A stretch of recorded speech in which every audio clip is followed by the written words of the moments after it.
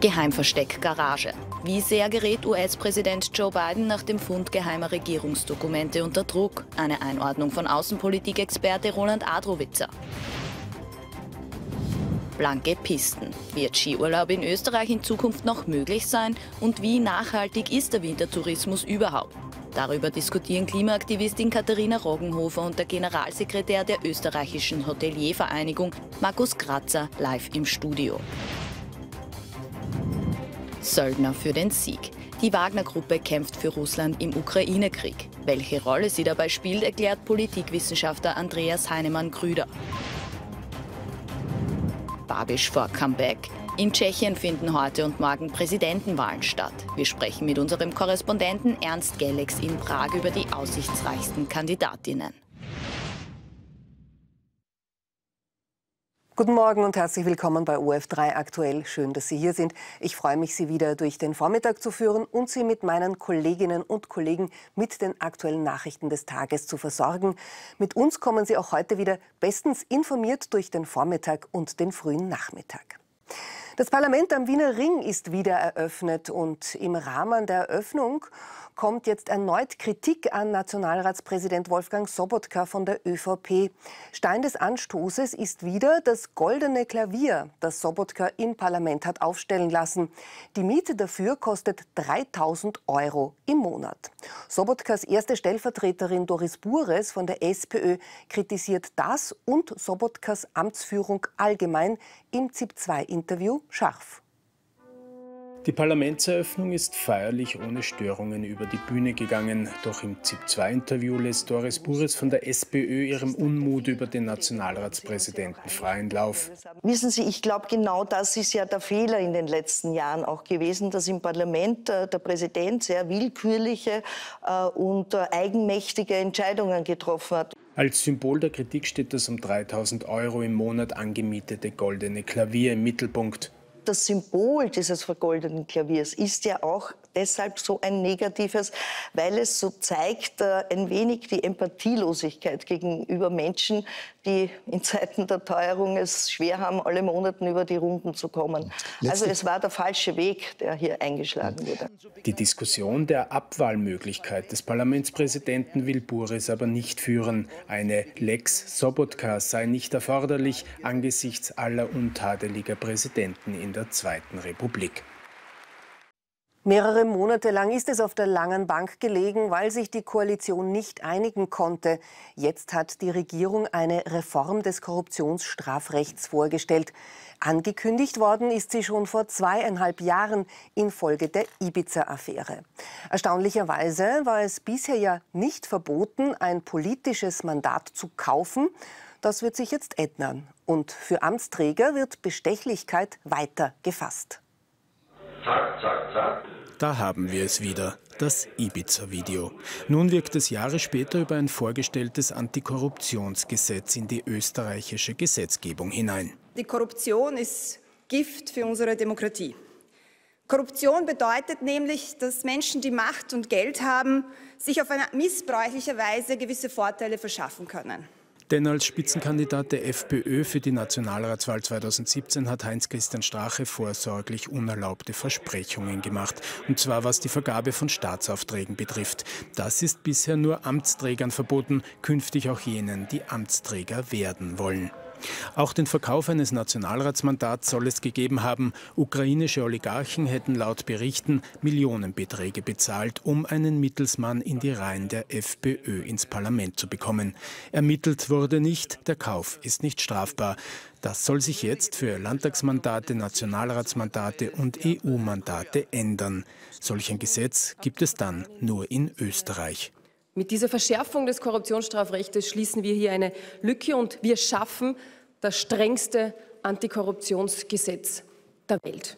Der Bundespräsident hat noch im Oktober, Stichwort, das darf doch alles nicht wahr sein, den Verlust des Vertrauens in die Demokratie beklagt und solch ein Gesetz gefördert. Bei der Parlamentseröffnung gibt er sich zufrieden. Die Ministerinnen Ed Stadler und äh, Sadic haben ein interessantes kleines Paket von sechs Punkten vorgestellt. Ich glaube, das sind wichtige Schritte auf dem Weg äh, im, im Kampf gegen die verschiedenen Arten von Korruption. Die SPÖ beklagt, dass FPÖ-Korruption verboten, aber ÖVP-Korruption nicht angetastet werde. Die FPÖ glaubt, das neue Gesetz würde nur die ÖVP treffen und die Neos meinen, Ibiza wäre auch mit diesem Gesetz weiterhin möglich.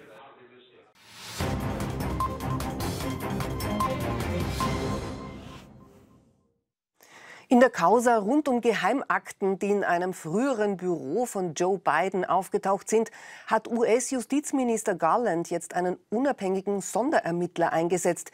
Es geht um vertrauliche Dokumente aus der Zeit, in der Biden der Vize von Barack Obama war und die Bidens Anwälte jetzt selbsttätig zurückgegeben haben.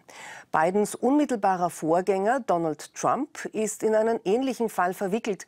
Bei ihm wurden zuvor 10.000 Geheimdokumente gefunden.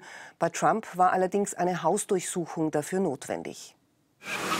Neben diesem Sportwagen einer Corvette, die Joe Biden im Wahlkampf stolz präsentiert, haben seine Anwälte in der Garage seines Privathauses auch Geheimdokumente aus seiner Zeit als Vizepräsident gefunden, wie Biden nun selbst bestätigt.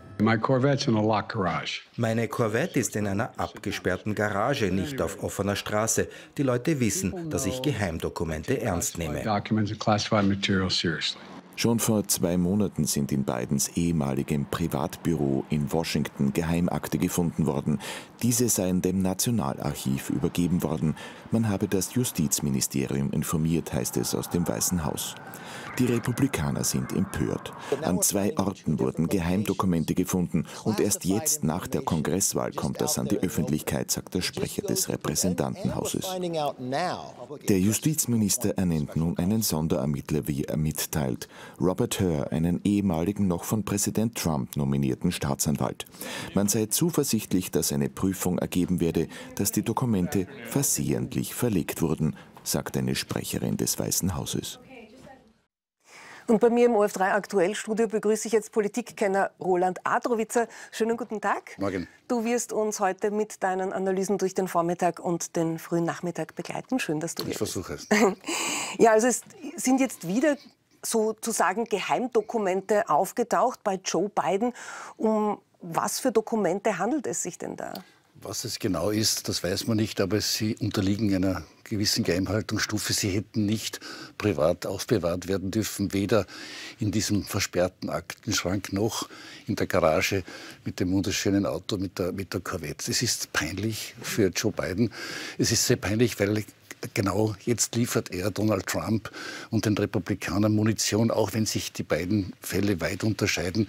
Trump hat das ja monatelang bestritten. Er hat monatelang versucht, die Herausgabe dieser Dokumente zu verhindern. Hingegen die Anwälte beiden sind ja von sich aus auf das Nationalarchiv und auf das Justizministerium zugegangen, haben gesagt, ja, wir haben diese Dokumente gefunden. Dennoch, natürlich, wir wissen, dass wir kennen das politische Spiel, wir kennen die Polarisierung des politischen Lebens in den Vereinigten Staaten. Das ist Wasser auf die Mühlen der Republikaner.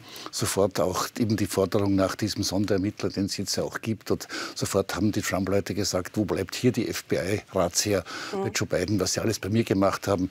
Ist das jetzt die gleiche Hexenjagd? Trump hat gleich gesagt, er soll einen Sonderermittler ernennen, Justizminister äh, Garland soll einen Sonderermittler ernennen, der äh, Biden genauso hasst, wie meiner mich ja. hasst. Aber jetzt noch mal nachgefragt, weil wir jetzt eben immer hören, äh, Geheimdokumente. Aber was, was kann denn da drinnen stehen? Ungefähr oder was könnten das für Dokumente sein? Also die Regierungstätigkeit in den Vereinigten Staaten ist so breit gestreut. Es können äh, Dokumente über Militäreinsätze sein. Sie stammen aus der Zeit, wo Barack Obama Präsident war, wo Joe Biden Vizepräsident war. Auf alle Fälle unterliegen sie einer Geheimhaltungsstufe, die verbietet, dass sie privat aufgehoben werden. Was genau drin steht, das wird. Brisant müssen sie wohl brisant sein. Ne? müssen sie sein. Das waren sie vermutlich auch, äh, oder ziemlich, mit ziemlicher Sicherheit auch jene Dokumente, die im Mar-a-Lago bei Donald Trump gefunden worden sind. Aber mehr die Signifikanz dieser ganzen Geschichte liegt mehr in der Peinlichkeit. Und äh, Biden steht das auch nicht gut da, sein Versuch, das Ganze hier scherzhaft dann eben mit dem Auto zu sagen, ja, sie waren ja eh, das Auto steht in einer versperrten Garage und, sind, und die Dokumente sind ja nicht auf der Straße gestanden. Er hat vielleicht geglaubt, das ist witzig, aber äh, unser legendärer Ex-Chef Gerd Bach hat immer gesagt, das Gegenteil von gut ist gut gemeint. Jetzt haben wir heute gehört, dass es einen Sonderermittler geben soll. Aber was kann der denn wirklich tun? Also diese Ernennung des Sonderermittlers Robert Hur durch Merrick Garland, den Justizminister, den von Joe Biden eingesetzten Justizminister, hat vor allem den Grund, jeden Anschein der Parteilichkeit zuzustreuen. Dass man auch sagt, noch einmal, obwohl die Fälle ja juristisch vermutlich ganz anders äh, gelagert sind, hat der Justizminister keinen Moment gezögert, diesen wirklich unabhängigen Sonderstaatsanwalt, der völlig unbeeinflusst ermitteln kann, zu ernennen. Der, das haben wir auch im Beitrag gehört, der war ein von Trump nominierter Bezirksstaatsanwalt in Maryland. Er ist zurzeit Partner einer angesehenen Anwaltskanzlei in Washington als ein untadeliger Jurist, dem man in, in keiner Weise nachsagen könnte, dass er mit dem beiden Lager irgendwie in Verbindung steht. Er soll unbeeinflusst, das hat er auch angekündigt, fair und unbeeinflusst, soll er die Vorwürfe aufklären, wenn dann was dran ist. Strafrechtlich, sonst sollte es überhaupt dazu kommen, könnte ein Präsident ja ohnehin erst nach seiner Amtszeit belangt werden, weil das ja nicht möglich ist, einen amtierenden Präsidenten anzuklagen. Aber das ist auch nicht zu, Entschuldige, das ja. ist nicht zu erwarten, dass es ja. dazu kommt. Es ist eine symbolische Geste des Justizministers und natürlich insgesamt der beiden Administration, dass hier ein unabhängiger Sonderstaatsanwalt, Sonderermittler ernannt wird. Apropos ehemaliger Präsident Donald Trump, bei ihm sind ja 10.000 Geheimdokumente gefunden worden und er könnte möglicherweise jetzt auch vor Gericht landen. Wie wahrscheinlich ist das denn? Das ist immer wieder die Frage, tut man sich das an, weil man ihn ja dann damit wieder die Munition gibt, dass er sagt, das ist eine Hexenjagd gegen mich. Äh, er will ja immer noch, er will ja noch einmal antreten. Was ist auch besonders peinlich ist, dass es gerade jetzt passiert für Joe Biden. Biden wollte vermutlich in den nächsten Wochen seine Wiederkandidatur ankündigen. Seine Umfragewerte waren zuletzt gut. Das wird sich jetzt die, möglicherweise ändern. Das wird sich möglicherweise ändern. Es, die Inflation in den Vereinigten Staaten sinkt wieder. Wirtschaftsdaten sind positiv. Also er hatte eigentlich gehofft, dass er jetzt mit positiven Schlagzeilen ins neue Jahr geht. Und jetzt diese peinliche Affäre, auch wenn vermutlich nicht viel dran ist. Trump feigst natürlich. Er sagt, ja, ja, bei mir habt ihr ja das Theater gemacht, aber er ist ja auch nicht besser. Da gibt es immer wieder die Vorwürfe dieses Deep States, also die, die rechten Verschwörungstheorien, dass ja da ein, ein, ein, ein tiefer Staat äh, im Gange ist, bis hin zu den Verwicklungen von Joe Bidens Sohn in der Ukraine, der ja Geschäftsbeziehungen in der, in der Ukraine gehabt hat. Das alles wird natürlich jetzt genüsslich von den Republikanern, von den Trump-Leuten aufgekocht. Es ist peinlich für Joe Biden, überhaupt keine Frage. Und er hätte sich wohl den Start in dieses neue Jahr anders vorgestellt. Interessant jedenfalls Geheimdokumente beim ehemaligen Präsidenten, jetzt wieder auch bei Joe Biden. Die Frage, die sich vielleicht viele stellen, was kommt dann noch? Vielleicht morgen, übermorgen dann wieder neue Dokumente oder was ja. könnte da noch im Busch sein? Ich, ich, weiß nicht, wie viele Garagen Herr Biden noch hat. Nein, ich, ich glaube, dass das wohl in diesem, bei Biden dürfte es das wohl in diesem Ausmaß gewesen sein. Man versteht es nicht. Also warum, außerdem, ich kann mir das nicht vorstellen, dass ich jetzt bewusst äh, Geheimdokumente mitnehme und sie in einer Garage verstaue, also wie es dazu kommen konnte. In, in Trumps Fällen Trump ist es ja ganz anders gelagert gewesen. Das, waren, das sind offensichtlich in ungesicherten Kisten und Schubläden da in, in, in Mar-a-Lago herumgelegen. Dort war es wenigstens in einem Fall in einem Aktenschrank. Die Geschichte mit der Garage ist wirklich, wirklich peinlich äh, für, für Biden. Aber noch einmal, wenigstens haben die beiden Leute von sich aus, als sie das gemerkt haben, das war schon im November, von sich aus den Kontakt zum Nationalarchiv und zum Justizministerium gesucht, was nichts daran ändert. Der politische Schaden ist angerichtet, es ist peinlich und gibt natürlich Trump die von ihm so dringend benötigte Munition zum Zurückfeuern.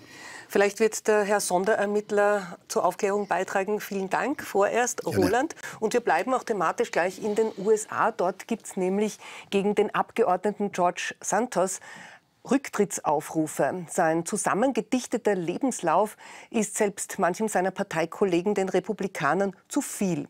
Santos hat da etwa Universitäten oder berufliche Stationen angegeben, mit denen er in Wirklichkeit nie zu tun gehabt hat. Darüber hinaus wird ihm vorgeworfen, Gelder für seinen Wahlkampf missbräuchlich verwendet zu haben. George Santos, neues Mitglied des Repräsentantenhauses, hat jetzt Gegner in beiden Parteien, weil er nicht nur über seine Ausbildung und seine Berufserfahrung gelogen hat. Als ich bei Citigroup begonnen habe, sagten sie, ich bin wirklich klug sondern auch behauptete, Jude zu sein, seine Mutter bei den Anschlägen des 11. September verloren zu haben und aus einer Familie zu kommen, die vor den Nazis fliehen musste. Verfolgung ist uns nicht fremd. Mein Großvater ist aus der Ukraine nach Belgien geflohen und 1940 weiter nach Brasilien. Zu viele Lügen für die Parteispitze seines Wahlbezirkes im Bundesstaat New York. Sie nennt ihn eine Schande, einen notorischen Lügner, einen internationalen Witz. Man fühle sich durch ihn nicht mehr vertreten. Im Namen der Republikaner des Bezirks Nassau fordere ich seinen sofortigen Rücktritt. Er sei nicht verurteilt, so die Parteispitze. Entscheiden müssen die Wähler in zwei Jahren, also nach Ende seiner Amtszeit. Man ist unschuldig, bis das Gegenteil bewiesen ist. Auch Santos selbst will nicht zurücktreten. Trotz aller Lügen, es ist die Mathematik, die gegen einen Rückzug spricht. Zu knapp ist die Mehrheit der Republikaner, als dass sie auch nur auf einen einzigen Sitz verzichten könnten. Zum Krieg in der Ukraine jetzt. Der tobt gerade vor allem um die Stadt Soledar im Donbass, also im Osten des Landes, ganz in der Nähe der ebenso heftig umkämpften Stadt Bachmut. Der Kreml spricht von militärischen Erfolgen in Soledar. Die Ukraine hingegen widerspricht und will durchhalten. Klar ist, die Verluste sind hoch, die Zerstörung ist groß. Luftaufnahmen über die Kämpfe um Soledar, zehn Kilometer nördlich von Bachmut. Wie enorm die Zerstörungen sind, zeigen diese Satellitenbilder. Fällt Soledar in russische Hand, droht die Umfassung von Bachmut, wo die Ukrainer bereits seit Monaten standhalten. Auch hier sind die Verluste auf beiden Seiten hoch, doch überprüfbare Angaben fehlen. Sie macht auch General Serhii Krivonos nicht. Er kämpfte bereits 2014 gegen die Russen, musste sich aber einer Operation unterziehen. Wie wichtig ist Bachmut militärisch? In der Propaganda möchten die Russen Bachmut als ihren Super-Super-Sieg darstellen. Daher wollen sie die Stadt erobern. Zweitens wäre das ein Sprungbrett für weitere russische Angriffe in Richtung Saporischje und Kramatorsk. Damit würden bestimmte Einheiten der ukrainischen Streitkräfte und ihr Umfeld bedroht. Doch Bachmut hat mittlerweile eine große symbolische Bedeutung bekommen. Bei Bachmut geht es nicht nur um die Herrschaft über ein Territorium, sondern auch um die Kampfmoral der russischen und unserer Streitkräfte. Das ist ein ziemlich einflussreicher Faktor, was diese Stadt betrifft, ungeachtet der Verluste. Bachmut hat keine kriegsentscheidende Bedeutung. Viel wichtiger ist die Frage, wer für den Frühling besser gerüstet sein wird, Möglich ist eine neue russische Offensive, die nicht nur nach Darstellung der Ukraine sehr wahrscheinlich ist. In der Ukraine wird also heftig weitergekämpft. Roland Adrowitzer heute hier bei uns zur Analyse. Andererseits ist es auch so, dass jetzt immer mehr westliche Staaten auch schweres Kriegsgerät in die Ukraine schicken, also Panzer und sonstige Waffen. Welchen Einfluss kann das denn auf den weiteren Kriegsverlauf haben? Also die Ukraine, die sich ja heldenhaft wehrt, was man ja niemals vor fast einem Jahr vermutet hätte, dass sie sich so lange und so erfolgreich wehrt, braucht natürlich ganz dringend modernstes Kriegsgerät, um einen weiteren Vorstoß der Russen zu verhindern. Vor allem brauchen sie Panzer, sie brauchen Schützenpanzer, aber auch richtige Kampfpanzer. Und da hat der Westen, hat die NATO bisher gezögert, damit, damit man nicht vielleicht doch unmittelbar Kriegspartei wird. Aber das weicht jetzt auf, diese Front der Ablehnung. Es gibt einige Staaten, die bereit sind, ähm, moderne Kampfpanzer zu liefern. Tschechien zum Beispiel, Finnland ist jetzt auch dabei. Der Druck wird auf Deutschland immer größer, äh, diese Marder-Panzer zu liefern. Olaf Scholz, der deutsche Bundeskanzler, hat sich da bisher sehr reserviert gezeigt, aus verständlichen Gründen. Da nicht zu tief involviert zu werden. Er hat immer gesagt, nicht im Alleingang. Gemeinsam mit anderen NATO-Partnern könnte man darüber reden. Klar ist, ohne modernstes westliches Kriegsgerät wird auf Dauer die Ukraine bei aller Heldenhaftigkeit äh, nicht standhalten können. Die Schlacht um diese beiden verhältnismäßig unbedeutenden Städte ist ja vor allem jetzt auch ganz wichtig für die Russen wieder an der Propagandafront zu punkten. In den letzten Monaten haben sie eigentlich nur Niederlagen erlitten, demütigende Peinlichkeiten. Und jetzt könnten sie, wenn sie Solidar und Bachmut da einnehmen, endlich wieder mal einen, einen Sieg verkünden. Daher ist das so von, von so hoher symbolischer Bedeutung. Weitet sich dieser Krieg jetzt aber vielleicht schleichend auch auf weitere Länder aus? Das ist die Befürchtung, die nicht ganz von der Hand zu weisen ist, dass die Eskalation ist. Andererseits die NATO ist ja bereits so stark involviert, zumindest mit Lieferung von Kriegsmaterial, mit Lieferung von vor allem Information. Die Ukraine könnten sich ja niemals so wehren, wenn sie nicht ständig von den Amerikanern, von den Briten, von den Nachrichtendiensten bestens informiert äh, wären würden, was sich auf, auf russischer äh, äh, Seite tut. Die russische Armee, das ist ganz klar, das kann man nach einem Jahr Krieg sagen, ist bei weitem nicht so stark wie man immer geglaubt hat, wie es vermutlich auch Wladimir Putin selbst geglaubt hat oder wie viele Russen es geglaubt haben. In Wahrheit ist es eine demütigende äh, Vorgangsweise und demütigend für die so großartige, angeblich so großartige Nachfolgerin der Roten Armee, die, die, wie sich dieser Kriegsverlauf da in der Ukraine erzeigt. Daher, Entschuldige, ja. noch eine, daher ist die Ausweitung insofern, dass man glaubt, dass andere Länder vielleicht attackiert würden, das schließe ich aus. Aber die Frage ist natürlich, wie Russland jetzt darauf reagiert und wie es dort denn mit der Nachschubsituation ausschaut, was Waffen betrifft. Russland reagiert natürlich vor allem rhetorisch empört, vor allem immer wieder mit Medvedev, der frühere Präsident und Premierminister und mittlerweile einer der, der großen Scharfmacher Putins, fantasiert von, von Atomwaffen einsetzen und äh, gewisse Scharfmacher, die vor allem im russischen Staatsfernsehen immer wieder auftreten, fordern äh, Präventivschläge, Atompräventivschläge auf Frankreich, weil sich die Franzosen da jetzt wieder eingemengt hätten.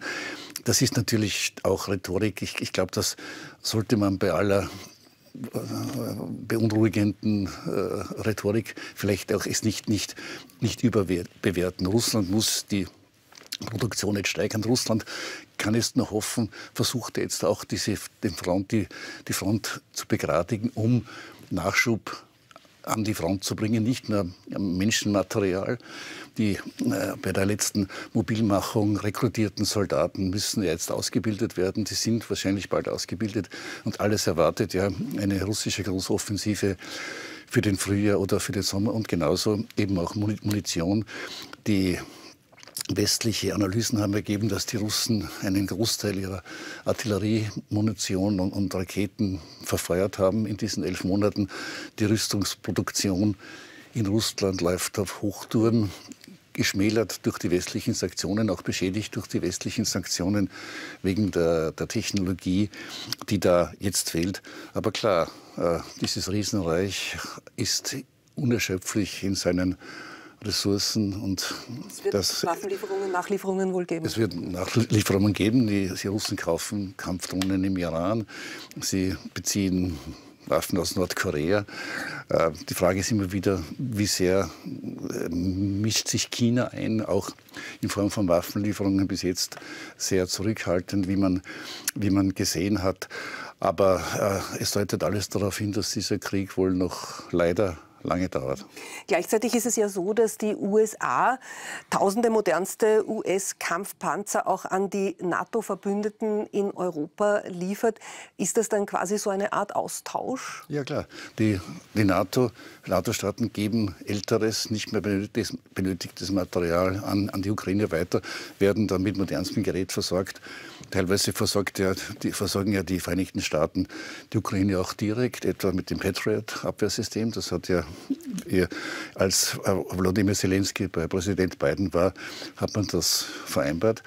Die Ukrainer haben bereits diese HIMAR Raketenwerfer, von denen sie zu wenig haben, noch, noch aus, aus, ihrer Sicht. Sie, sie, sie würden gern von allem immer, immer mehr haben, um, um diesen Abwehrkampf äh, fortsetzen zu können um möglicherweise diesen Krieg zu gewinnen. Ja, es ist eine, Es ist ein Stellvertreterkrieg, das ist klar, der mittlerweile stattfindet, in, der Ukraine stattfindet. Das russische Narrativ lautet, ja, wir müssen, wir müssen uns gegen die NATO, gegen den Vereinten Westen wehren, aber wer hat angefangen? Nicht? Also niemand hat, niemand hat Russland attackiert bei allen möglichen politischen Fehlern, die passiert sind. Es gibt nur einen Kriegstreiber, einen Kriegsschuldigen und der heißt Wladimir Putin. Und der Krieg ist wohl auch noch lange nicht zu Ende. Vielen fürchte, Dank. Fürchte ich auch, ja. Vielen Dank, Roland, für diese wieder sehr ja. interessante Analyse. Ja, und im Krieg Russlands gegen die Ukraine zeigt sich auch einmal mehr, wie sehr Russland mittlerweile zu einem diktatorischen Willkürstaat geworden ist. Rekrutierung von Soldaten und die Freilassung aus dem Gefängnis wird privater Gewalt überlassen. Ausgeübt von der berüchtigten Söldnertruppe Wagner, die in den Kämpfen gegen die Ukraine mitmischt. Und geführt von einem Putin-Vertrauten, der die Macht über Leben und Tod von Menschen bekommen hat, ohne sich dabei an die Gesetze halten zu müssen. Soledar ist heiß umkämpft, auch bezüglich Propaganda. Ukrainische Soldaten halten die Stadt angeblich weiterhin unter Kontrolle. Die Wagner-Gruppe brüstet sich jedoch damit, sie eingenommen zu haben. Dieses Foto ihres Gründers Jewgenin Prigoschin inmitten seiner Männer in der lokalen Salzmine und seine Botschaften sollen als Beweise dienen. Prigoschin, früher als Putins Koch bekannt, ist nun Oberbefehlshaber von geschätzten 50.000 Söldnern. Er gilt als äußerst brutal. Deserteure soll er grauenvoll hinrichten lassen und auch seine Rekrutierungsmethoden in Gefängnissen sind umstritten. Das ist eine wirklich mächtige Armee, die zu einem guten Teil aus verurteilten Straftätern besteht. Sie unterliegt keinen Gesetzen und handelt rein nach Absprache zwischen Putin und Prigoschin. Prigoschin verteidigt und lobt die ehemaligen Gefangenen an der Front. Sie haben Russland beschützt. Sie verdienen von der Gesellschaft daher den höchsten Respekt. Viele davon werden nach ihren Einsätzen auch tatsächlich begnadigt. Prigoschin strebt offenbar ein hohes Amt im Kreml an. Mit mutmaßlichen Erfolgen wie in Soledar versucht er sich dafür zu qualifizieren. Doch bei der russischen Armee macht er sich damit keine Freunde.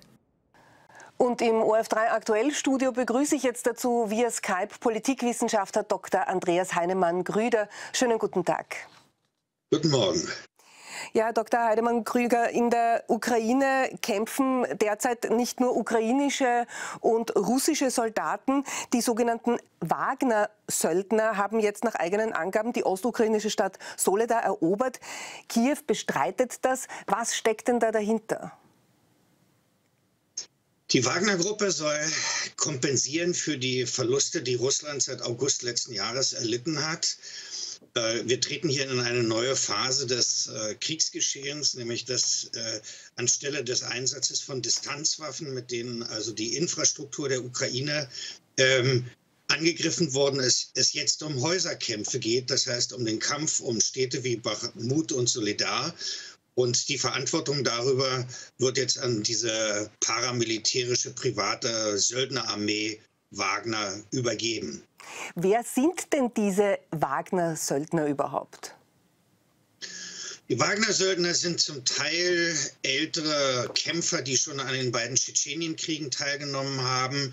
Äh, die Gruppe ist entstanden 2014, als es um den äh, Separatismus im Donbass in der Ukraine ging, sind eine von den vielen äh, mal, irregulären bewaffneten Gruppen, die Russland geschaffen hat, um diesen Separatismus zu fördern. Sie haben dann später in Syrien gekämpft, auch in Libyen, in Mali, jetzt in der Zentralafrikanischen Republik. Das sind ehemalige äh, Spezialkräfte, Luftlandetruppen äh, vom Militärgeheimdienst, dem russischen GRU, aber jetzt eben auch seit Sommer letzten Jahres rekrutierte Strafgefangene, die ähm, sozusagen im Gegenzug dafür, dass sie kämpfen, äh, Strafnachlass bekommen oder, ihn, oder nicht mehr in den Straflagern äh, sein müssen. Und für welches Ziel kämpfen diese Soldaten? Wagner ist von Anfang an eine kommerzielle ähm, äh, Militärfirma gewesen, die vor allen Dingen ähm, ja, die Profitinteressen von dem Unternehmer Prigozhin bedienen soll. Insofern ist Plündern, äh, Ausbeuten von Bodenschätzen immer Teil sozusagen der Kampflogik von Wagner gewesen, auch in Syrien, in Afrika äh, und so jetzt auch in Solidar, wo sie eine der Salzminen unter Kontrolle bekommen wollen. Sie sind bestimmt auch nationalpatriotisch eingestellt. Der Kommandeur Utkin ist bekennender Nazi, hat auch entsprechende Runen eintätowiert auf seinem Körper. Also zumindest ein Teil der Wagner-Gruppe ähm, ist eigentlich eher äh, Anhänger der Nazi-Ideologie, äh, die sie ja vermeintlich auf der ukrainischen Seite bekämpfen sollen. Das ist paradox. Und um welches weitere Ziel geht es Ihnen da? Es kann ja wohl nicht nur die Plünderung im Vordergrund stehen, oder? Es geht letztlich darum, den Einfluss äh, dieser Gruppe auch im politischen System Russlands zu stärken. Das heißt, äh, auch mehr Einfluss auf die äh, Politik des Nationalen Sicherheitsrates zu bekommen, vielleicht auch mehr Aufträge noch zu bekommen. Ähm, es ist so eine Vermischung aus politischen, militärischen und wirtschaftlichen Interessen. Manche sagen Prigozhin, dem äh, Eigentümer von Wagner, auch nach, dass er politische Ambitionen hat das halte ich für eher unwahrscheinlich, dass er die durchsetzen kann. Aber äh, es ist Ausdruck dessen, dass eine Art von Parallelstaat entstanden ist. Also ein Doppelstaat. Es gibt sozusagen die regulären Sicherheitsorgane und dann gibt es äh, irreguläre und deren Einfluss nimmt im russischen politischen System zu. Sie sind Ausdruck einer Radikalisierung und sie sind Ausdruck dessen, dass Putin quasi Gefangener seiner deklarierten Ziele ist und mit der Gruppe Wagner jetzt seine ursprünglichen Ziele doch noch erreichen will. Weil Sie jetzt Putin ansprechen, in welcher Verbindung stehen denn die Söldner mit der russischen Spitze? Auf der einen Seite sind sie abhängig von der Logistik, äh, von den nachrichtendienstlichen Erkenntnissen, von der Bewaffnung, von der Bereitstellung von Munition. Das heißt, all das ist äh, nicht selber generiert, sondern das wird vom russischen Generalstab, von der russischen Armee bereitgestellt. Insofern sind sie einerseits Durchführungsorgan, auf der anderen Seite sind sie auch Konkurrent, äh, weswegen also auch das Militär immer wieder sozusagen die Eigenmächtigkeiten der Gruppe Wagner kritisiert kritisiert hat, auch schon in Syrien, weil sie dann äh, auch die Siege sich selbst zuschreiben und das dem Prestige der Armee schadet. Also es ist kein spannungsfreies Verhältnis, sondern zum Teil eben auch äh, Konkurrenz. Weil Sie jetzt auch die Waffen angesprochen haben, immer mehr westliche Staaten wollen ja jetzt schweres Kriegsgerät in die Ukraine liefern. Welchen Einfluss kann das denn auf den weiteren Kriegsverlauf haben? Ja, also die schweren Waffen sind natürlich dazu da, äh, den Nachschub der russischen Seite zu treffen. Äh, sie sollen auch dazu dienen, mal die Lufteingriffe oder die, die, die, den Schutz vor den Luftangriffen der Russen äh, zu stärken, vor allen Dingen aber auch äh, die russische Logistik im Hinterland treffen zu können. Die schweren Waffen werden für diesen Häuserkampf äh, eine sehr geringe Bedeutung haben, weil da werden eher Handfeuerwaffen zum Einsatz kommen, gepanzerte Transportfahrzeuge, vielleicht auch Hubschrauber. Aber der Städtekampf unterscheidet sich von diesen schweren Waffen, mit denen man äh, die Russen sozusagen äh, in ihrem Nachschub und, und in ihrer äh, Luftangriffsfähigkeit äh, treffen will. Aber wie gefährlich können denn etwa diese Panzer- und Waffenlieferungen sein für eine mögliche weitere Eskalation des Ukraine-Kriegs in Richtung eines Kriegs der NATO gegen Russland? Ja, dieses Argument wird schon seit geraumer Zeit vorgetragen.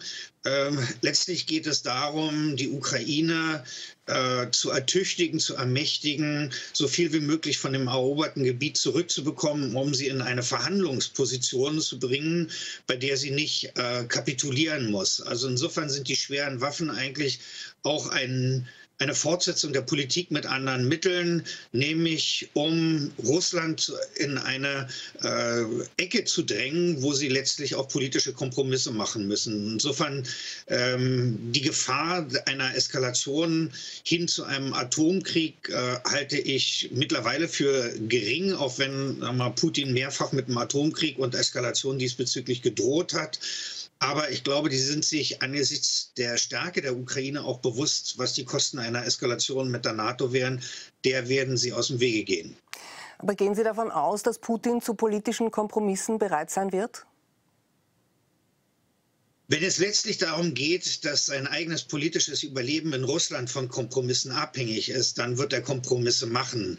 Also auf der einen Seite sieht man äh, eine gewisse Kamikaze-Politik, also dass er sich so weit äh, sozusagen auch zum, zur Geisel seiner eigenen Rhetorik gemacht hat. Auf der anderen Seite, wenn er vor der Frage steht, äh, gibt es jetzt erhebliche Unzufriedenheit in Russland, und zwar von Militärs, aber auch von Gouverneuren, von Unternehmern, von Wirtschaftsvertretern, die sagen, dieser Krieg wird dauerhaft zu kostspielig, auch von der Bevölkerung, vielleicht von Soldaten, Müttern, von Ehefrauen, dass der soziale Druck hochnimmt, dann wird er Kompromisse machen müssen und dann wird er irgendwas als Sieg verkaufen müssen. Ich vermute mal, die vier annektierten Gebiete, das wird sein äh, derzeitiges Maximalziel sein.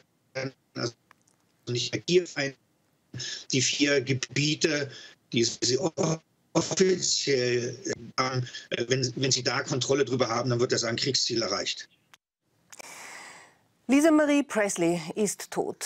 Das einzige Kind von Elvis Presley ist im Alter von 54 Jahren unerwartet gestorben. Medien hatten zuvor berichtet, dass die Musikerin gestern früh leblos in ihrem Haus aufgefunden worden ist. Davor soll sie einen Herzstillstand erlitten haben. Kurze Zeit später ist sie dann in einem Krankenhaus in Los Angeles gestorben.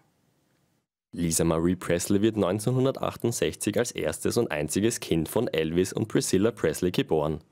Schon früh in ihrem Leben sorgt sie für Schlagzeilen. Am bekanntesten ist wohl ihre anderthalbjährige Ehe mit dem King of Pop Michael Jackson. Insgesamt viermal war Presley in ihrem Leben verheiratet. Als Tochter des King of Rock'n'Roll versucht sie sich auch an einer Musikkarriere und veröffentlicht insgesamt drei Musikalben. Ihren letzten öffentlichen Auftritt hat Presley vergangenen Dienstag am Rande der Golden Globes. Gemeinsam mit ihrer 77-jährigen Mutter Priscilla sitzt sie am Tisch von Austin Butler, der für die Darstellung ihres Vaters Elvis den Golden Globe für den besten Schauspieler gewinnt. Lisa Marie Presley hinterlässt drei Töchter. In Afghanistan hat es in den vergangenen zehn Tagen zwei Anschläge gegeben, Anfang Jänner am Militärflughafen in Kabul. Und diese Woche hat es einen Selbstmordanschlag vor dem Außenministerium gegeben. Die Taliban machen auch dafür den IS verantwortlich. Bevor ich gleich mit einer Sozialanthropologin über die aktuelle Lage dort spreche, hier ein Überblick von Teresa Kulovic. Zwei Anschläge, Dutzende Tote und Verletzte. So die traurige Bilanz der vergangenen zwei Wochen in Afghanistan. Anfang Jänner eine Explosion am Militärflughafen in Kabul. Am Mittwoch sprengt sich ein Selbstmordattentäter vor dem Außenministerium in Kabul in die Luft. Zu letzterem Anschlag bekennt sich die Terrorgruppe Islamischer Staat. Die im Land regierenden Taliban machen den IS aber auch für den ersten Anschlag verantwortlich. Beide radikal-islamische Gruppen sind verfeindet. Es kommt immer wieder zu Spannungen und Kämpfen. Angespannt ist die Lage im Land derzeit ohnehin. Afghanistan steckt in einer humanitären Krise. 6,6 Millionen Menschen sind von extremem Hunger bedroht. Obwohl die Taliban bei ihrer Machtübernahme im August 2021 versprochen hatten, moderner und offener sein zu wollen, schränken sie seither systematisch die Rechte von Frauen ein. Zuletzt wurden Frauen von Universitäten ausgeschlossen. Auch jene, die für NGOs arbeiten, mussten ihre Tätigkeit aufgeben. Und bei mir im OF3 Aktuell Studio begrüße ich jetzt dazu Sozialanthropologin Gabriele Rasoli-Palecek. Schönen guten Tag. Ebenfalls guten Tag. Ja, wie gefährlich und unsicher ist denn die Lage derzeit gerade in Afghanistan? Also die Situation hat sich natürlich in einzelnen Landesteilen dramatisch verschlechtert. Äh, das betrifft nicht nur die genannten Anschläge, sondern vor allem in den Regionen, wo Schiiten wo Angehörige der schiitischen Minderheit leben, etwa in bestimmten Stadtteilen von Kabul, ist es auch im letzten Jahr mehrfach zu Anschlägen auf schiitische Moscheen, Bildungseinrichtungen gekommen.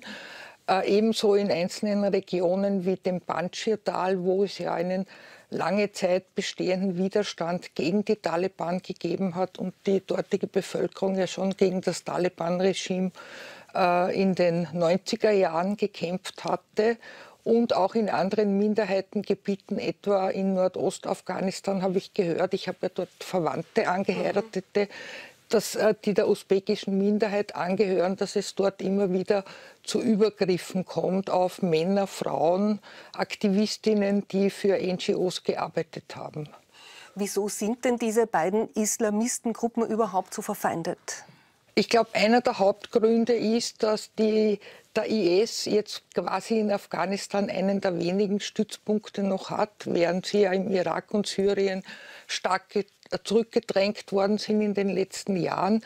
Und sie versuchen sozusagen durch möglichst spektakuläre Attentate Anhänger zu gewinnen. Und ich, es ist schon länger aus, dass ich ein Buch über den islamischen Staat Khorasan, das ist die Bezeichnung für den Ableger in Afghanistan, der ja auch teilweise in Pakistan versucht, Fuß zu fassen, dass die über äh, logistisch äh, sehr effiziente Mittel verfügen von einzelnen Golfstaaten finanziell unterstützt werden und daher versuchen sozusagen Anhänger, die sich ursprünglich den Taliban angeschlossen haben und vielleicht nicht zufrieden sind, auf ihre Seite zu, zu, ziehen. Dazu kommt, dass es auch andere Splittergruppen gibt, die in Afghanistan und in Pakistan immer wieder aktiv waren, wie etwa die Islamische Bewegung Usbekistans, die offensichtlich auch zum Teil Bündnisse mit dem IS eingegangen sind. Also mehrere Konfliktpotenziale ja. jedenfalls. Die Taliban sind jedenfalls seit August 2021 wieder an der Macht und seitdem sind die Rechte vor allem von Frauen auch stark beschnitten worden. Es gibt Beobachterinnen und Beobachter, die sagen, dass man Frauen unsichtbar für die Gesellschaft machen will. Und im Dezember sind Frauen beispielsweise von den Universitäten verbannt worden und sie dürfen ja jetzt auch nicht für NGOs arbeiten. Mhm. Was bedeutet das denn jetzt? Es ist eigentlich ein sukzessiver Prozess des Unsichtbarmachens. Also es hat begonnen mit der Frage der Bildung von Frauen, der Berufstätigkeit und viele afghanische Frauen haben ja die fast 20 Jahre westlicher Präsenz genützt, um Bildung nachzuholen, um äh, im öffentlichen Raum aktiv zu werden, sei es als Richterinnen, als Journalistinnen, als Menschenrechtsaktivistinnen. Viele haben bei NGOs gearbeitet. Äh, Afghaninnen wurden insgesamt aus der Politik verdrängt. Also es gab äh, Mitte des vorigen Jahres eine sogenannte Rat, große Ratsversammlung, bei der nur Männer anwesend waren, während bei früheren Ratsversammlungen es eine Quote gegeben hat. Frauen sind inzwischen aus allen öffentlichen Ämtern quasi entfernt worden. Also es gibt auch kein Frauenministerium mehr. Die afghanische unabhängige Menschenrechtsorganisation ist aufgelöst worden. Dafür ist ein Ministerium für Tugend, wie es es während der ersten Taliban-Herrschaft gegeben hat, wieder eingeführt worden. Das heißt, viele afghanische Frauen, insbesondere jene, die prominent in der Öffentlichkeit waren, so sie das Land nicht verlassen konnten, sind jetzt im Untergrund. Es gibt immer wieder Frauendemonstrationen, aber auch die afghanischen Medien sind insgesamt äh, unter starker Kuratel der Taliban. Das heißt, äh, es darf nicht über diese Demonstrationen berichtet werden. Viele Journalistinnen haben ihre Jobs verloren. Und äh, das Gravierendste ist jetzt, dass viele Frauen ja inzwischen für ihre Haushalte, die allein Erwerbstätigen gewesen sind, entweder weil die Männer äh, psychische oder physische Erkrankungen haben, verstorben sind. Es gibt ja viele Kriegswitwen. Und äh, wenn jetzt diese Frauen nicht mehr tätig sein können, dann dürfen, dürfen, dann hat das dramatische Konsequenzen für die Familien. Und es ist ja vorher im Beitrag schon angeklungen, dass äh, nicht nur sechs Millionen vom Hunger bedroht sind, sondern mehr als die Hälfte der afghanischen Bevölkerung und darunter vor allem natürlich Frauen und Kinder von humanitärer Hilfe abhängig sind, was jetzt natürlich eine große Krise auslöst, weil als Antwort auf das Berufsverbot für NGOs maßgeblich in Afghanistan tätige NGOs wie Save the Children, beispielsweise CARE oder den Norwegian Refugee Council aus Protest ihre Aktivitäten eingestellt haben, weil sie berechtigterweise sagen, Zu den besonders Bedürftigen gehören eben genau diese Frauen und es gibt über zwei Millionen intern Vertriebene, wovon ebenfalls ein großer Teil Frauen und Kinder sind. Aber Sie sagen, Sie haben Ihren Betrieb eingestellt, aber andererseits haben Sie ja jetzt auch Ihre Mitarbeiterinnen verloren. Und nicht? die können ohne weibliche Mitarbeiter, weil es ja eine sehr traditionelle Gesellschaft ist, also vor allem im ländlichen Raum und durch die Taliban noch verschärft, wo diese Geschlechtertrennung ganz massiv äh, institutionalisiert worden ist und mit Strafen belegt wird, die können diese Frauen nicht mehr erreichen. Also es ist dramatisch äh, für die Bevölkerung Afghanistans und die Menschen haben auch keine Kraft mehr nach vier Jahrzehnten Krieg und Bürgerkrieg, sich dagegen zu wehren, glaube ich. Die kämpfen im Moment ums Überleben. Sie, Sie sagen ja einerseits, betrifft es natürlich die Familien, die, die Frauen, die jetzt nicht mehr erwerbstätig sein können und nicht mehr Geld nach Hause bringen können. Aber was bedeutet das denn, dass diese Frauen jetzt nicht mehr arbeiten dürfen für die Wirtschaft an sich? Also für die Wirtschaft bedeutet es natürlich auch einen starken äh, Einfluss, wobei man sagen muss, die afghanische Wirtschaft ist seit dem Ende der ausländischen äh, NGOs und äh, Regierungstruppen und so weiter ohnehin schon äh, ziemlich äh, beschädigt worden. Dazu kam eine drei, fast dreijährige Dürreperiode. Und äh, wenn jetzt das Einkommen der Haushalte fehlt, dann äh, führt das natürlich auch dazu, und die Inflation ist auch relativ hoch, dass weniger konsumiert werden kann, weil äh, der Großteil der, des Einkommens ja für die Ernährung ausgegeben werden muss. Also ungefähr 90 Prozent der Haushalte gibt das Geld, das wenige Geld, das sie haben, nur aus, um überhaupt äh, Nahrungsmittel zu kaufen. Viele verlieren ihre Wohnungen, haben keinen Stromanschluss mehr, weil sie sich die äh, Stromrechnung nicht leisten können. Es hat aber auch massive psychische Konsequenzen. Viele Mädchen sind inzwischen sehr frustriert, dass sie nicht mehr ihre Ausbildung machen können. Es haben, wurden ihnen ja auch Möglichkeiten sozusagen suggeriert, die jetzt genommen worden sind. Und die Selbstmordrate, und hier beziehe ich mich auf eine äh, Zahl, es gibt keine aktuellen Zahlen, aus der Zeit vor den Taliban war sie schon relativ hoch, weil Afghanistan insgesamt natürlich trotz der Modernisierung, die stattgefunden hat, eine sehr konservative Gesellschaft ist. Also ein bis zwei Frauen und junge Mädchen bringen sich täglich um wobei das ein Tabuthema ist und die Zahl wahrscheinlich noch viel höher ist. Jetzt ist anzunehmen, in dieser Situation, und ich habe eine Studie gelesen, wo Frauen über den Impact Mitte des vorigen Jahres befragt worden sind, der Taliban-Maßnahmen, also wo es ja noch mehr Möglichkeiten eigentlich gegeben hat, dass viele dieser Frauen wirklich gesagt haben, also sie sind am Boden zerstört, äh, ihre Töchter können nicht mehr in die Schule gehen, die sitzen nur mehr herum. Das führt auch dazu, weil ja die ökonomische Situation auch schwierig ist, zu Coping-Strategien, die sehr kontraproduktiv sind. Das heißt, junge Mädchen in armen Familien werden viel früher verheiratet, als das in den letzten Jahren der Fall war. Es kommt oft zu erzwungenen Heiraten beispielsweise. Äh, auch die Brüder sind oft frustriert, dass ihre Töchter nicht mehr in die Schule gehen, weil was erreicht worden ist nach 2001 ist, dass Bildung für die Kinder auch im ländlichen Raum eigentlich als etwas Positives betrachtet worden ist. Und so wächst eigentlich im Moment eine Generation heran, die keine Perspektiven hat, was dazu führt, dass viele eigentlich natürlich fliehen wollen. Aus ökonomischen Gründen zum Teil, aber eben auch aus dieser Perspektivenlosigkeit, aus dieser Frustration, aus der Gewalt, weil auch Gewalt gegen Frauen natürlich zugenommen hat.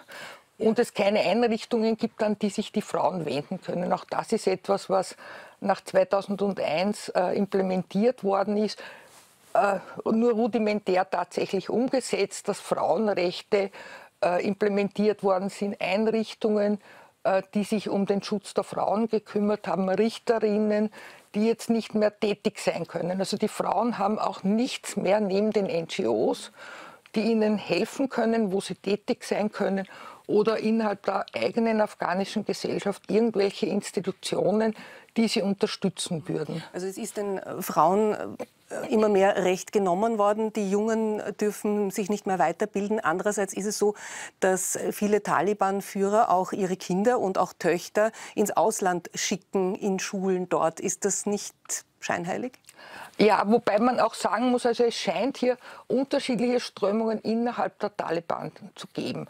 Also während Kabul ja das offizielle Machtzentrum ist und die dortigen Minister partiell und auch auf der regionalen Ebene in den Provinzen vielleicht den Frauen mehr Rechte zugestehen würden, vor allem was die Bildung angeht, ist es im Endeffekt der oberste Führer der Taliban, der in Kandahar sitzt, der entscheidet. Also es scheint im Moment auch so eine Rivalität zwischen Kandahar und Kabul zu geben und zwischen den unterschiedlichen Fraktionen innerhalb der Taliban. Weil natürlich gibt es Taliban, die vorher in, in Katar im Exil gelebt haben, deren Kinder Schulen besucht haben, westlich orientierte Schulen, die ein anderes Bild haben und diesen erzkonservativen Klerikern, die Afghanistan sozusagen in eine mittelalterliche, unter Anführungsstrichen, gesellschaftliche Situation zurückführen wollen.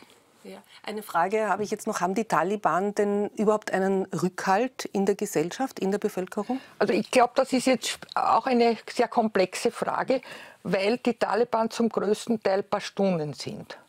Und auch das ist ein Kritikpunkt, äh, die UNO und andere, die versucht haben zu vermitteln. Und die Taliban wurden ja kaum anerkannt, mit ganz wenigen Ausnahmen. Das heißt, die UN spricht von der sogenannten de facto äh, Autorität in Afghanistan. Es ist keine all-inclusive Regierung, die die Minderheiten berücksichtigt. Frauen sind natürlich auch nicht vertreten.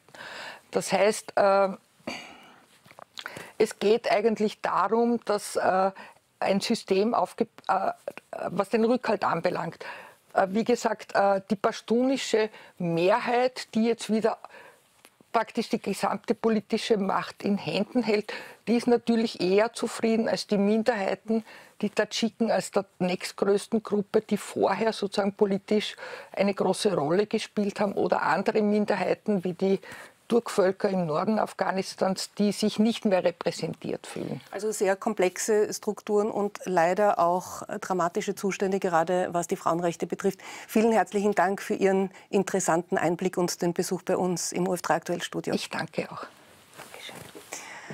Wir kommen wieder zurück nach Österreich. In Österreich bei uns erlebt jede dritte Frau ab dem Alter von 15 Jahren Gewalt. Vergangenes Jahr wurden hierzulande 28 Frauen ermordet. Der österreichische Frauenring und die autonomen österreichischen Frauenhäuser haben zu diesem Thema heute eine Pressekonferenz gegeben. Die Vorsitzende des Frauenrings, Claudia Frieden, hat dabei die Politik zum Handeln aufgefordert. Begonnen, wie das Jahr 2022 geendet hat, mit Gewalttaten gegen Frauen. Seit Jahresbeginn müssen wir leider feststellen, ich glaube fast täglich feststellen, äh, dass äh, Gewalttaten im häuslichen und im öffentlichen Bereich stattfinden. Leider Gottes hat auch schon bereits im Jahr 2023 der erste Femizid stattgefunden. Wobei die Umstände zu diesem äh, Mord immer noch mysteriös sind. Äh, wir würden aber sagen, ich würde sagen, nicht mysteriös, sondern eigentlich skandalös, äh, weil der mutmaßliche Täter amtsbekannt war und niemand es notwendig befunden hat, ihn wegzusperren. Äh, eines der Opfer war eine junge Mutter und eine junge Mutter, die vielleicht noch leben hätte können, wenn auch die Behörden früher gehandelt hätten. Ja, wir haben in den Neujahrsreden aber nichts gehört, und zwar kein Bedauern mit den Opfern und ihren hinterbliebenen Kindern. Wir haben aber auch nichts gehört von den Spitzen unseres Staates, dass wir doch in Österreich ein großes Problem mit Männergewalt haben. Und vor allem, äh, wir haben auch nichts gehört, dass diese Männergewalt nicht toleriert wird. Und das ist etwas, was wir ganz dringend brauchen, was wir hoffen und wünschen würden, dass wirklich hier auch von höchster, äh, von der Staatsspitze hier einmal auch kommuniziert wird, äh, dass wir Probleme haben in, in unserem Land und dass diese Probleme wirklich auch nicht toleriert werden äh, und vor allem auch, dass die, dass die Regierung genau dieses Problem als oberste Priorität setzen wird, weil es ist nämlich nicht egal, ob, wie gesagt, immer immer eine, eine große Anzahl von Frauen äh, umgebracht wird, eine große Anzahl von Frauen äh, Gewalt ausgeübt wird. Also das heißt, hier würden wir uns wirklich auch mehr, mehr, mehr Engagement äh, von Seiten der Regierung wünschen. Und äh, natürlich braucht man auch die notwendigen Mittel dazu. Äh, und es gibt ja auch ein gutes Mittel, äh, wie man, äh, wie man Männer, wie man Gewalt oder wie man Gewalt verhindern kann, welche Schritte notwendig sind. Und dieses Mittel ist ganz einfach die Istanbul-Konvention. Wir haben aber auch nichts gehört, was zu tun ist, um eine Frauenpolitik zu gewährleisten, die jetzt gerade dringend gebraucht wird. Wir brauchen nämlich eine Frauenpolitik, die nicht für elitäre Frauenpolitik macht, sondern für den größten Teil der Frauen in Österreich. Für die Frauen, die neben ihrer meist bezahlten Arbeit ihre unbezahlte Arbeit leisten müssen, um ihr Leben finanzieren zu können und für die Gesellschaft unbezahlt eine Leistung erbringen müssen um ihre Kinder zu versorgen, um ihre nahen Angehörigen zu pflegen. Wir brauchen aber auch eine Frauenpolitik, die es nicht zulässt, dass Frauen nach einem Arbeitsleben in der Armut landen, die es aber auch nicht zulässt, dass sie im Trennungsfall schikaniert und mit ihren Kindern in die Armut getrieben werden.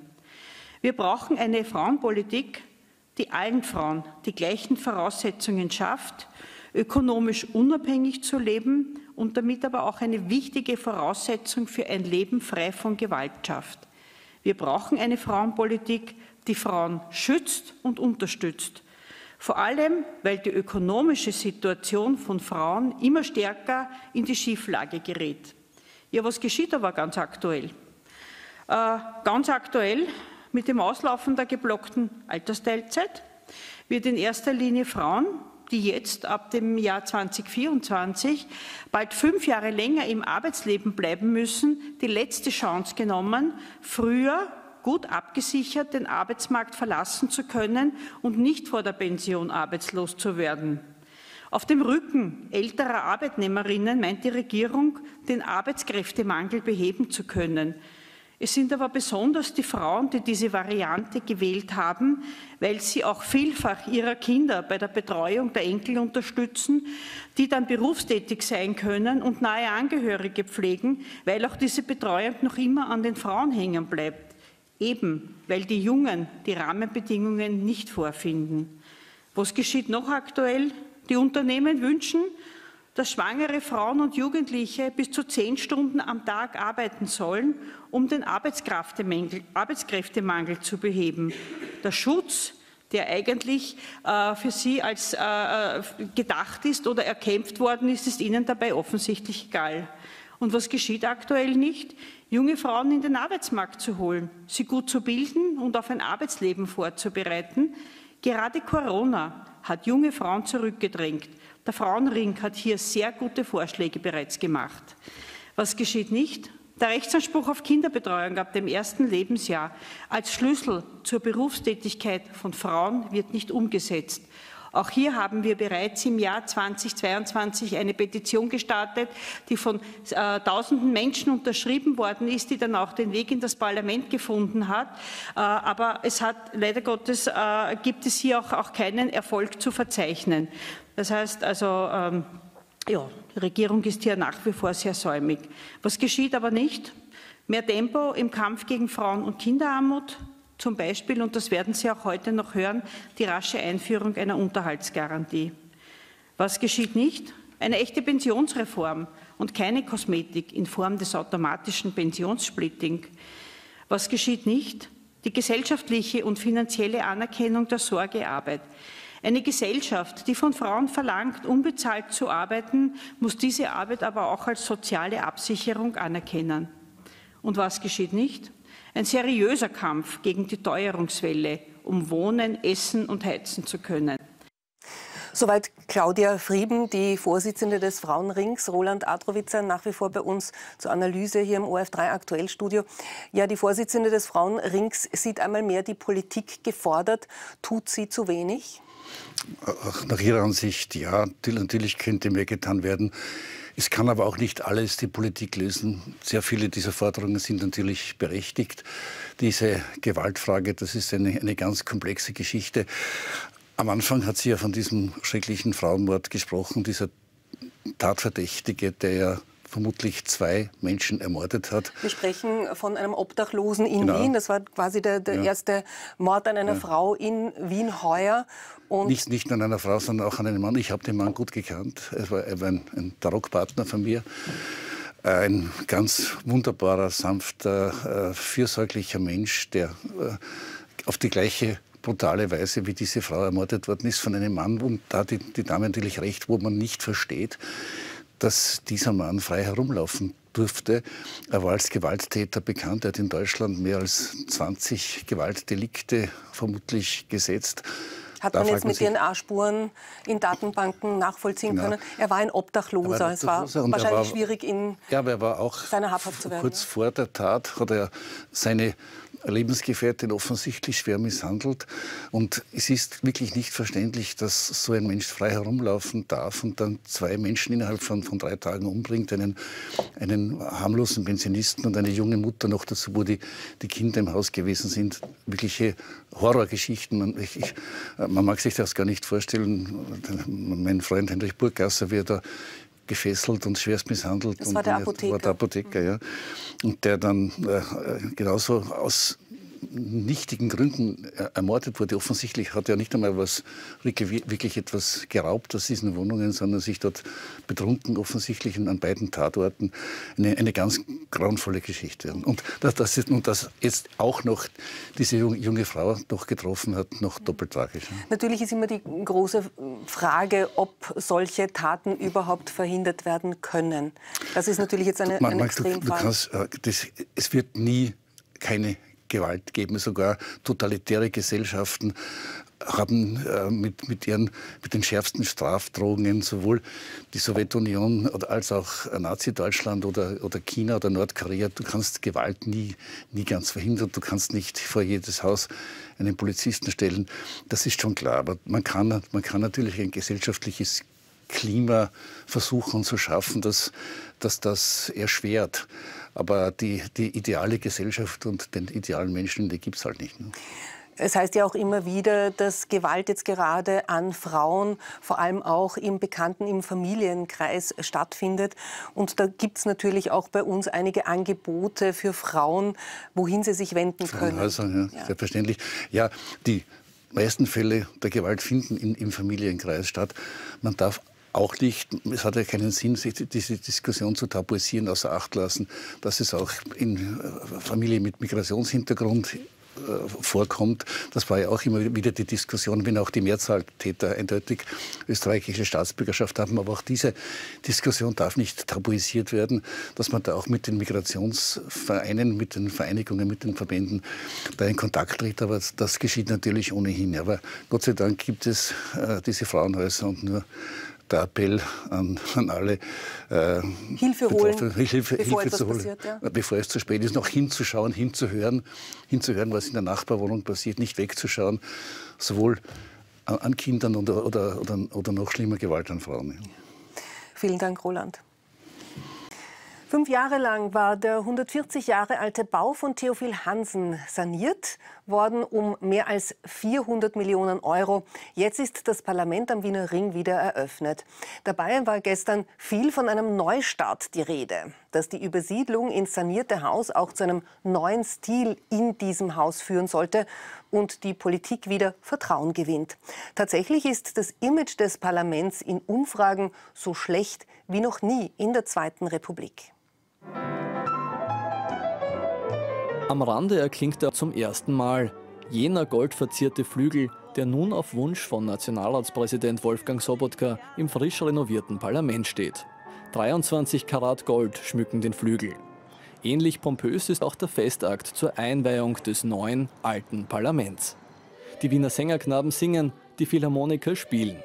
Und hochrangige Gäste aus dem In- und Ausland sind gekommen. Der ehemalige Präsident des Deutschen Bundestages, Wolfgang Schäuble, mahnt die Abgeordneten, populistische Vereinfachungen zu vermeiden. Während die Volksvertreter drinnen feiern, protestieren draußen Kinderorganisationen und Klimaschützer. Sie fordern mehr Beachtung im Hohen Haus für ihre Anliegen.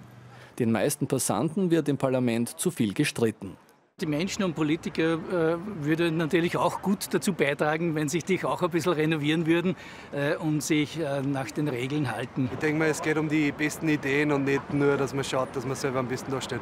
Ja, mein Wunsch wäre es schon, dass, dass äh, eben persönliche Angriffe unterbleiben und dass ordentlich gearbeitet wird. Hausherr Wolfgang Sobotka selbst schlägt durchaus selbstkritische Töne an. Unsere Demokratie wird getragen von wechselseitigem Respekt.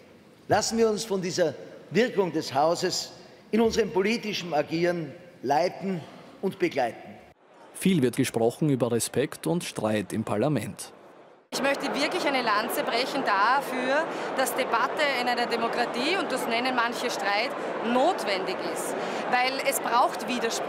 Manchmal gehen halt die Emotionen mit jemandem durch, aber auch das ist Teil einer lebhaften Diskussion. Also ich denke, wir haben das ganz gut im Griff. Freunde muss man dafür nicht sein, äh, aber selbstverständlich ist ein respektvoller Umgang, ähm, der auch der Demokratie und dem Haus würdig ist, zentral für diese Auseinandersetzung. Das Gemäuer jedenfalls erstrahlt in neuem Glanz. Um die 400 Millionen Euro hat die Sanierung gekostet und fünf Jahre gedauert. Am auffälligsten ist die neue Glaskuppel über dem Nationalratssaal. Eine Sanierung von Grund auf war schon deshalb nötig, weil das Parlamentsgebäude viel erlebt hat. 1883 wird sein Bau fertiggestellt. Nach dem Ende des Ersten Weltkriegs wird vor dem Parlament die Republik ausgerufen. Nach dem Zweiten Weltkrieg muss es saniert werden, nachdem Bombeneinschläge das Parlament schwer beschädigt haben. Als das Hohe Haus anschließend wieder eröffnet wird, tanzen die Menschen davor, vor Freude sogar Walzer. Solche Freudentänze vor dem Parlament sind ausgeblieben. Oskar Deutsch ist als Präsident der israelitischen Kultusgemeinde Wien wiedergewählt worden. Seit 2012 ist Deutsch mittlerweile im Amt. Der Wirkungsbereich der israelitischen Kultusgemeinde Wien umfasst nicht nur die Bundeshauptstadt, sondern auch Niederösterreich, die Steiermark, das Burgenland und Kärnten. Und ich begrüße den neuen alten Präsidenten jetzt im OF3 Aktuellstudio via Skype. Schönen guten Tag, Herr Deutsch. Schönen guten Tag.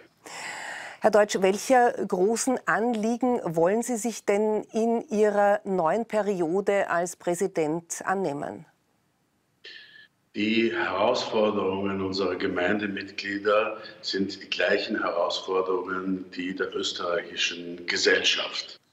Inflation äh, betrifft uns alle und äh, ich möchte unsere Gemeinde äh, durch diese schwierigen, herausfordernden Zeiten einfach gut durchbringen und äh, speziell den Leuten helfen, denen es bei uns nicht so gut geht. Ja, die Teuerung, die trifft ja derzeit alle, eben auch die jüdische Gemeinde, wie Sie sagen. Aber warum die denn besonders? Ja, nicht besonders. Wir sind ein Teil der österreichischen Gesellschaft und das ist ein Abbild. Äh, wir sind äh, keine große Gemeinde, wir sind 8000 Leute, aber äh, es ist auch bei uns die Armen, die Leute, die bis jetzt arm waren, sind, denen geht es auch nicht besser und die Mittelschicht oder einige Leute, viele Leute der Mittelschicht, denen geht es auch schlechter. Also sehe ich die Kultusgemeinde da mitzuhelfen, dass es den Leuten halbwegs gut gehen soll. Und wie können Sie das konkret tun?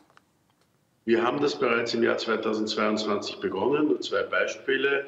Wir haben am Schulbeginn eine Schulaktion gemacht, wo wir äh, Leuten oder Kindern, äh, deren Eltern sich äh, ein Schulstartpaket, Kugelschreiber oder was man alles braucht, nicht leisten kann, haben wir unterstützt, haben wir Geld gegeben, haben wir Gutscheine verteilt.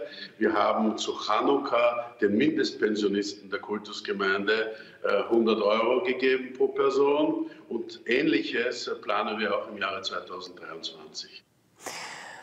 Das klingt sehr gut. Etwas, das uns alle auch betrifft, ist natürlich auch der Krieg in der Ukraine. Viele Menschen flüchten von dort zu uns. Und Ihre Gemeinde, die jüdische Gemeinde, hat 1000 Flüchtlinge bei sich aufgenommen. Einige sind auch Mitglieder geworden. Was geschieht denn jetzt mit denen? Das entscheiden sie die selber.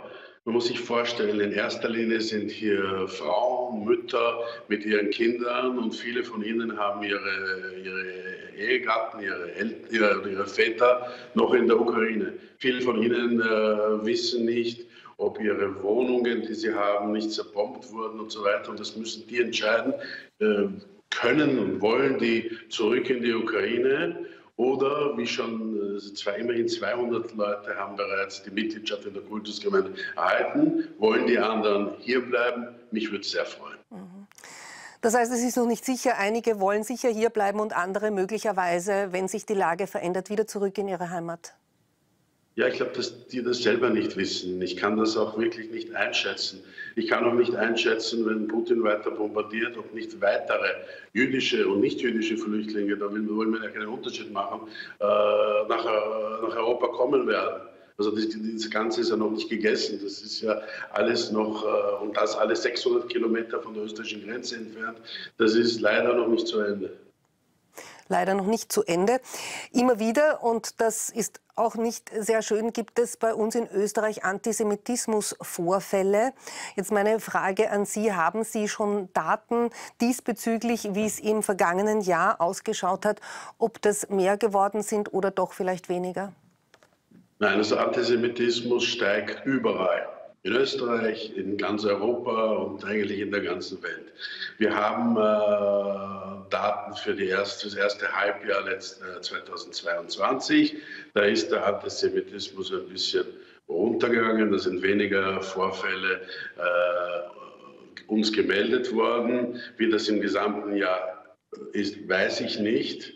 Aber wichtig ist, dass man hier in Österreich, aber überall versteht, dass Antisemitismus ein No-Go ist und dass es nur möglich ist, dieses Krebsgeschwür von Antisemitismus zu bekämpfen, indem nicht nur die Politik, sondern die gesamte Zivilgesellschaft, Juden, Nichtjuden, alle dagegen aufstehen und Zivilcourage zeigen. Und wenn zum Beispiel in der Straßenbahn jemand sich antisemitisch äußert, würde es mich sehr freuen, und das wäre eben so, ich sage Zivilcourage, freuen, wenn einer dagegen aufsteht und sagt, nein, das ist in Österreich verpönt. Und in diese Richtung müssen wir alle arbeiten. Also interpretiere ich Sie richtig, nicht wegschauen, sondern hinschauen und etwas tun dagegen. Genau so ist es. Und dann können wir den Antisemitismus einschränken. Besiegen werden wir ihn nie. Dann sage ich vielen herzlichen Dank, Herr Präsident Deutsch, für dieses Interview bei uns in OF3 aktuell. Dankeschön. Danke Ihnen. Mehr als 2000 Menschen mit Behinderung nehmen eine persönliche Assistenz in Anspruch, also einen Helfer oder eine Helferin für das Privatleben. Dadurch können sie alleine wohnen und am gesellschaftlichen Leben teilnehmen. Doch diese Gruppe schlägt jetzt Alarm, denn Assistentinnen und Assistenten sind nur mehr sehr schwer zu finden. Im Haus der Geschichte will Elisabeth Magdlena ihre Zukunft besprechen. Es geht um ein weiteres Projekt, an dem sie mitarbeiten wird. Ohne persönliche Assistenz wäre das nicht möglich. Da kann ich nichts machen. Ich kann nicht auf die Uni gehen, ich kann nicht aus dem Bett aufstehen. Und meine ich kann auf der Uni meine Vorträge nicht halten. Ich kann nichts machen ja, ohne Assistenz. Doch es wird immer schwieriger, Assistentinnen und Assistenten zu finden. Mit der Förderung, die sie bekommt, kann sie nicht viel bezahlen und auch die arbeitsrechtliche Absicherung fehlt. Man findet einfach niemanden mehr. Ich kriege Absagen nach Absagen wegen dem Vertrag und wegen, dem, wegen, dem, wegen der Bezahlung. Und ich kann nicht hingehen und sagen, ich zahle jetzt mehr. Das hat auch zur Folge, dass ich immer wieder alleine bleiben muss und das ist auch gefährlich, weil wenn ich einen Krampfanfall kriege, was mache ich denn dann? Die Regierung hat Verbesserungen bei der persönlichen Assistenz versprochen. Im Frühling soll ein Pilotprojekt in drei Bundesländern, Vorarlberg, Tirol und Salzburg, starten. Es sei genug Geld da, sodass auch die anderen Bundesländer einsteigen können, heißt es aus dem Sozialministerium. Man sei derzeit im Austausch. Elisabeth Magdlena wohnt in Wien. Sie muss hoffen, dass jetzt sehr schnell etwas verbessert wird, denn normalerweise hat sie sieben Assistentinnen, ab Februar nur noch zwei. Wie soll ich im Februar aus dem Bett kommen? Ich weiß es noch nicht. Ja? Ich weiß es wirklich noch nicht. Zu den umstrittenen Klimaprotesten der Gruppe Letzte Generation hat Wolfgang Geier in Politik Live in der OF3-Sendung gestern mit seinen Gästen diskutiert. Zu Beginn fragt Wolfgang Geier die Klimaaktivistin Caroline Turner, warum die Aktionen der Gruppe die Emotionen denn so hochgehen lassen. Wir sind nur ein Alarm und wir wecken die Menschen auf. Und aufwecken tut weh. Also niemand mag seinen Wecker in der Früh. Ich weiß nicht, ob Sie schon einmal den Alarm, den Feueralarm in Ihrem Haus gehört haben. Das tut weh in den Ohren. Aber äh, es ist ganz wichtig, damit man dann reagiert.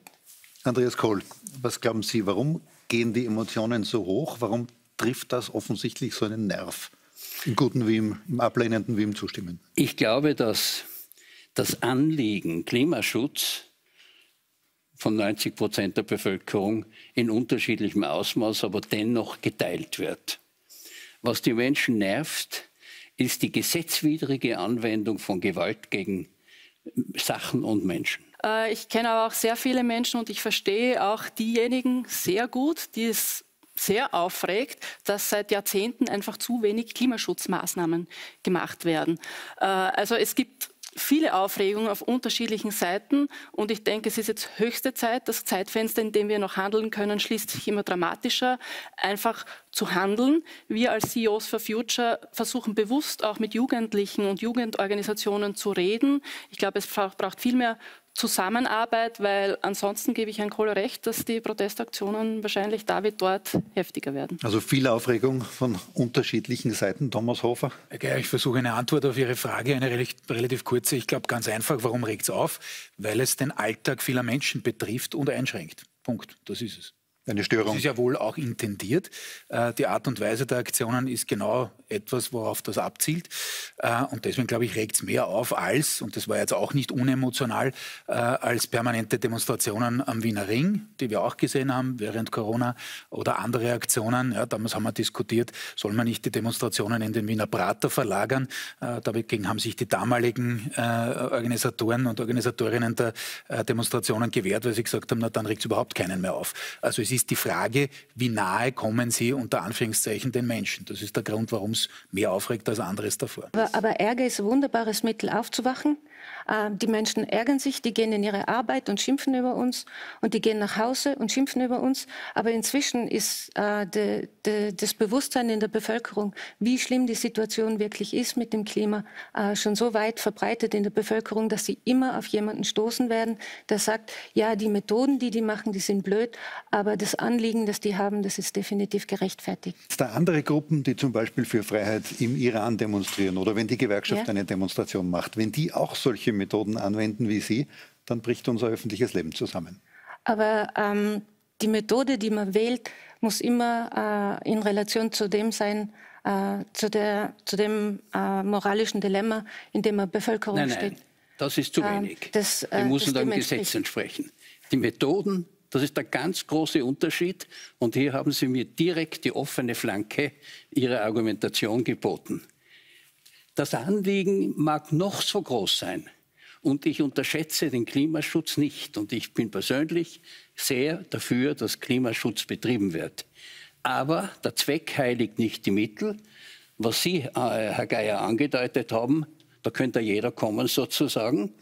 Wir können nicht zurück in die Zeit, wo das Recht nicht gegolten hat, sondern man glaubte, für ein gerechtfertigtes Anliegen Gewalt anwenden zu können, außerhalb des Rechts. Also Sie wir, können ich, Proteste wir, wir machen. ich glaube, man kann sehr viele Proteste machen. Wir sind eine 100 man kann, gewaltfreie man, man kann äh, Proteste Bewegung. machen, so viel wie man will. Das machen wir. Es gibt eine Rechtsordnung. Die Geduld der Menschen ist groß. Und solange es im Rahmen der Rechtsordnung ist, sind sie vollkommen gerecht. Haben Sie schon einmal überlegt, sich wo anzukleben? Also ich persönlich bin seit 20 Jahren immer wieder auf unterschiedlichen Klimademonstrationen gewesen. Ähm, es wurde nicht so viel darüber berichtet und nicht so viel darüber geredet. Und ich kann mich erinnern, vor wenigen Jahren, als die Fridays for Future äh, sich am Freitag äh, quasi gestreikt haben, war das ein großer Skandal. Äh, warum machen sie es nicht am Wochenende?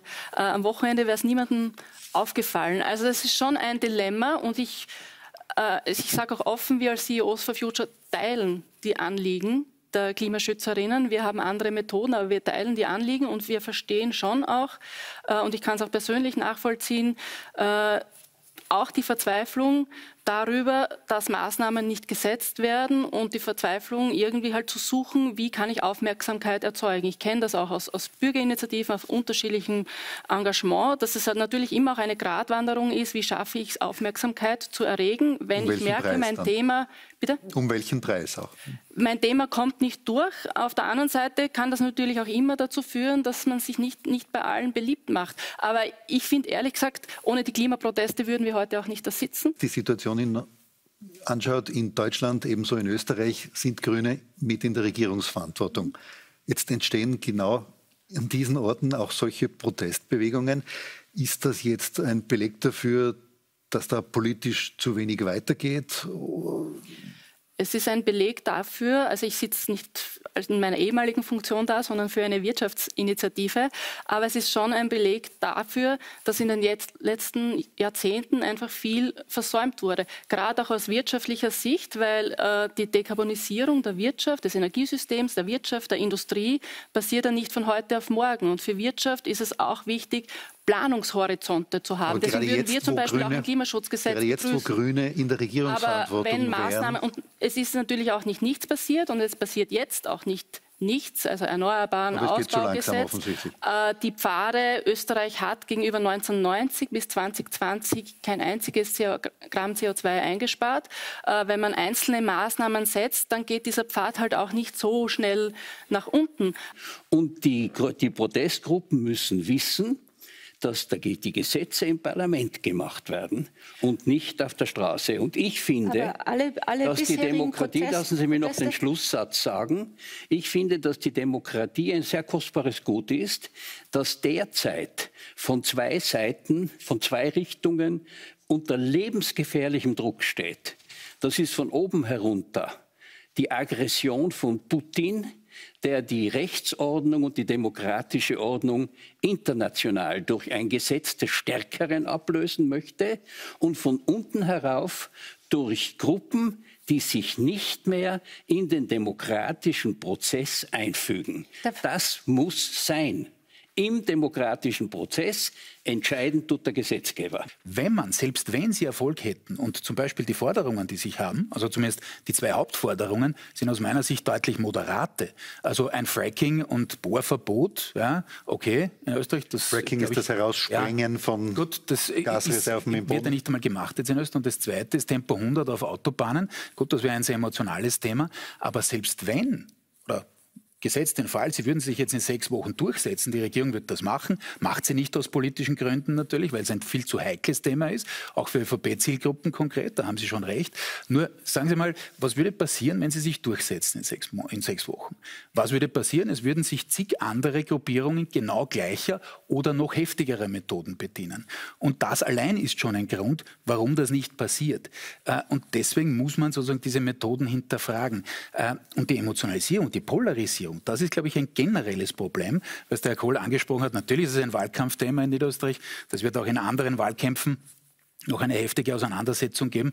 Natürlich ist diese Form des Protests etwas, was polarisiert, wo sich natürlich Parteien, wie jetzt in Niederösterreich, wie auch die FPÖ in Wien, draufsetzen und sagen, so und jetzt eskalieren wir noch weiter, jetzt polarisieren wir noch weiter. Was bleibt denn und letztendlich? Da ist die Frage, und da ist die Frage, Herr Geich kommt zum Schluss, ähm, da ist die Frage, erreichen Sie das Ziel, das Sie erreichen wollen, wirklich? Sie haben das vorher ausgeführt mit Hirnstrukturen etc. Ich würde das bezweifeln, ob Sie das äh, bei einer Mehrheit der Bevölkerung, und das glaube ich ist ja das Ziel oder muss das Ziel sein, eine Verhaltensänderung anzuschreiben, das ist für uns alle, glaube ich, ein, ein gemeinsames Ziel. Da glaube ich, dass diese Methode nicht die geeignetste ist, um das wirklich zu erreichen, was Sie eigentlich wollen. Die Grünen sind selbst aus einer Protestbewegung gekommen. Zeigt das Aufkommen solcher jetzt Gruppen, muss man sagen. Wir haben gehört, es sind einige Dutzend Leute. Aber zeigt das Defizite der bestehenden Politik auf? Ähm, noch einmal, ich, ich sitze als Vertreterin einer Wirtschaft von CEOs Aber Sie, Sie waren in der Politik. Da. Ich möchte auch mit meinem ähm, Hintergrund in der Politik, äh, ist für mich das Thema, wie schaffen wir es in einer Demokratie, äh, die Klimaziele umzusetzen, nämlich in der Geschwindigkeit, in der es notwendig ist und die Entscheidungen in einer Geschwindigkeit zu treffen, in der sie notwendig sind.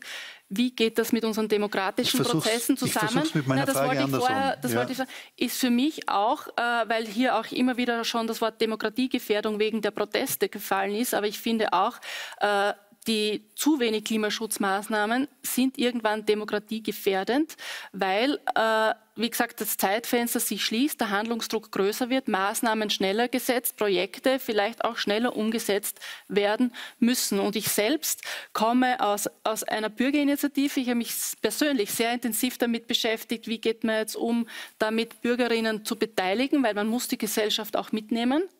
Ähm, aber natürlich gibt es auch Bürgerinitiativen gegen Windräder oder Photovoltaikanlagen zum Beispiel. Ne? Wie geht man damit um? Also äh, und wie schaffen wir diese Entscheidungen zu treffen? Äh, ich glaube, das ist eine ernsthafte Frage, wo ich auch, auch ich glaube, wir haben eine Entscheidungskrise auch, ehrlicherweise. Wir schaffen es nicht, die, die, als Gesellschaft, die Entscheidungen, die wir brauchen, um uns aus dieser Krise herauszumanagen, schnell genug zu treffen. Wir als CEOs for Future versuchen, einen Beitrag zu leisten, indem wir auch wirtschaftliche Chancen aufzeigen. Darüber wird, finde ich, viel zu wenig äh, gesprochen. Aber ich glaube, was grundlegend fehlt, ist ein gesamtgesellschaftliches Commitment, dass Klimaschutz und Energiewende ein gesamtgesellschaftliches, überparteiliches Anliegen ist und nicht nur überparteilich.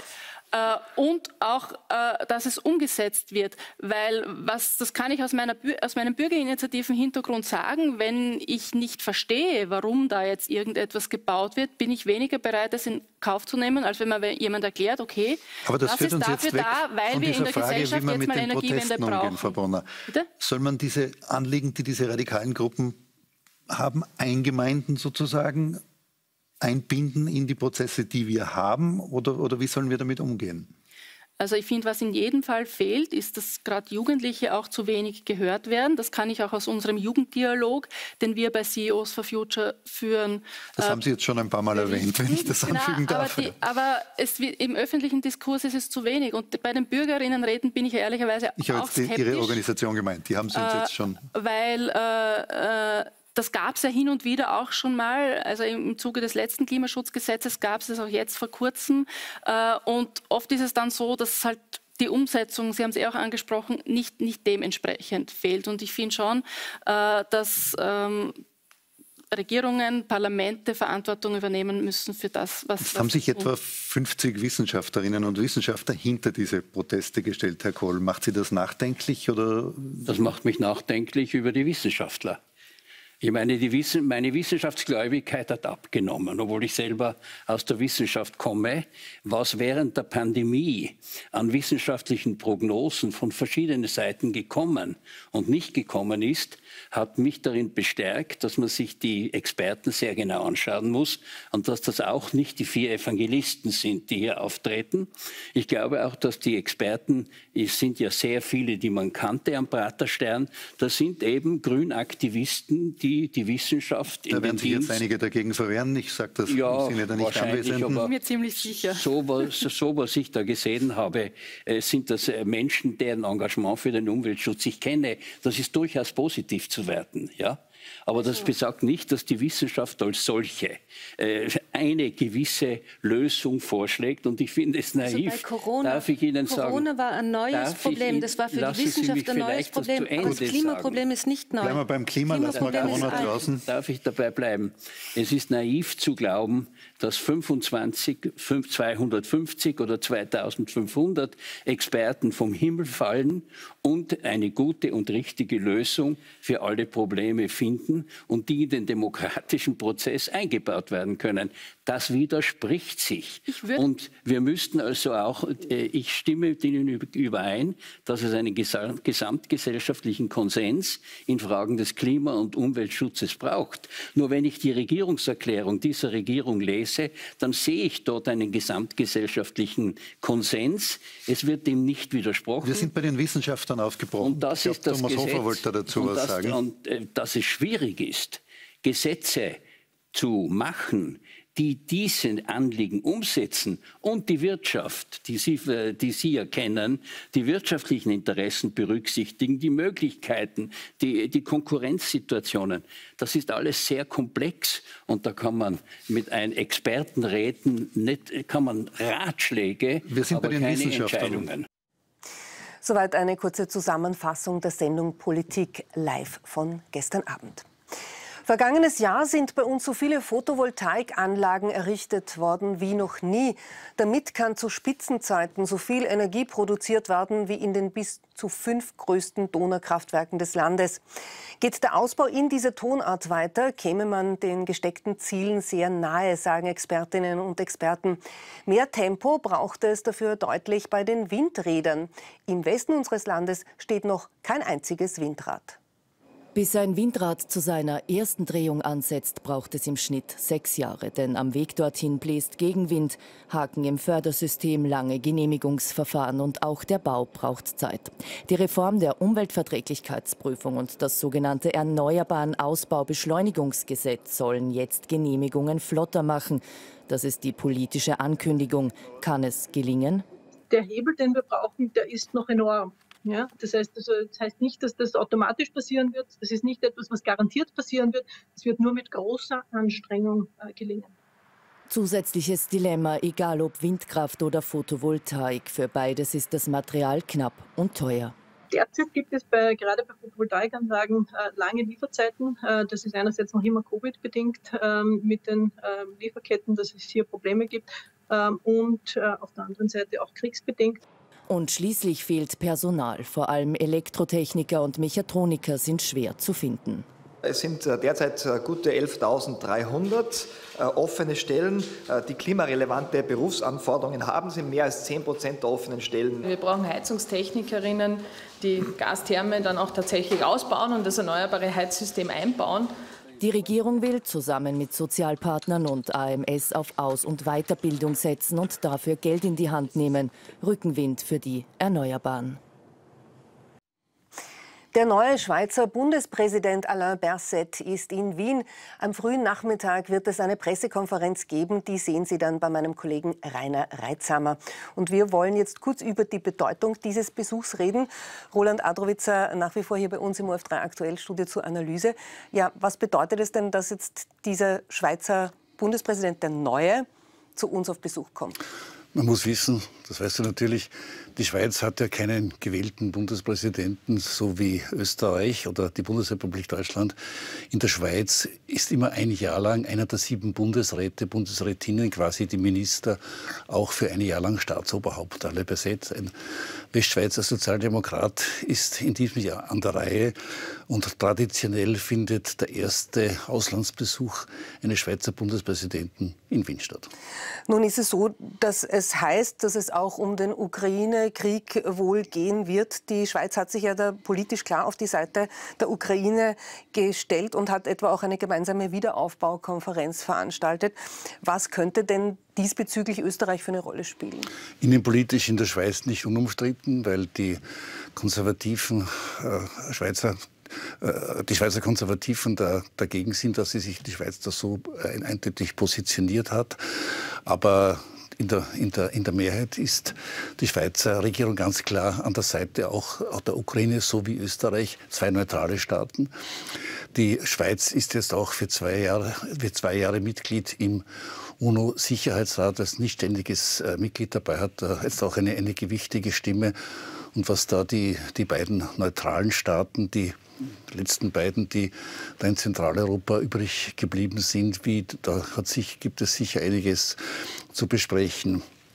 Es gibt ja in den, in den, äh, im, im, Gefolge des Ukraine-Krieges hat sich ja in den neutralen Staaten einiges getan. Es gibt jetzt nur mehr drei Inseln in, in, der EU, jetzt drei Inseln, die neutral sind. Das ist Irland, Zypern und Malta und die ehemalige Insel der Seligen Österreich.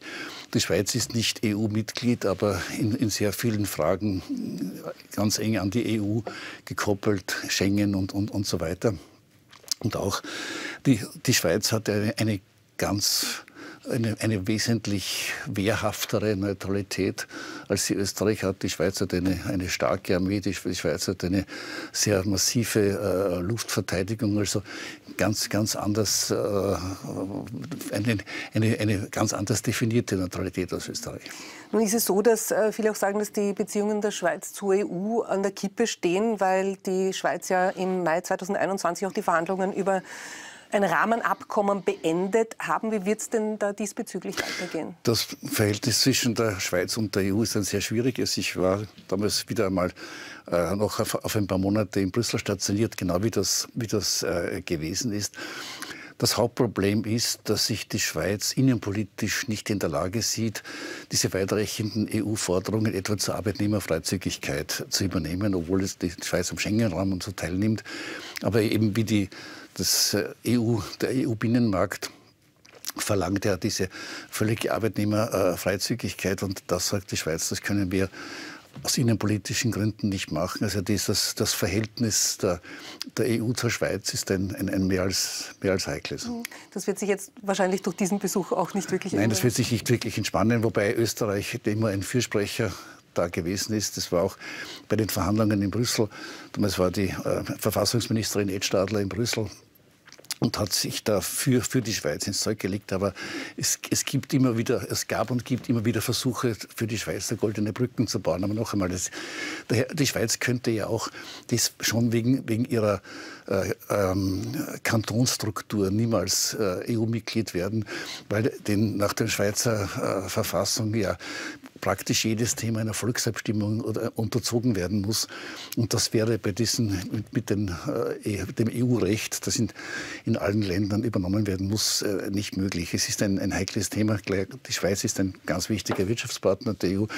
Die Schweiz hat wesentlich mehr internationale, multinationale Konzerne, als es zum Beispiel Österreich hat, die alle in der EU tätig sind. Daher sind, ist die Teilnahme am, am Binnenmarkt und, und, und, und, eben auch die Teilnahme am Schengen-Raum für die Schweiz essentiell, essentiell.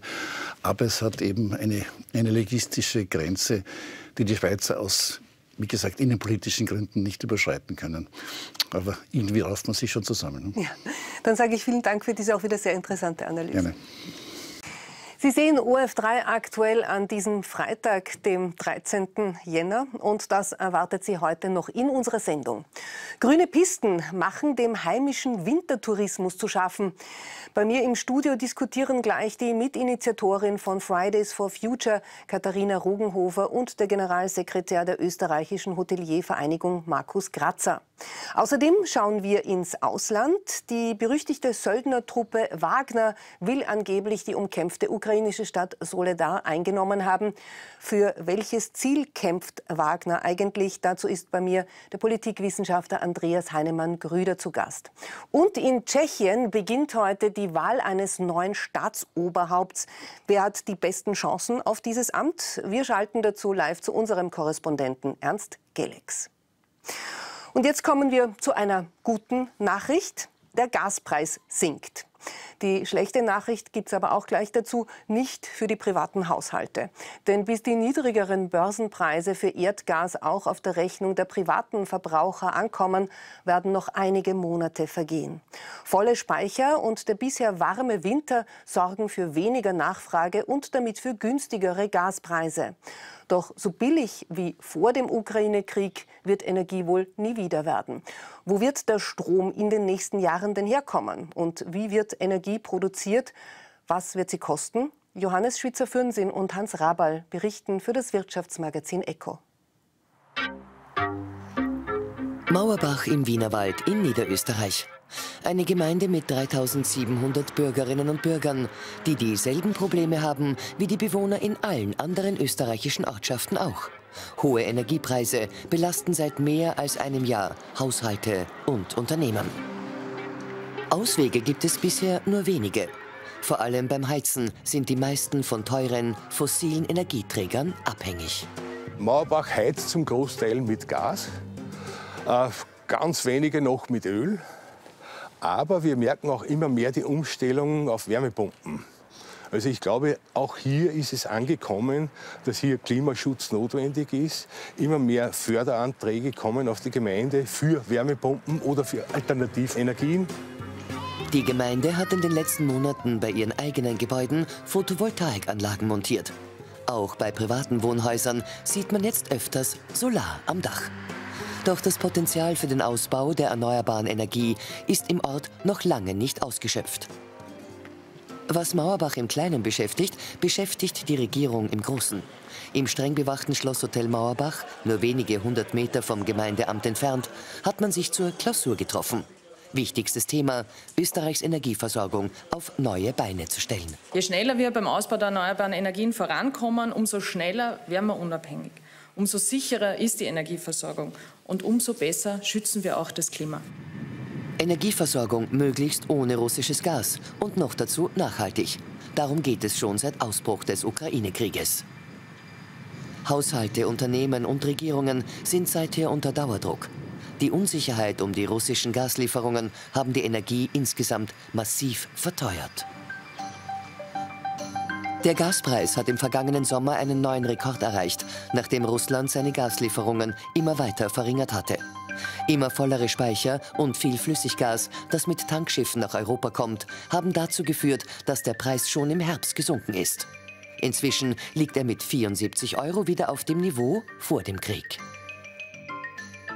Auch um die Energiereserven der meisten europäischen Länder ist es besser bestellt als zuletzt befürchtet. Johannes Schmidt, Nachhaltigkeitsforscher an der Universität für Bodenkultur, hat die strategische Gasreserve Österreichs analysiert und gibt Entwarnung.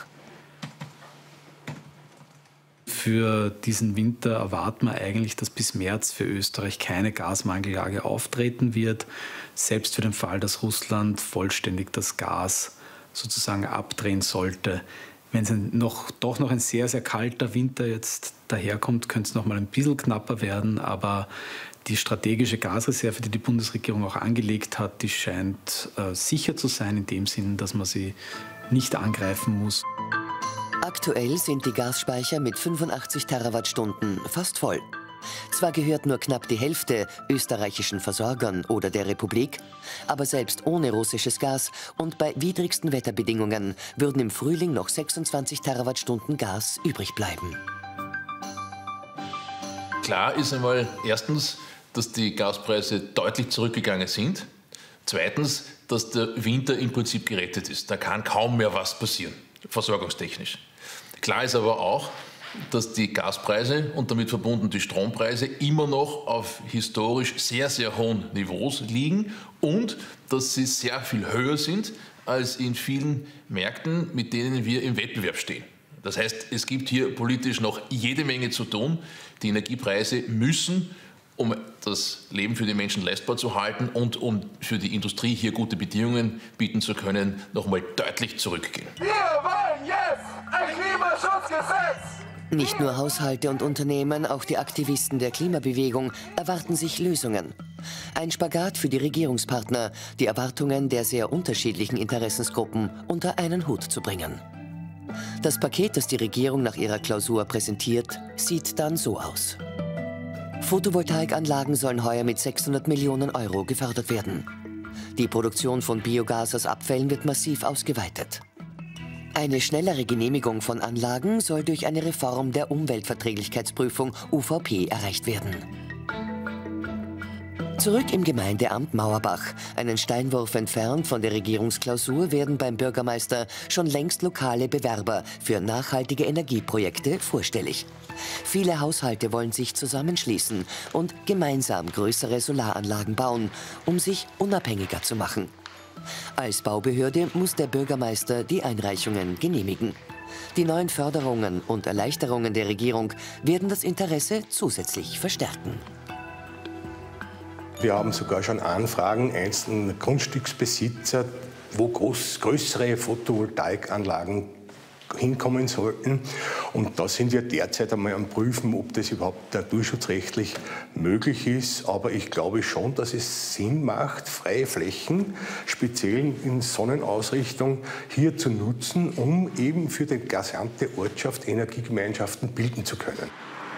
So schön die neue nachhaltige Energiezukunft auch werden mag, bis all die neuen Projekte umgesetzt sind, werden noch Jahre vergehen. Haushalte und Betriebe müssen bis dahin weiter wurschteln. Vor allem für produzierende Betriebe sind dabei verlässliche und kalkulierbare Energiekosten unabdingbar. Das Medizintechnikunternehmen Biegler in Mauerbach beschäftigt 40 Mitarbeiter. Maschinen und günstige Energie sind für die Produktion grundlegend. An die totale grüne Energieunabhängigkeit glaubt die Chefin noch nicht so recht.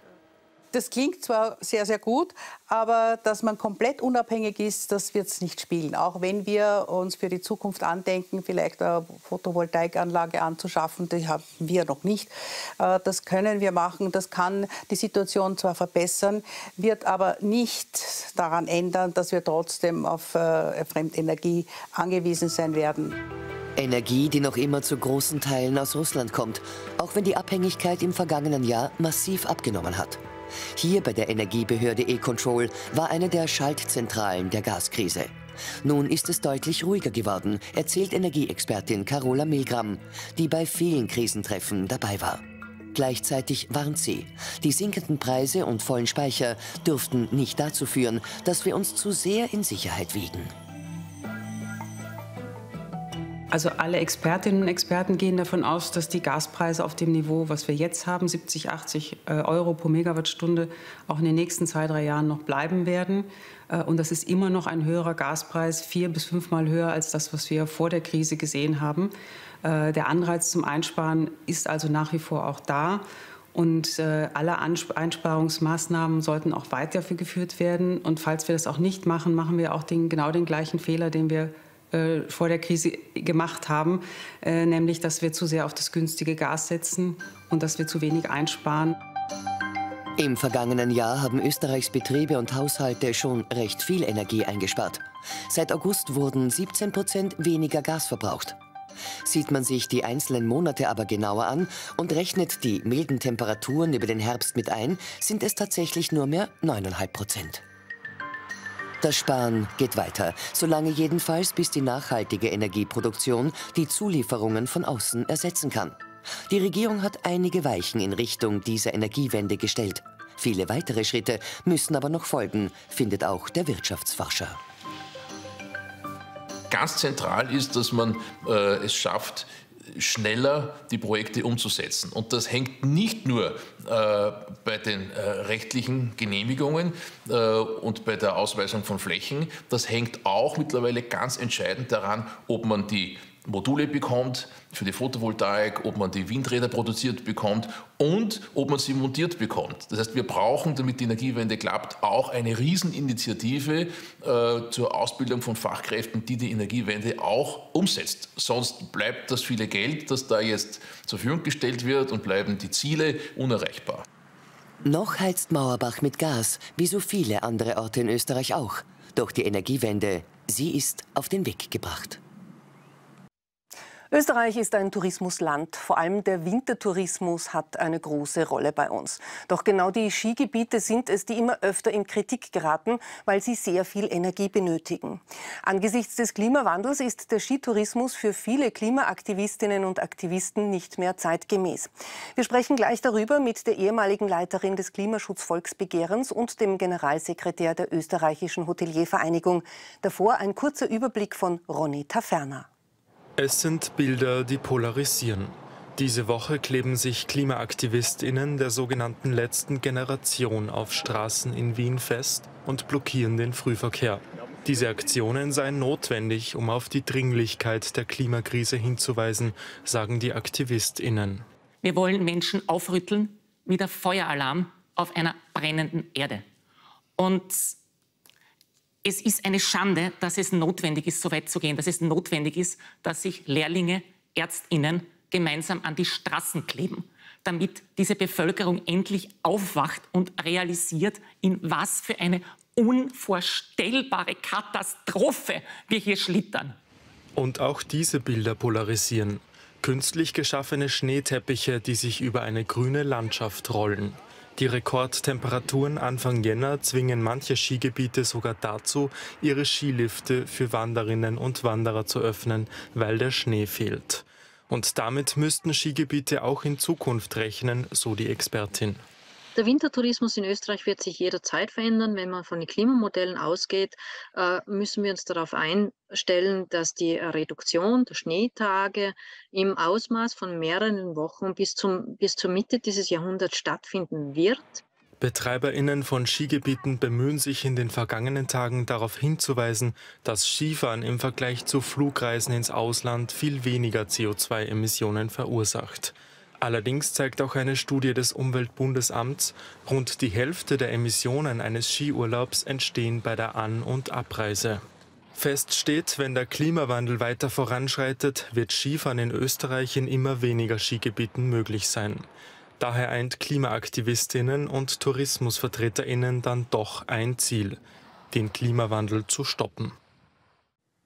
Und zum Thema begrüße ich jetzt die Klimaaktivistin und Autorin Katharina Rogenhofer, Mitbegründerin von Fridays for Future und ehemalige Sprecherin des Klimavolksbegehrens. Herzlich willkommen.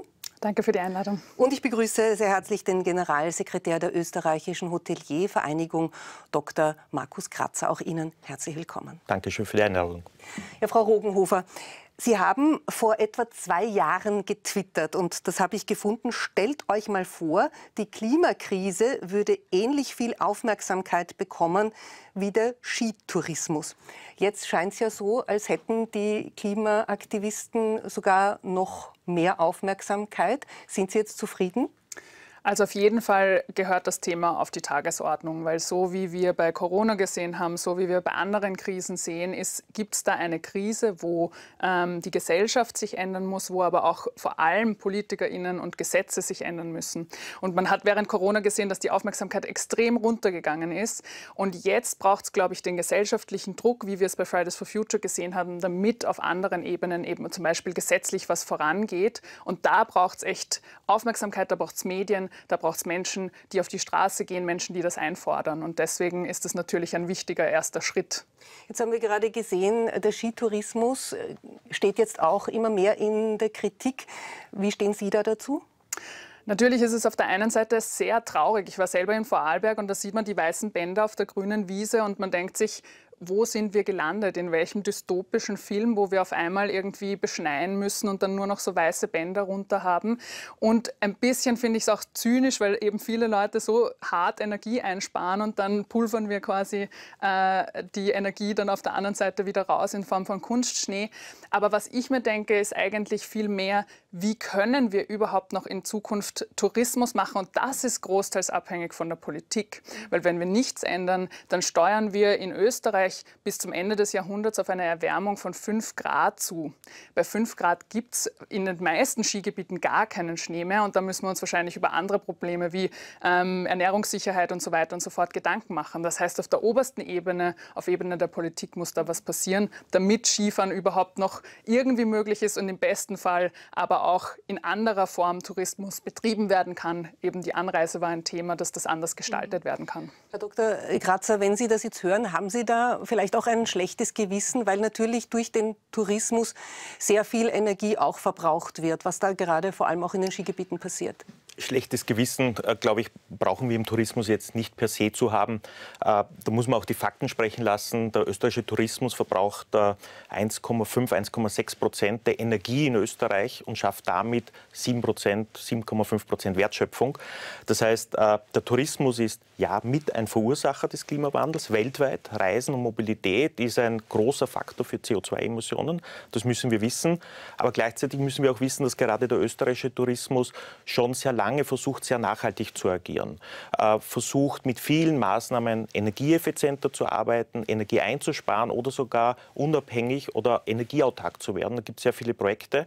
Das heißt, wir sind genauso Betroffener. Genauso haben wir das Anliegen einer Zukunft in Österreich, in der man arbeiten, leben äh, und nach vorne schauen kann. Und der Tourismus äh, soll hier ein wichtiger Baustein hier in Zukunft sein. Und ja, wir sind in einer Transformation und müssen uns hier auf diese Gegebenheiten einstellen. Faktum ist natürlich, gerade in den Skigebieten müssen Hotels gebaut werden, es müssen Pisten äh, gemacht werden, es müssen Boden, Böden versiegelt werden. Das ist natürlich alles nicht sehr umweltfreundlich. Da muss man auch sehen, äh, der Wintertourismus, wenn wir beim Skitourismus bleiben, hat vor 40, 50, 60 Jahren anders ausgeschaut, als er heute ist und wird in 40, 50 Jahren völlig anders ausschauen, als er heute ist. Das heißt, wir sind mit, mit diesen Prozessen auch darauf zu reagieren, wie sich die Umwelt äh, verändert, sind gewohnt, uns hier anzupassen. Und völlig klar ist, äh, dass ein neues Erschließen von Skigebieten, große neue Hotelprojekte äh, eigentlich nicht mehr an der Tagesordnung stehen. Es gibt Qualitätsverbesserungen, es gibt Weiterentwicklung in Hotels, vielleicht breiter vom Angebot zu werden und auch das hin Rechnung zu tragen, dass vielleicht Skifahren in vielen Regionen nicht mehr möglich ist. Und das ist die Herausforderung für die nächsten Jahre und Jahrzehnte. Trotzdem fragen sich natürlich viele auch immer wieder, ist es nötig, diese Schneekanonen? Kann man nicht auf das natürliche Wetter äh, quasi warten? Muss es eine Sitzheizung geben in Liften? Ja? Wie stehen Sie da dazu? Naja, was, überhaupt nicht mehr zeitgemäß? Also ich glaube schon, dass gerade eben diese lang langfristige Perspektive, heutzutage müssen viele Gebiete eben beschneien. Wir haben keinen Schnee mehr gerade um Weihnachten herum.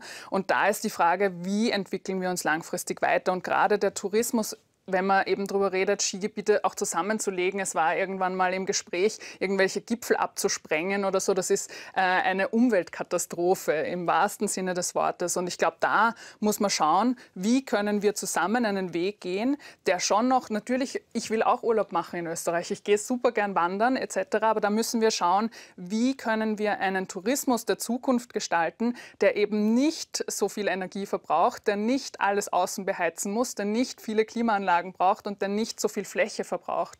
Und ich glaube, da gibt es schon einen Weg. Also es gibt ja auch äh, KlimawissenschaftlerInnen, die mit dem Tourismus zusammenarbeiten. Aber so wie es jetzt ist, kann es auf keinen Fall weitergehen. Wenn die Stromversorgung in den Skigebieten oder für die Skigebiete aus erneuerbarer Energie kommen würde, könnten Sie dem dann etwas abgewinnen? Ja und nein, natürlich ist es ein Fortschritt, aber das, was die Wissenschaft zeigt, ist, dass wir zumindest 40 Prozent unserer Energie auch einsparen müssen. Wir können nicht quasi eins zu eins ersetzen und dann pulvern wir natürlich noch immer, was weiß ich, mit Schneekanonen äh, heizen draußen, haben Heizschwammerl draußen stehen. Das muss sich ändern. Diese Überenergie, die wir verbrauchen, nämlich diese Luxusenergie, die müssen wir auch einsparen, damit wir überhaupt alles ersetzen können mit Erneuerbaren. Und da kluge Einsparungen zu finden, ist einerseits Sache der Politik, aber sicher auch in jedem einzelnen Betrieb wichtig zu schauen, wo kann ich denn Reduktionen ähm, an Energieverbrauch haben. Wo könnten Sie sich das vorstellen, gerade was die Hotels auch betrifft? Da gibt es wirklich sehr, sehr viele Maßnahmen, wo wir auch schon sehr intensiv daran äh, die letzten Jahre die Hotellerie begleiten. Wir haben 2019 unseren ganzen Kongress unter das Thema Nachhaltigkeit gestellt und seitdem mit einer Initiative Zeichen setzen, äh, Best Practices mit Kooperationen mit Firmen und so weiter auf mehrere Säulen fokussiert. Das eine ist natürlich, das Beste ist die Energie, die ich nicht verbrauche. Das heißt Energieeinsparungen, Energie reduzieren. Das andere ist natürlich, äh, von fossilen Brennstoffen auf nachhaltige Energiequellen umzustellen äh, mit, äh, und, und, gleichzeitig energieeffizienter in den Betrieben zu werden. Das, das geht um Einsparungsmaßnahmen, da geht es um, um Steuerungs-, Energiemonitoring-Systemen in den Betrieben. Ähm, und da gibt es um eine Vielzahl von Themen, Wasserverbrauch zu reduzieren und ähnliche Themen. Wir haben stark den Puls in das Richtung Plastikvermeidung. Wir haben jetzt ein Projekt mit dem Klimaministerium zum Thema Klimateller, das heißt nachhaltige Speise Speiseangebot, vegane Speiseangebote, Verzicht auf Fleisch auf der Speisekarte und ähnliche Themen. Das heißt, die Palette und die Maßnahmen sind da sehr vielfältig, sehr viele kleine Bausteine. Die großen Hebel, und das, das muss man auch, äh, ich, ich glaube, die Diskussion über Heizschwammerl, über Beschneiung, das ist eine, äh, eine sehr emotionale, aber das sind nicht die großen Hebel. Die großen Hebel ist die Mobilität, das, das Anreisen in, in Österreich ja. oder auch der private Verkehr, äh, Großindustriebetriebe, wo Energie verbraucht wird. Und ich glaube, wir müssen den Fokus auch auf große Hebeln äh, legen, bevor wir uns in Diskussionen dort verstricken, wo wir eigentlich fast keinen, keinen Hebel haben, um was zu bewegen in Österreich. Weil Sie das jetzt ansprechen, und wir haben es ja zuerst auch in dem Beitrag gehört, äh, dass es so ist, dass die, der meiste Energieverbrauch eigentlich bei der Anreise passiert. Da gibt es eben diese Studie des äh, Bundesumweltamts, die Emissionen kommen zu die Hälfte der Emissionen entstehen bei der An- und Abreise, 18 Prozent beim Skibetrieb selbst und 32 Prozent bei der Beherbergung. Aber müsste es dann nicht eigentlich so sein, dass Sie viel mehr zum Beispiel für Zugreisen werben müssten? Ja, äh, ja, äh, da gibt es auch viele Aktionen, bis hin äh, günstigere Nächtigung, wenn ich äh, mit Zug anreise. Da gibt es auch Piloten, gibt es viele Betriebe, die das auch wirklich umsetzen und machen. Äh, das Thema ist ganz einfach, dass hier noch das Angebot fehlt. Äh, wir müssen da einfach noch weiter ausbauen, vor allem diese letzte Meile zwischen entlegenen Tälern, zwischen Hotels und so weiter, äh, vom Bahnhof her, die, die Menschen hier dementsprechend zu transportieren. und ich glaube, das ist, glaube ich, wirklich die, die Mega-Aufgabe in Österreich, ein, ein Mobilitätskonzept, ähnlich wie in der Schweiz zum Beispiel, zu schaffen, wo ich noch stärker äh, auf, auf Bahn setze oder auch dann mit, mit anderen Mobilitätsangeboten in Regionen, Elektrobus und anderen Angeboten hier die Menschen shutteln kann. Mhm aus Ihrer Erfahrung, auch als äh, Klimaaktivistin, ist so etwas realistisch, dass man die Menschen wirklich dazu bringt, nicht mehr mit dem Auto zu fahren, nicht mehr mit dem Flugzeug zu kommen, sondern zu Fuß zu gehen, mit der Bahn zu fahren? Ich glaube, es ist dann unrealistisch, wenn ich wirklich nur ganz kleine Anreize setze, wo die großen Hebel liegen. Und da habe ich das Gefühl, da könnten wir übereinstimmen sind in der Politik. Wir müssen einfach den öffentlichen Verkehr ausbauen. Sie haben die Schweiz angesprochen, die haben eine Mobilitätsgarantie. Das heißt, in jedem Ort, der größer ist als, ich weiß jetzt nicht, wie die Einwohnerzahl ist, muss in einem bestimmten Takt zumindest ein Bus fahren etc. Und das macht natürlich einen Riesenunterschied, weil man sieht, Menschen steigen dann um, wenn sie einfacher und effizienter mit der öffentlichen Mobilität dorthin kommen, wo sie hinwollen. Und gerade in Urlaubsorten, in ab abgelegeneren Orten kommt man nicht so gut hin. Und dieses Angebot auszubauen, das wäre ein Riesenhebel. Da geht es nicht nur um eben kleine Anreize, da geht es um Riesenanreize im Sinne der, des Angebots. Und das wäre wichtig, weil nur 8 Prozent der Menschen, die in Österreich Urlaub machen, kommen mit der Bahn. 75 Prozent mit dem eigenen Pkw. Und das ist, äh, das ist etwas, wo die Politik lange Zeit irgendwie in diesem alten Denken verhaftet ist. Ja, wenn ich irgendwo Stau habe, wenn ich irgendwo zu viele Autos habe, dann baue ich halt noch eine Straße. Wir müssen wegkommen von dem, wir müssen effizientere äh, Wege finden, wie eben Zug- und Bussysteme. Aber ich glaube, für die letzte Meile kann sich ja auch das Hotel selber was tun. Da muss nicht nur die Politik ansetzen, eben mit Shuttlebus-Systemen, mit Sammelbus Ruftaxis oder was auch immer, damit man eben nicht einen eigenen Pkw braucht für den Weg zum Start, zur Wanderung oder so mhm. irgendwas. Ja. Nun scheint es ja bei uns so zu sein, dass eine Krise die nächste jagt. Wir kommen gerade aus der Corona-Pandemie. Jetzt läuft der Tourismus wieder ein bisschen an. Aber schon prognostizierend, Sie haben es zuerst so ein bisschen angedeutet, werden wir oder können wir davon ausgehen, dass wir in ein paar Jahren noch genauso Skifahren können wie jetzt? Äh, Nein, ja, äh, das ist auch völlig klar. Ich glaube, das muss man sich auch damit beschäftigen und auch, äh, dem auch stellen. Es ist von einem Jahr zu einem Jahr natürlich die Situation anders, aber im, im langfristigen Entwicklung wissen wir natürlich, dass sich äh, das Klima auf den Tourismus in Österreich auswirkt und vor allem auf den Wintertourismus auswirken wird. Das heißt, die Saisonen werden kürzer, das heißt, die, die Schneeverfügbarkeit wird weniger und wird in höhere Gebiete wandern. Das ist, glaube ich, ein Faktum, das ist unumstritten. Die Frage ist, wie gut schaffen wir, A, damit umzugehen und wie gut schaffen wir diesen Klimawandel, der ja vor uns steht und der kommen wird, so weit abzufedern, dass wir bei 1,5 Grad bleiben oder in einem Worst-Case-Szenario, dass er höher geht. Weil dann ist viel mehr als der Wintertourismus in Österreich in Gefahr äh, und dann sind grundlegende Wirtschaftssysteme zu hinterfragen. Das heißt, das ist die große Herausforderung und da sind wir Verbündete, weil wir sind abhängig von unserer Umwelt, von, von, von unserer Landschaft, von den Bergen, von den Seen, äh, damit Gäste nach Österreich kommen und damit wir ihnen für diese Zeit, wo sie da sind, eine gute Zeit bieten können. Die Krise hat gezeigt, dass das Produkt oder dass der, das Bedürfnis nach Urlaub sehr hoch ist. Die Menschen brauchen vielleicht ist es auch ein Exit sozusagen aus den Problemen. Sie wollen einfach ein bisschen in die Landschaft, sie wollen sich, sich gut gehen lassen. Äh, das macht uns auch zuversichtlich, dass das Vertrauen in das Produkt Urlaub sehr hoch ist. Äh, aber natürlich müssen wir uns weiterentwickeln und müssen wir uns anpassen, äh, wohin die Reise jetzt hingeht. Ja. Wir sind uns oder Sie sind sich einig, dass die Politik natürlich gefragt ist. Aber abschließende Frage noch, was kann denn jeder Einzelne von uns dazu tun oder sollte jetzt wirklich ganz konkret tun? Also natürlich gibt es die, die Sachen äh, auf der Hoteliersebene wie Heizschwammerl und solche Sachen. Auf unserer persönlichen Ebene kann man natürlich auch Energie sparen, kann man schauen, dass man eben das nächste Mal mit dem Zug fährt und nicht mit dem Auto. Aber, und das ist mir immer wichtig, wir stoßen alle an so systemische Grenzen. Vielleicht fahrt irgendwo hin kein Zug. Vielleicht äh, haben wir die Möglichkeit gar nicht, auf erneuerbare Energien umzusteigen. Ich zum Beispiel wohne in einem Mehrparteienhaus in Wien. Da kann ich nicht einfach von der Gasheizung auf was Erneuerbares umsteigen. Und da ist mir ganz wichtig zu sagen, jetzt braucht es wirklich die Menschen, die Veränderungen auf einer höheren Ebene einfordern. Das heißt, politisch aktiv zu werden, Bürgerinnengenossenschaften zu gründen für, für, für erneuerbaren Strom, Grätzl-Initiativen, zum Bürgermeister mal zu gehen und was einzufordern, dem Kanzler eine E-Mail zu schreiben oder so. Das sind wirklich wichtige Hebel, die wir jetzt alle anpacken müssen, damit eben die Politik. Uns die Möglichkeit gibt, überhaupt nachhaltig zu leben. Da spricht die Aktivistin Ihr Schlusswort dazu. Ja, ich kann es nur unterstützen. Wir sehen das auch als unseren Auftrag. Wir sind ja auch eine Interessenvertretung und uns geht es ja nicht um das zu bewahren, was da ist, sondern um die Zukunft des Tourismus und der Hotellerie zu gestalten. Und dazu brauchen wir Rahmenbedingungen von der Politik, die das ermöglichen und hier in die richtigen Weichen stellen. Und da werden wir sicher gemeinsam kämpfen. Vielleicht nicht bei den Heizschwammeln, aber bei vielen anderen Themen sind wir sicher einer Meinung. Das ist ein schönes Schlusswort. Ich bedanke mich recht herzlich für Ihre Diskussion und Ihren Besuch bei uns im OF3 Aktuell Studio, Frau Rogenhofer. Herr Dr. Kratzer, vielen Dank. Dankeschön. Dankeschön. Ja, und wir bleiben beim Thema Klima. Die sogenannten Klimakleber, die sorgen ja auch in Niederösterreich für Diskussionen. Landeshauptfrau Johanna Mikl-Leitner hat vor wenigen Tagen härtere Strafen gefordert, wenn etwa Rettungskräfte behindert werden. Und sie hat einen Gesetzesvorschlag angekündigt, den das Land dem Bund vorlegen will. Von dort kommt jetzt allerdings eine Absage. Bundeskanzler Karl Nehammer verweist auf die bestehende Gesetzeslage und auch Strafrechtsexperten sehen keine Notwendigkeit für eine neue Regelung. Mit kleinen Handabdrücken die größtmögliche Aufmerksamkeit erreichen. Nach Jahren der erfolglosen Gespräche und Demonstrationen setzen die Klimaaktivisten der letzten Generation jetzt auf zivilen Widerstand und blockieren stark befahrene Straßen.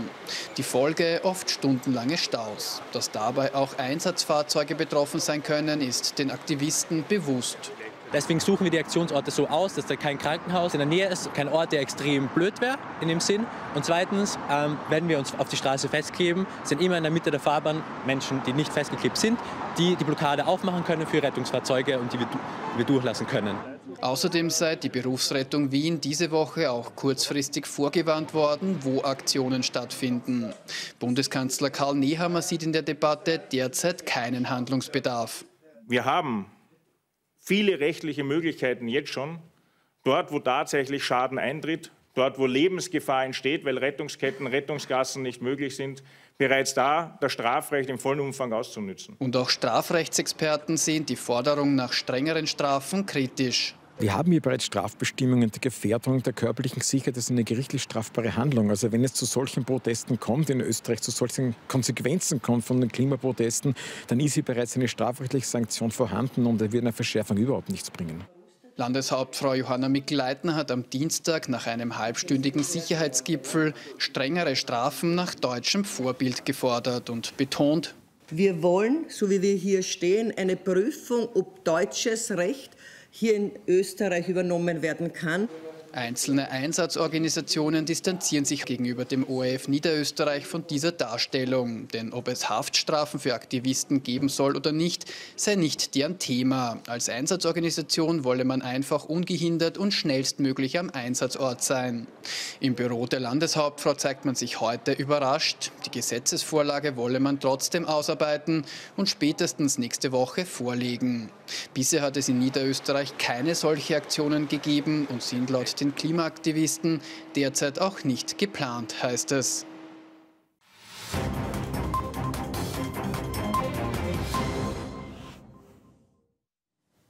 Wir bleiben beim Thema und kommen thematisch nach Deutschland. Roland Adrowitzer heute hier bei uns zur Analyse im OF3 Aktuell Studio. In Deutschland sind ja auch gerade die Klimaaktivisten unterwegs und zwar in Nordrhein-Westfalen in Lützerath.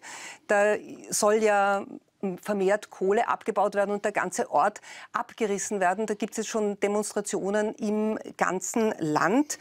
Und dieser Konflikt, der sorgt ja jetzt auch wirklich für Probleme bei den deutschen Grünen.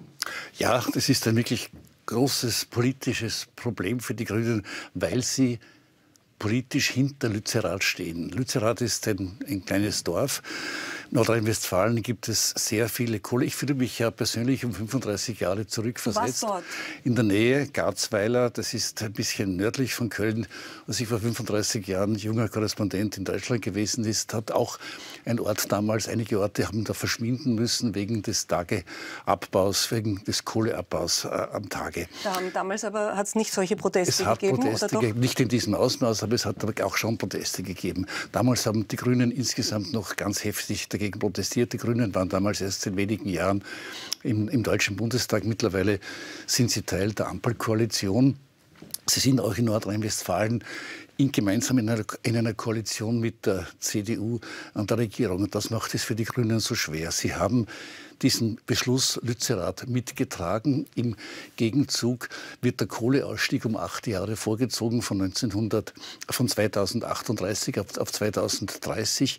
Und der Kompromiss war eben, und auch der deutsche Umweltminister äh, Robert Habeck sagt im Spiegel etwa, Lützerath ist der falsche Anlass äh, für, für Protest, weil das genau äh, eben mit dem Kompromiss so, so getimt sein, dass das das richtige Ausmaß.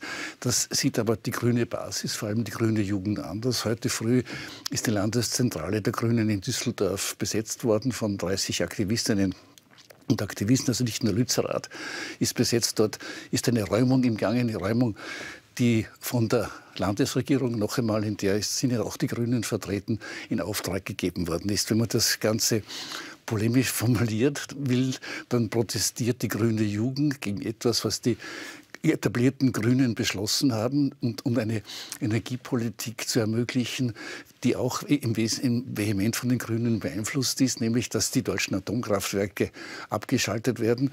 Und als Ersatz dafür, und weil man nicht mehr auf russisches Gas angewiesen sein äh, will und sein kann, sagt man, braucht man eben in einer Übergangsphase auch weiterhin Kohle zur Verstromung. Das ist für die Grünen ein wirklich heikles Thema. Aber wie, wie kann das weitergehen, wenn sozusagen die, die Grünen in sich gespalten sind? Das müssen die Grünen mit sich ausmachen. Man sieht es ja auch in Österreich, was es heißt an der Regierung. Ich zitiere immer wieder gern Wolfgang Schäuble, der gestern in Wien gewesen ist bei der Eröffnung des neuen Parlaments. Er hat einen sehr klugen Satz gesagt, Regieren ist das Rendezvous mit der Realität. Das holt die Grünen da jetzt in, in Lützerath ein. Dieser Ort wird zum Fanal hochstilisiert von, von den jungen, vorwiegend jungen Besetzern, die sich teilweise unterirdisch da jetzt auch angekettet haben. Sie äh, die Räumung über Tag ist so gut wie abgeschlossen, aber einige sollen sich in unterirdischen Stollen noch befinden und, und drohen sich dort anzuketten. Äh, große, mediale, große mediale Aufmerksamkeit, eine wirklich ganz, ganz heikle politische äh, Situation für die Grünen letztendlich wird, wird Lützerath äh, kommen. Das ist keine Frage, weil der Gesichtsverlust wäre für alle Seiten so groß. Vor allem für die Grünen, die diesem Kompromiss zugestimmt haben. Aber den politischen Preis werden sie vermutlich auf irgendeine Weise zu zahlen haben. Auch Wien ist derzeit ja Zentrum von äh, Protesten von Grünaktivistinnen und Aktivisten. Da hat es jetzt äh, quasi jeden Tag in dieser Woche Aktionen gegeben, wo sich Aktivistinnen und Aktivisten auch an die Straße geklebt haben. Erst heute früh wieder in der Wienzeile. Du wirst fast zu spät gekommen hierher. ich bin früh genug weggefahren. Aber können denn solche Proteste wirklich etwas bewirken? Ja, das ist ja heftig umstritten. Nicht? Viele, sehr viele sagen, sie, sie, verärgern, sie verärgern sehr viele Menschen damit. Das wissen sie, das wollen sie aber auch nicht. Sie, sie wollen ja polarisieren. Sie sagen, nur dadurch bekommen sie die Aufmerksamkeit. Dadurch wird es diskutiert. Mich nerven sie auch, ganz, ganz äh, offen gesagt. Bei allem Verständnis für, für, für die Ziele. Und wenn halt wirklich Rettungskräfte äh, behindert werden, dann habe ich, hab ich wenig Verständnis. Wir haben zwar gerade gehört, die Aktivistinnen und Aktivisten behaupten, dass sie äh, im, Notfall da die Wege freimachen. Für eine Rettungskasse. für eine Rettungskasse. Sie werden das auch nicht auf, auf, auf, auf ewig äh, durchziehen können, weil, es, weil sie die Emotionen mittlerweile schon so stark sind. Aber sie haben auf alle Fälle erreicht, dass das Thema auf der Tagesordnung ist, dass es täglich in den Medien, dass, dass, es, dass es gehört wird. Und vermutlich haben Sie das damit erreicht, aber auch prominente Grüne etwa in, in Deutschland, ehemalige Umweltminister oder, oder, oder eben auch äh, Robert Habeck oder sagen, die, die sich von, von derartigen Formen distanzieren. Bei uns ja auch Vizekanzler äh, Werner Kogler, der ja auch sagt, er hält, er hält diese Proteste für, für überzogen. Vor allem aber wirklich aufhören tut er sich bei der Sachbeschädigung. Also wenn Sie da von Entlüften sprechen, von Reifen, das ist fast eine, eine Verhöhnung. Das ist gefährlich. Das, Und da haben sich die einen auch von den anderen distanziert? Ja, ja, schon klar. Ja. Also wenn, wenn, es, wenn es zu solchen Aktionen kommt, offiziell ist man davon distanziert und dafür habe ich null Verständnis. Das ist auch Sachbeschädigung, das ist ja auch strafrechtlich. Das wird auch geahndet, ja. Das wird auch geahndet. Eine andere Frage ist die Diskussion, braucht man schärfere Strafen? Ich glaube nicht, dass es der Fall ist. Also nicht das Strafrecht. Das Strafrecht ist ein ich bin ja selbst irgendwann einmal, habe ich just studiert. Das Strafrecht ist das, das schärfste Mittel, das ein, ein Staat hat. Mit dem soll man sehr behutsam und sehr sorgfältig umgehen. Anlassgesetzgebung ist nie gut, obwohl immer alles irgendwo eine Anlassgesetzgebung ist. Auch das neue Antikorruptionsgesetz ist eine Anlassgesetzgebung äh, nach Ibiza. Aber Ein Strafrechtsexperte hat in unserer Sendung gestern dazu gesagt, der zivile Ungehorsam lässt sich nicht durch Strafen genau, abschrecken. So, so, ist, so ist es. Und der Bundeskanzler, wir haben ja gerade, gerade gehört, der Bundeskanzler ist der Meinung, dass äh, schärfere Strafen im Moment nicht notwendig seien, im Gegensatz zu seiner wahlkämpfenden niederösterreichischen Parteifreundin Johanna Mikl-Leitner. Man soll aber die bestehenden rechtlichen Möglichkeiten ausnutzen und noch einmal alles, was in, in, in Richtung von, von Gefährdung von Menschenleben geht, ist abzulehnen, bei allem Verständnis und, für, und nicht herunterzuspielen die, die die Bedeutung und auch wahrscheinlich die, die Dramatik äh, der Situation. Ja. Die Protestaktionen sollen weitergehen. In Deutschland gehen sie weiter. In, Deutschland gehen sie weiter. Lützerath ist eine, es ist eine, eine, Lützerath ist eine echte Machtprobe des, des, des Staates mit, mit vorwiegend äh, eben, eben, jungen, jungen Aktivistinnen und Aktivisten. Noch einmal, das macht es in dem Fall halt so heikel, dass die Grünen diesen Beschluss mitgetragen haben und mittragen. Das ist für sie das politische Problem. Gesamtgesellschaftlich wäre wohl auch hier nur ein, ein, Konsen, ein überparteilicher Konsens äh, wünschenswert und möglich, aber mhm. wir wissen, wie schwer das ist. Ja. Spannend in vielerlei Hinsicht. Danke, Roland, für Gerne. deine wieder sehr interessante Analyse. Und wir kommen damit wieder ins Ausland. Im Kampf um die ostukrainische Stadt Soledar sollen innerhalb eines Tages mehr als 100 russische Soldaten gefallen sein. Das sagt der ukrainische Gouverneur der Region. Soledar und die wenige Kilometer entfernte Stadt Bachmut sind weiter heftig umkämpft, aber nach Angaben des ukrainischen Präsidenten weiter unter ukrainischer Kontrolle. Aber beide Seiten berichten von Toten. Die berüchtigte prorussische Wagner-Gruppe, eine Einheit von Söldnern, hatte zuvor die komplette Einnahme Soledars verkündet. Der ukrainische Präsident dementiert, die ukrainischen Soldaten würden weiterhin die Stellung halten und den Russen große Verluste zufügen. Beide Angaben lassen sich nicht unabhängig überprüfen. Im Krieg Russlands gegen die Ukraine zeigt sich also einmal mehr, wie sehr Russland mittlerweile zu einem diktatorischen Willkürstaat geworden ist. Rekrutierung von Soldaten und die Freilassung aus dem Gefängnis wird privater Gewalt überlassen, ausgeübt von der berüchtigten Söldnertruppe Wagner die in den Kämpfen gegen die Ukraine mitmischt und geführt von einem Putin-Vertrauten, der die Macht über Leben und Tod von Menschen bekommen hat, ohne sich dabei an die Gesetze halten zu müssen. Soledar ist heiß umkämpft, auch bezüglich Propaganda. Ukrainische Soldaten halten die Stadt angeblich weiterhin unter Kontrolle. Die Wagner-Gruppe brüstet sich jedoch damit, sie eingenommen zu haben. Dieses Foto ihres Gründers Jewgenin Prigoschin inmitten seiner Männer in der lokalen Salzmine und seine Botschaften sollen als Beweise dienen. Prigoschin, früher als Putins Koch bekannt, ist nun Oberbefehlshaber von geschätzten 50.000 Söldnern. Er gilt als äußerst brutal.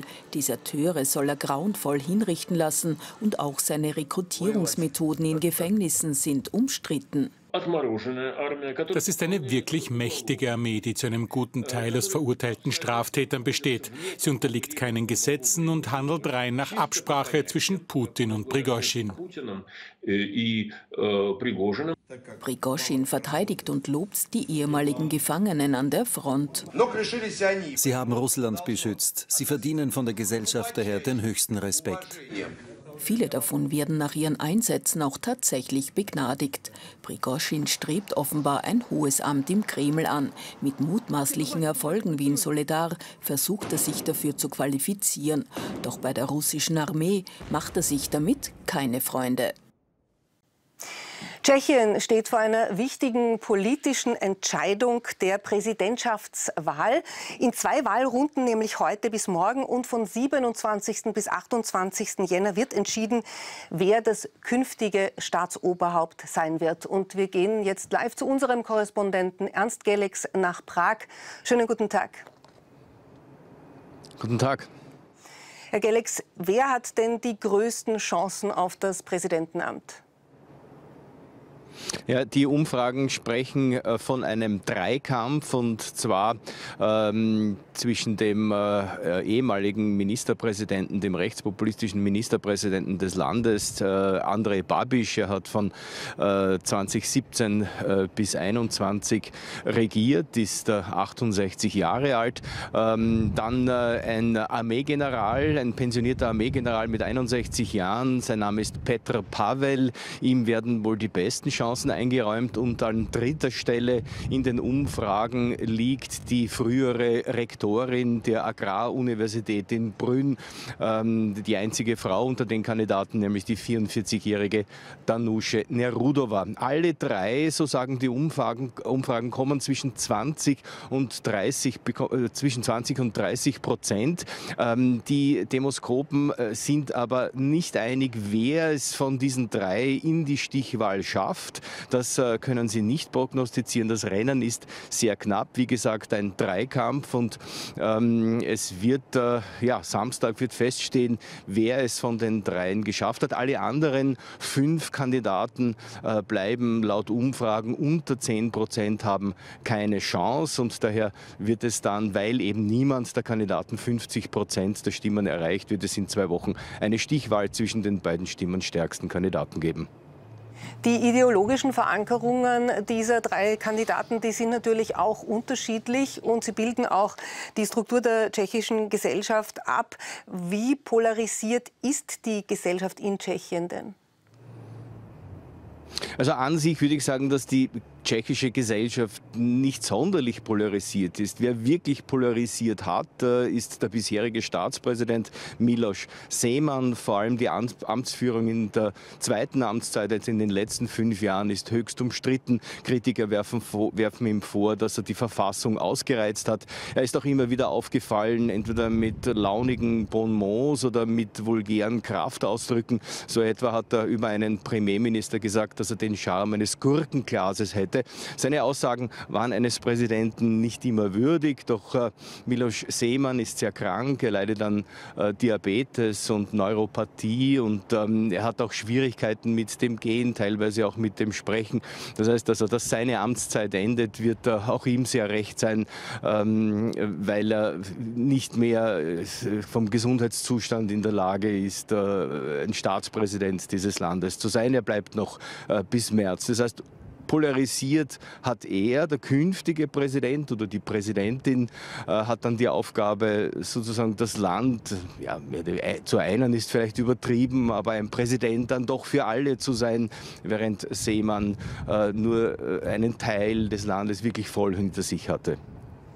Nach Schätzungen sollen noch bis zu einem Fünftel der Wählerinnen und Wähler noch unentschieden sein. Worauf kann es denn jetzt noch ankommen?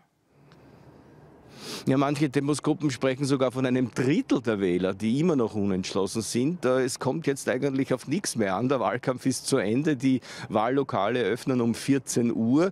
Äh, den Kandidaten bleibt nur noch, äh, sich niederzusetzen und Tee zu trinken und abzuwarten. Also da ist jetzt nichts mehr drinnen. Dann sage ich vielen Dank, Ernst Gellix, für diese Live-Informationen aus Prag. Dankeschön.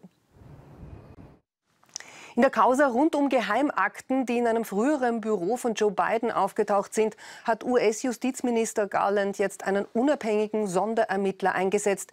Es geht um vertrauliche Dokumente aus der Zeit, in der Biden der Vize von Barack Obama war und die Bidens Anwälte jetzt selbsttätig zurückgegeben haben. Bidens unmittelbarer Vorgänger Donald Trump ist in einem ähnlichen Fall verwickelt. Bei ihm wurden zuvor 10.000 Geheimdokumente gefunden. Bei Trump war allerdings eine Hausdurchsuchung dafür notwendig. Neben diesem Sportwagen einer Corvette, die Joe Biden im Wahlkampf stolz präsentiert, haben seine Anwälte in der Garage seines Privathauses auch Geheimdokumente aus seiner Zeit als Vizepräsident gefunden, wie Biden nun selbst bestätigt. Meine Corvette ist in einer abgesperrten Garage, nicht auf offener Straße. Die Leute wissen, dass ich Geheimdokumente ernst nehme. Schon vor zwei Monaten sind in Bidens ehemaligem Privatbüro in Washington Geheimakte gefunden worden. Diese seien dem Nationalarchiv übergeben worden. Man habe das Justizministerium informiert, heißt es aus dem Weißen Haus. Die Republikaner sind empört. An zwei Orten wurden Geheimdokumente gefunden und erst jetzt nach der Kongresswahl kommt das an die Öffentlichkeit, sagt der Sprecher des Repräsentantenhauses. Der Justizminister ernennt nun einen Sonderermittler, wie er mitteilt. Robert Hur, einen ehemaligen noch von Präsident Trump nominierten Staatsanwalt. Man sei zuversichtlich, dass eine Prüfung ergeben werde, dass die Dokumente versehentlich verlegt wurden, sagt eine Sprecherin des Weißen Hauses. Und in den USA gibt es jetzt gegen den Abgeordneten George Santos Rücktrittsaufrufe. Sein zusammengedichteter Lebenslauf ist selbst manchen seiner Parteikollegen, den Republikanern, zu viel. Santos hat da etwa Universitäten oder berufliche Stationen angegeben, mit denen er in Wirklichkeit nie zu tun gehabt hat. Darüber hinaus wird ihm vorgeworfen, Gelder für seinen Wahlkampf missbräuchlich verwendet zu haben. George Santos, neues Mitglied des Repräsentantenhauses, hat jetzt Gegner in beiden Parteien, weil er nicht nur über seine Ausbildung und seine Berufserfahrung gelogen hat. Als ich bei Citigroup begonnen habe, sagten sie, ich bin wirklich klug sondern auch behauptete, Jude zu sein, seine Mutter bei den Anschlägen des 11. September verloren zu haben und aus einer Familie zu kommen, die vor den Nazis fliehen musste. Verfolgung ist uns nicht fremd. Mein Großvater ist aus der Ukraine nach Belgien geflohen und 1940 weiter nach Brasilien. Zu viele Lügen für die Parteispitze seines Wahlbezirkes im Bundesstaat New York. Sie nennt ihn eine Schande, einen notorischen Lügner, einen internationalen Witz. Man fühle sich durch ihn nicht mehr vertreten. Im Namen der Republikaner des Bezirks Nassau fordere ich seinen sofortigen Rücktritt. Er sei nicht verurteilt, so die Parteispitze. Entscheiden müssen die Wähler in zwei Jahren, also nach Ende seiner Amtszeit. Man ist unschuldig, bis das Gegenteil bewiesen ist. Auch Santos selbst will nicht zurücktreten. Trotz aller Lügen, es ist die Mathematik, die gegen einen Rückzug spricht. Zu knapp ist die Mehrheit der Republikaner, als dass sie auch nur auf einen einzigen Sitz verzichten könnten. Lisa Marie Presley ist tot. Das einzige Kind von Elvis Presley ist im Alter von 54 Jahren unerwartet gestorben. Medien haben zuvor berichtet, dass die Musikerin gestern früh leblos in ihrem Haus aufgefunden worden ist. Davor soll sie einen Herzstillstand erlitten haben. Kurze Zeit später ist sie dann in einem Krankenhaus in Los Angeles gestorben. Lisa Marie Presley wird 1968 als erstes und einziges Kind von Elvis und Priscilla Presley geboren. Schon früh in ihrem Leben sorgt sie für Schlagzeilen. Am bekanntesten ist wohl ihre anderthalbjährige Ehe mit dem King of Pop Michael Jackson. Insgesamt viermal war Presley in ihrem Leben verheiratet. Als Tochter des King of Rock'n'Roll versucht sie sich auch an einer Musikkarriere und veröffentlicht insgesamt drei Musikalben. Ihren letzten öffentlichen Auftritt hat Presley vergangenen Dienstag am Rande der Golden Globes. Gemeinsam mit ihrer 77-jährigen Mutter Priscilla sitzt sie am Tisch von Austin Butler, der für die Darstellung ihres Vaters Elvis den Golden Globe für den besten Schauspieler gewinnt. Lisa Marie Presley hinterlässt drei Töchter. In Afghanistan hat es in den vergangenen zehn Tagen zwei Anschläge gegeben. Anfang Jänner am Militärflughafen in Kabul und diese Woche hat es einen Selbstmordanschlag vor dem Außenministerium gegeben. Die Taliban machen auch dafür den IS verantwortlich. Ein Überblick von Theresa Kulovic. Zwei Anschläge, Dutzende Tote und Verletzte. So die traurige Bilanz der vergangenen zwei Wochen in Afghanistan. Anfang Jänner eine Explosion am Militärflughafen in Kabul. Am Mittwoch sprengt sich ein Selbstmordattentäter vor dem Außenministerium in Kabul in die Luft. Zu letzterem Anschlag bekennt sich die Terrorgruppe Islamischer Staat. Die im Land regierenden Taliban machen den IS aber auch für den ersten Anschlag verantwortlich. Beide radikal-islamische Gruppen sind verfeindet. Es kommt immer wieder zu Spannungen und Kämpfen. Angespannt ist die Lage im Land derzeit ohnehin. Afghanistan steckt in einer humanitären Krise. 6,6 Millionen Menschen sind von extremem Hunger bedroht. Obwohl die Taliban bei ihrer Machtübernahme im August 2021 versprochen hatten, moderner und offener sein zu wollen, schränken sie seither systematisch die Rechte von Frauen ein. Zuletzt wurden Frauen von Universitäten ausgeschlossen. Auch jene, die für NGOs arbeiten, mussten ihre Tätigkeit aufgeben.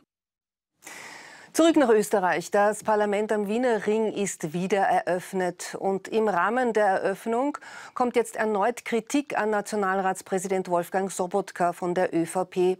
Stein des Anstoßes ist wieder das goldene Klavier, das Sobotka im Parlament hat aufstellen lassen.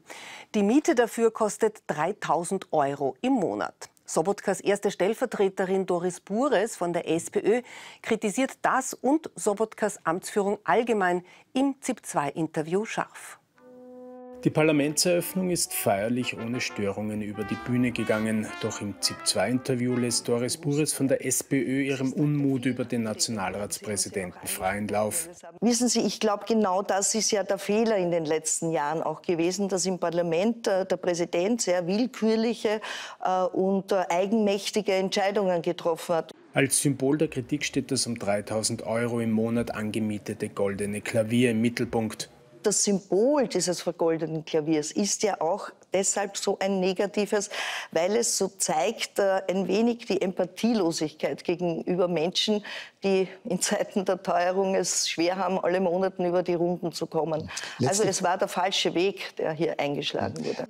Die Diskussion der Abwahlmöglichkeit des Parlamentspräsidenten will Buris aber nicht führen. Eine Lex Sobotka sei nicht erforderlich angesichts aller untadeliger Präsidenten in der Zweiten Republik.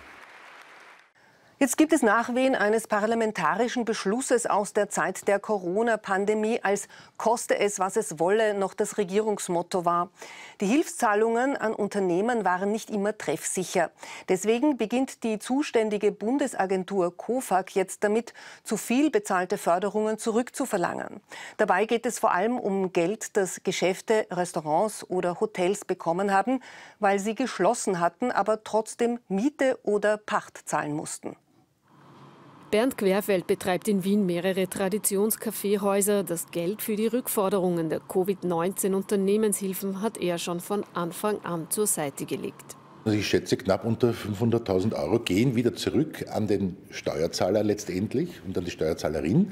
Dabei geht es um die Frage, muss ein Unternehmer für ein Geschäftslokal die volle Miete oder Pacht bezahlen, wenn es während eines Corona-Lockdowns geschlossen ist? Nach mehreren Gerichtsurteilen ist jetzt klar, nein. Der Vermieter muss die Miete reduzieren.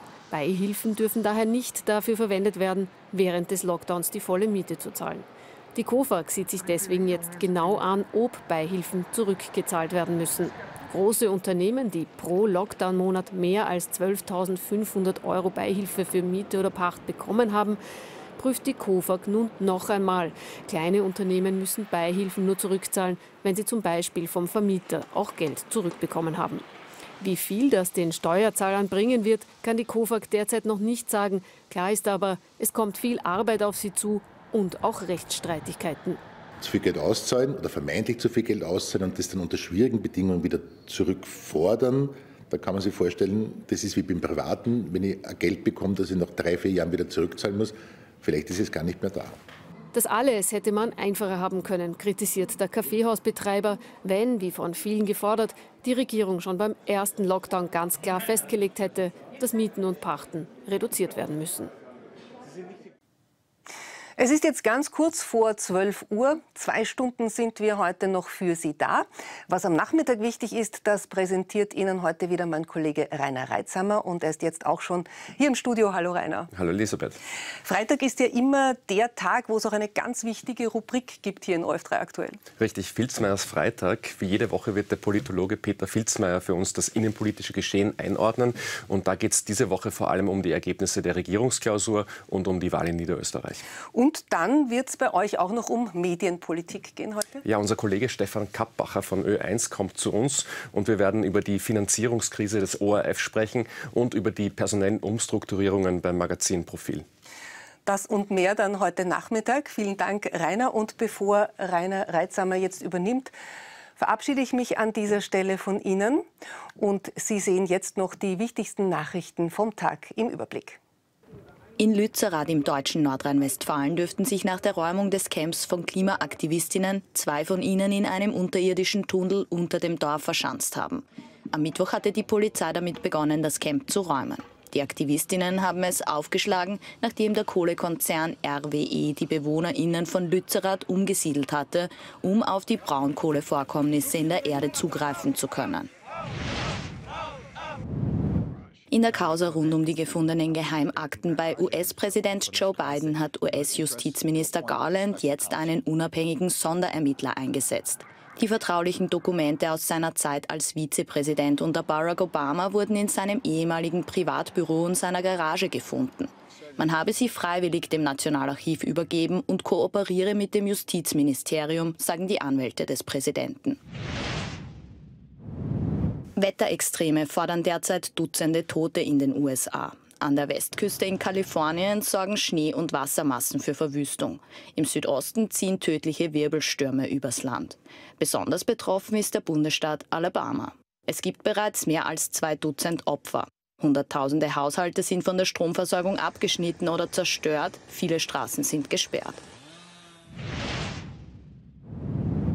Lisa Marie Presley, die einzige Tochter von Elvis Presley, ist im Alter von 54 Jahren unerwartet gestorben. Als Todesursache wird ein Herzstillstand vermutet. Ihren letzten Auftritt hatte sie am Rande der Golden Globes vergangenen Dienstag. Gemeinsam mit ihrer Mutter ist sie bei den Golden Globes anwesend, wo Austin Butler für die Darstellung von Elvis prämiert wird. Gestern ist das Parlament am Wiener Ring wieder eröffnet worden. Den Festakt haben wir hier in ORF3 übertragen. So festlich die Stimmung da am Nachmittag gewesen ist, am Abend in der ZIP 2 gab es dann doch wieder kritische Töne. Und zwar von der zweiten Nationalratspräsidentin Doris Bures von der SPÖ in Richtung des Nationalratspräsidenten Wolfgang Sobotka von der ÖVP. Stein des Anstoßes ist wieder jenes goldene Klavier gewesen, das Sobotka im Parlament hat aufstellen lassen. Die Miete dafür kostet ja 3000 Euro im Monat. Für Bures ein Symbol für die mangelhafte Amtsführung des Nationalratspräsidenten. Die Parlamentseröffnung ist feierlich ohne Störungen über die Bühne gegangen. Doch im ZIP-2-Interview lässt Doris Bures von der SPÖ ihrem Unmut über den Nationalratspräsidenten freien Lauf. Wissen Sie, ich glaube, genau das ist ja der Fehler in den letzten Jahren auch gewesen, dass im Parlament äh, der Präsident sehr willkürliche äh, und äh, eigenmächtige Entscheidungen getroffen hat. Als Symbol der Kritik steht das um 3000 Euro im Monat angemietete goldene Klavier im Mittelpunkt das Symbol dieses vergoldeten Klaviers ist ja auch deshalb so ein negatives, weil es so zeigt äh, ein wenig die Empathielosigkeit gegenüber Menschen, die in Zeiten der Teuerung es schwer haben, alle Monate über die Runden zu kommen. Letztlich also es war der falsche Weg, der hier eingeschlagen wurde.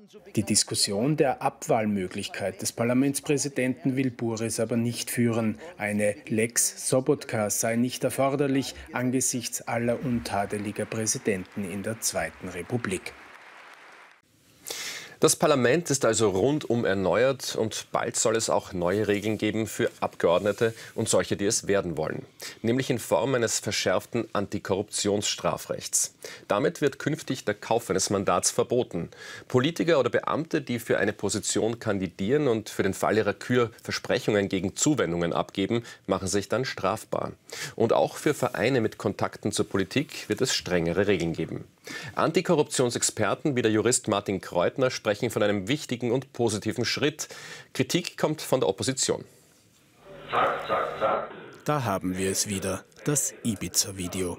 Nun wirkt es Jahre später über ein vorgestelltes Antikorruptionsgesetz in die österreichische Gesetzgebung hinein. Die Korruption ist Gift für unsere Demokratie. Korruption bedeutet nämlich, dass Menschen, die Macht und Geld haben, sich auf eine missbräuchliche Weise gewisse Vorteile verschaffen können. Denn als Spitzenkandidat der FPÖ für die Nationalratswahl 2017 hat Heinz-Christian Strache vorsorglich unerlaubte Versprechungen gemacht. Und zwar was die Vergabe von Staatsaufträgen betrifft. Das ist bisher nur Amtsträgern verboten, künftig auch jenen, die Amtsträger werden wollen. Auch den Verkauf eines Nationalratsmandats soll es gegeben haben. Ukrainische Oligarchen hätten laut Berichten Millionenbeträge bezahlt, um einen Mittelsmann in die Reihen der FPÖ ins Parlament zu bekommen. Ermittelt wurde nicht, der Kauf ist nicht strafbar. Das soll sich jetzt für Landtagsmandate, Nationalratsmandate und EU-Mandate ändern. Solch ein Gesetz gibt es dann nur in Österreich. Mit dieser Verschärfung des Korruptionsstrafrechts schließen wir hier eine Lücke und wir schaffen das strengste Antikorruptionsgesetz der Welt.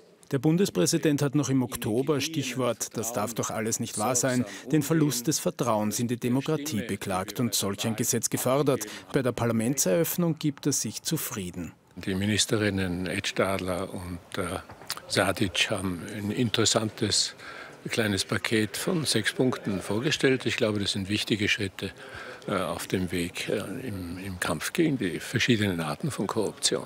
Die SPÖ beklagt, dass FPÖ-Korruption verboten, aber ÖVP-Korruption nicht angetastet werde. Die FPÖ glaubt, das neue Gesetz würde nur die ÖVP treffen und die Neos meinen, Ibiza wäre auch mit diesem Gesetz weiterhin möglich. Heute empfängt Bundespräsident Alexander van der Bellen seinen Amtskollegen aus der Schweiz, Alain Berset. Während dieses Besuchs in Wien wird Berset auch mit Nationalratspräsident Wolfgang Sobotka und Gesundheitsminister Johannes Rauch sprechen. Gleich aber gibt er eine gemeinsame, äh, eine gemeinsame Pressekonferenz mit dem österreichischen Bundespräsidenten. Bis dahin möchte ich noch kurz mit Roland Adrowitzer über diesen Besuch sprechen. Roland, ganz salopp gefragt, was führt denn den Schweizer Bundespräsidenten nach Wien? Die Tradition, dass der Schweizer Bundespräsident immer seinen ersten Auslandsbesuch beim ebenfalls neutralen und befreundeten Nachbarn in Wien absolviert. Die Schweiz wechselt ja jährlich den Bundespräsidenten. Einer der sieben Bundesräte, Bundesrätinnen, also die Schweizer Minister, übernimmt immer auch für ein Jahr lang dann die Funktion des Staatsoberhauptes. Jetzt ist Alain Berset dran, ein sozialdemokratischer Westschweizer Politiker. Wie gesagt, immer aus Höflichkeits- und auch aus Traditionsgründen führt die, die erste Auslandsreise nach Österreich. Die, äh, das Verhältnis zwischen Österreich und der Schweiz ist also gut, aber wie sieht es eigentlich mit der Schweiz und der EU aus? Hätte es da nicht ein Rahmenabkommen geben sollen? Das ist komplizierter. Das Rahmenabkommen ist im Vorjahr gescheitert, vor allem aus, von Schweizer Seite aus aus Schweizer innenpolitischen Gründen. Die Schweiz ist ja sehr stark assoziiert mit, mit der Europäischen Union. Sie kann nie Mitglied werden wegen dieser komplizierten Struktur, wegen Kantonstruktur, dass in der Schweiz ja fast alle Gesetze und Gesetzesvorhaben Volksabstimmungen unterwerfen werden müssen. Das wäre mit der Übernahme von EU-Recht nicht kompatibel. Aber die Schweiz sucht seit, seit Jahrzehnten immer engere Bindung an die Europäische Union. Sie ist mit dem Binnenmarkt eng verwoben durch, durch zahllose Abkommen und ist auch Teil des Schengen-Raums, obwohl nicht Mitglied der Europäischen Union. Aber und für die vollständige Übernahme dieses, für die vollständige Ratifizierung dieses Rahmenabkommens hätte die Schweiz auch bereit sein müssen, die umfassenden Arbeitnehmer-Niederlassungsrichtlinien der Europäischen Union zu übernehmen. Und das war aus Schweizer innenpolitischen Gründen nicht möglich. Jetzt sucht man wieder nach neuen Wegen. Österreich steht aber da immer sehr an der Seite der Schweizer. Der Krieg in der Ukraine hat dazu geführt, dass sich einige Dinge im Westen grundlegend geändert haben. Länder wie Schweden oder auch Finnland äh, denken darüber nach, die Neutralität aufzugeben und der NATO beizutreten. Äh, die Schweiz steht vermutlich wie kein anderes Land der Welt für Neutralität. Aber hat es dort auch Diskussionen gegeben, das hinter sich zu lassen? Nein, die Schweizer Neutralität ist so noch viel wesentlich mehr verankert als unsere. Wir haben erst unsere seit 1955 die Schweiz in, in Wahrheit seit den napoleonischen Kriegen ist die Schweiz äh, neutral. Ist doch eine ganz andere, viel stärker bewaffnete Neutralität als wir. Diese Diskussion bei uns hat ja auch der Bundeskanzler gleich einmal die Diskussion für beendet erklärt. Du hast das zu, zu Recht gesagt dass äh, Schweden und Finnland eben als neutrale Staaten jetzt sogar Mitglieder der NATO werden, äh, der, NATO werden wollen. Innerhalb der Europäischen Union bleiben jetzt nur mehr vier neutrale Staaten über drei Inseln, Irland, Malta und Zypern und Österreich. Wir wurden einmal von einem, Papst, von einem vergangenen Papst als die Insel der Seligen bezeichnet, die wir auch nicht mehr sind. Und die, die Diskussion ist aber auch, vor allem in Irland denkt jetzt doch nicht an einen NATO-Beitritt, aber an mehr Übernahme von, von äh, Verbindlichkeiten, mehr Teilnahme an internationalen, gemeinsamen europäischen Sicherheitsoperationen nach. Das tut die Schweiz nicht. Die Schweiz setzt ganz klar für die eigene bis an die Zähne bewaffnete Neutralität. Das muss man auch sagen. Wesentlich mehr äh, Mittel als in Österreich werden in der Schweiz für die Verteidigung aufgewendet. Die Schweiz hat eine unglaublich starke Luftverteidigung zum Beispiel. nicht zu vergleichen mit unseren 15-Euro-Fightern. Und auch die, an, an, sich hat der, der, Wehrdienst in der Schweiz einen viel, viel höheren Stellenwert äh, als bei uns. Also die Schweiz denkt nicht daran, ihre Neutralität aufzugeben, die sie aber auch ein wenig anders sieht. Vielen Dank für diese Einordnung, Roland Adrowitzer. Wie ich jetzt gerade höre, können wir aufgrund von Tonproblemen bei der Signalübertragung die Pressekonferenz des Bundespräsidenten mit seinem Schweizer Amtskollegen jetzt leider nicht zeigen. Die wichtigsten Aussagen davon, die sehen Sie aber dann später in der Sendung. Und wir wechseln jetzt das Thema. Gestern ist das Parlament am Ring nach vier Jahren Umbauzeit wieder eröffnet worden. Fünf Jahre lang war der 140 Jahre alte Bau von Theophil Hansen saniert worden. Gekostet hat das mehr als 400 Millionen Euro. Bei der Wiedereröffnung ist viel von einem Neustart gesprochen worden. Die Übersiedlung ins sanierte Haus solle auch zu einem neuen Stil in diesem Haus führen, damit die Politik wieder Vertrauen gewinnt. Tatsächlich ist das Image des Parlaments in Umfragen so schlecht wie noch nie in der Zweiten Republik. Am Rande erklingt er zum ersten Mal. Jener goldverzierte Flügel, der nun auf Wunsch von Nationalratspräsident Wolfgang Sobotka im frisch renovierten Parlament steht. 23 Karat Gold schmücken den Flügel. Ähnlich pompös ist auch der Festakt zur Einweihung des neuen, alten Parlaments. Die Wiener Sängerknaben singen, die Philharmoniker spielen. Und hochrangige Gäste aus dem In- und Ausland sind gekommen. Der ehemalige Präsident des Deutschen Bundestages, Wolfgang Schäuble, mahnt die Abgeordneten, populistische Vereinfachungen zu vermeiden. Während die Volksvertreter drinnen feiern, protestieren draußen Kinderorganisationen und Klimaschützer. Sie fordern mehr Beachtung im Hohen Haus für ihre Anliegen. Den meisten Passanten wird im Parlament zu viel gestritten. Die Menschen und Politiker äh, würden natürlich auch gut dazu beitragen, wenn sich die auch ein bisschen renovieren würden äh, und sich äh, nach den Regeln halten. Ich denke mal, es geht um die besten Ideen und nicht nur, dass man schaut, dass man selber am besten dasteht. Ja, mein Wunsch wäre es schon, dass, dass äh, eben persönliche Angriffe unterbleiben und dass ordentlich gearbeitet wird. Hausherr Wolfgang Sobotka selbst schlägt durchaus selbstkritische Töne an. Unsere Demokratie wird getragen von wechselseitigem Respekt. Lassen wir uns von dieser Wirkung des Hauses in unserem politischen Agieren leiten und begleiten. Viel wird gesprochen über Respekt und Streit im Parlament. Ich möchte wirklich eine Lanze brechen dafür, dass Debatte in einer Demokratie, und das nennen manche Streit, notwendig ist, weil es braucht Widerspruch. Manchmal gehen halt die Emotionen mit jemandem durch, aber auch das ist Teil einer lebhaften Diskussion. Also ich denke, wir haben das ganz gut im Griff.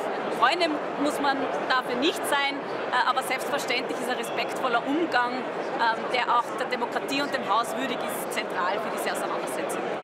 Das Gemäuer jedenfalls erstrahlt in neuem Glanz. Um die 400 Millionen Euro hat die Sanierung gekostet und fünf Jahre gedauert. Am auffälligsten ist die neue Glaskuppel über dem Nationalratssaal. Eine Sanierung von Grund auf war schon deshalb nötig, weil das Parlamentsgebäude viel erlebt hat. 1883 wird sein Bau fertiggestellt. Nach dem Ende des Ersten Weltkriegs wird vor dem Parlament die Republik ausgerufen. Nach dem Zweiten Weltkrieg muss es saniert werden, nachdem Bombeneinschläge das Parlament schwer beschädigt haben. Als das Hohe Haus anschließend wieder eröffnet wird, tanzen die Menschen davor vor Freude sogar Walzer. Solche Freudentänze vor dem Parlament sind ausgeblieben. Freudentänze will man angesichts des geringen Vertrauens, das die Menschen in Österreich derzeit in die Politik haben, auch nicht aufführen. Laut dem aktuellen Demokratiemonitor des Marktforschungsinstituts Sora sind es nur noch 30 Prozent, die denken, dass das politische System gut funktioniert. Damit die Menschen dieses System aber zumindest schon früh verstehen lernen, gibt es die Demokratiewerkstatt, eine Einrichtung des Parlaments für junge Menschen zwischen 8 und 19 Jahren, die ihnen die Themen Demokratie und Parlamentarismus vermitteln soll. Wie das geht, das möchte ich jetzt mit Leopold Lugmeier besprechen, der die Abteilung Demokratiebildung in der Direktion des österreichischen Parlaments leitet. Schönen guten Tag. Guten Tag, Herr Reitner. Kinder im Alter von acht Jahren werden sich wahrscheinlich jetzt nicht automatisch für Demokratie oder Parlamentarismus interessieren. Wie schaffen Sie es denn, Menschen in einem so jungen Alter für diese Themen zu begeistern?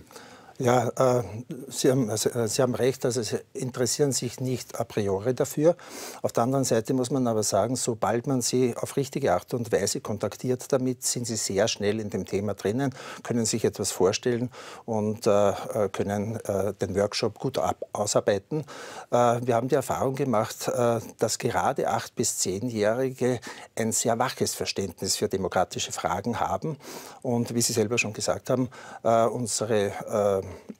Angebote reichen bis 19 Jahre. Wir haben 13 verschiedene Angebote, wo wir uns mit der Europäischen Union, wo wir uns äh, äh, mit Politikern auseinandersetzen, die in unsere Workshops kommen. Und unser heuriger Schwerpunkt wird sein, und das haben wir im vorigen äh, Beitrag auch aus dem Mund des Präsidenten gehört, wird Respekt sein. Denn das ist etwas, was bei den Jugendlichen sehr gut ankommt. Denn Jugendliche nehmen den Parlamentarismus über die Medien wahr und nehmen ihn auch wahr als Streit. Und wir versuchen, das umzuwandeln. Äh, Demokratie ist nicht Streit, sondern Dialog ist. Miteinander zu sprechen, ist miteinander zu agieren, sich einzumischen und miteinander äh, Probleme zu lösen. Das ist unser Ziel. Jetzt sind das Themen, die nicht nur wichtig sind für Kinder und Jugendliche. Viele Erwachsene beschäftigen sich auch nicht mit Demokratie oder zumindest nicht besonders intensiv. Wie kann man denn den Menschen vermitteln, dass dieses politische System für sie wichtig ist? Äh, dafür haben wir sehr viele Angebote auf dem Gebiet der, äh, der Führungen. Äh, alle Österreicher und alle Gäste sind eingeladen, äh, ins Parlament zu kommen und an Führungen teilzunehmen, die wir zu den unterschiedlichen Themen anbieten, wo auch äh, demokratische Prinzipien vermittelt werden, aber natürlich auch das Haus, das ja wirklich gelungen ist, äh, hergezeigt wird. Und ich glaube, wenn man Menschen damit fasziniert, äh, wie ihr Haus, wo das Herz der Demokratie schlägt, äh, wie das aufgestellt ist und wie dort gearbeitet wird, äh, dann überträgt sich das auch auf die eigene Einstellung. Das ist ja auch ein erklärtes Ziel, dass das Hohe Haus jetzt noch mehr Menschen offen steht. Aber inwiefern unterscheidet sich das Angebot von vor fünf Jahren vor den Renovierungsarbeiten? Äh, muss man jetzt unterscheiden, ob Sie äh, das Angebot für Erwachsene meinen oder für Jugendliche. Für Erwachsene, für Erwachsene unterscheidet es sich dadurch, dass wir alle unsere Angebote für Erwachsene, die Führungen mit universitärer Hilfe und mit universitären Studien neu aufgestellt haben und neu aufgearbeitet haben. Dadurch sind die Führungen völlig anders geworden. Äh, für die Jugendlichen bedeutet es auch, dass wir äh, das Angebot ausgeweitet haben und äh, wir machen einen ganz wesentlichen Schritt hinaus. Gestern am Abend, der letzte Punkt nach der Eröffnung des Parlaments, war die Verabschiedung von Parlament on Tour. Das ist, sind vier Container, wo Parlamentarismus und Demokratie sehr niederschwellig und selbsterklärend und interaktiv erklärt wird. Und diese, dieses Parlament on Tour ist gestern auf die Reise gegangen in die erste Landeshauptstadt nach Eisenstadt, weil Eisenstadt, äh, Burgenland aktuell den Vorsitz, äh, der Herr Günter Kovac den Vorsitz im Bundesrat hat. Und äh, wir werden von Landeshauptstadt zu Landeshauptstadt touren, gleichzeitig die Demokratie, die Ideen der Demokratie und des Parlamentarismus dorthin bringen und auf der anderen Seite natürlich einladen, nach Wien ins Hohe Haus dieses zu besuchen. Jetzt haben gestern, wir haben es vorhin im Beitrag gesehen, während des Festakts zur Neueröffnung vor der Tür unterschiedliche Menschen protestiert, äh, Kinderorganisationen, KlimaschützerInnen, die wollen, dass ihre Anliegen im Hohen Haus mehr Gehör finden. Das Parlament heißt im üblichen Sprachgebrauch auch die Volksvertretung. Warum fühlen sich viele Menschen offenbar nicht vertreten? Ähm, ich habe diese Leute gesehen und ich habe auch mit ihnen gesprochen. Äh, und man muss dazu sagen, es waren sehr friedliche Demonstrationen. Und äh, das Demonstrationsrecht ist ja ein äh, unverhandelbares Recht der Menschen. Und insofern ist es auch richtig. Natürlich die, die, äh, äh, die, Demokratie ist in Österreich eine repräsentative Demokratie. Äh, es wäre vielleicht der richtige Schritt, wenn diese Leute sich äh, in den politischen Parteien, mit den politischen Parteien engagieren und dort ihre, an, äh, ihre Anliegen zur Sprache bringen und auch dort äh, ihren Einfluss geltend machen. Ich glaube, da kann man schon etwas bewirken. Aber Demonstrationen sind eine, eine tolle Sache und sind ein, ein unverhandelbares Recht der Bevölkerung. Bei der Neueröffnung des Parlaments gestern hat äh, Wolfgang Schäuble, ehemals Präsident des Deutschen Bundestags, eine Rede gehalten und er hat eine interessante Sache gesagt. Er meinte, Demokratie sei per se Krise, nie voraussetzungslos, nie selbstverständlich. Wissen Sie, was er damit gemeint hat? Ja, ich glaube schon, dass ich weiß, dass, was er damit gemeint hat. Äh, aber ich glaube, äh, dass das Wort Krise in diesem Fall äh, überbewertet wird. Ich glaube, die Krise besteht vor allem in einem Dialog. Und äh, die Zeiten ändern sich. Das haben wir gerade in den letzten Jahrzehnten, äh, letzten Jahren äh, sehr auf viele Weise erleben müssen.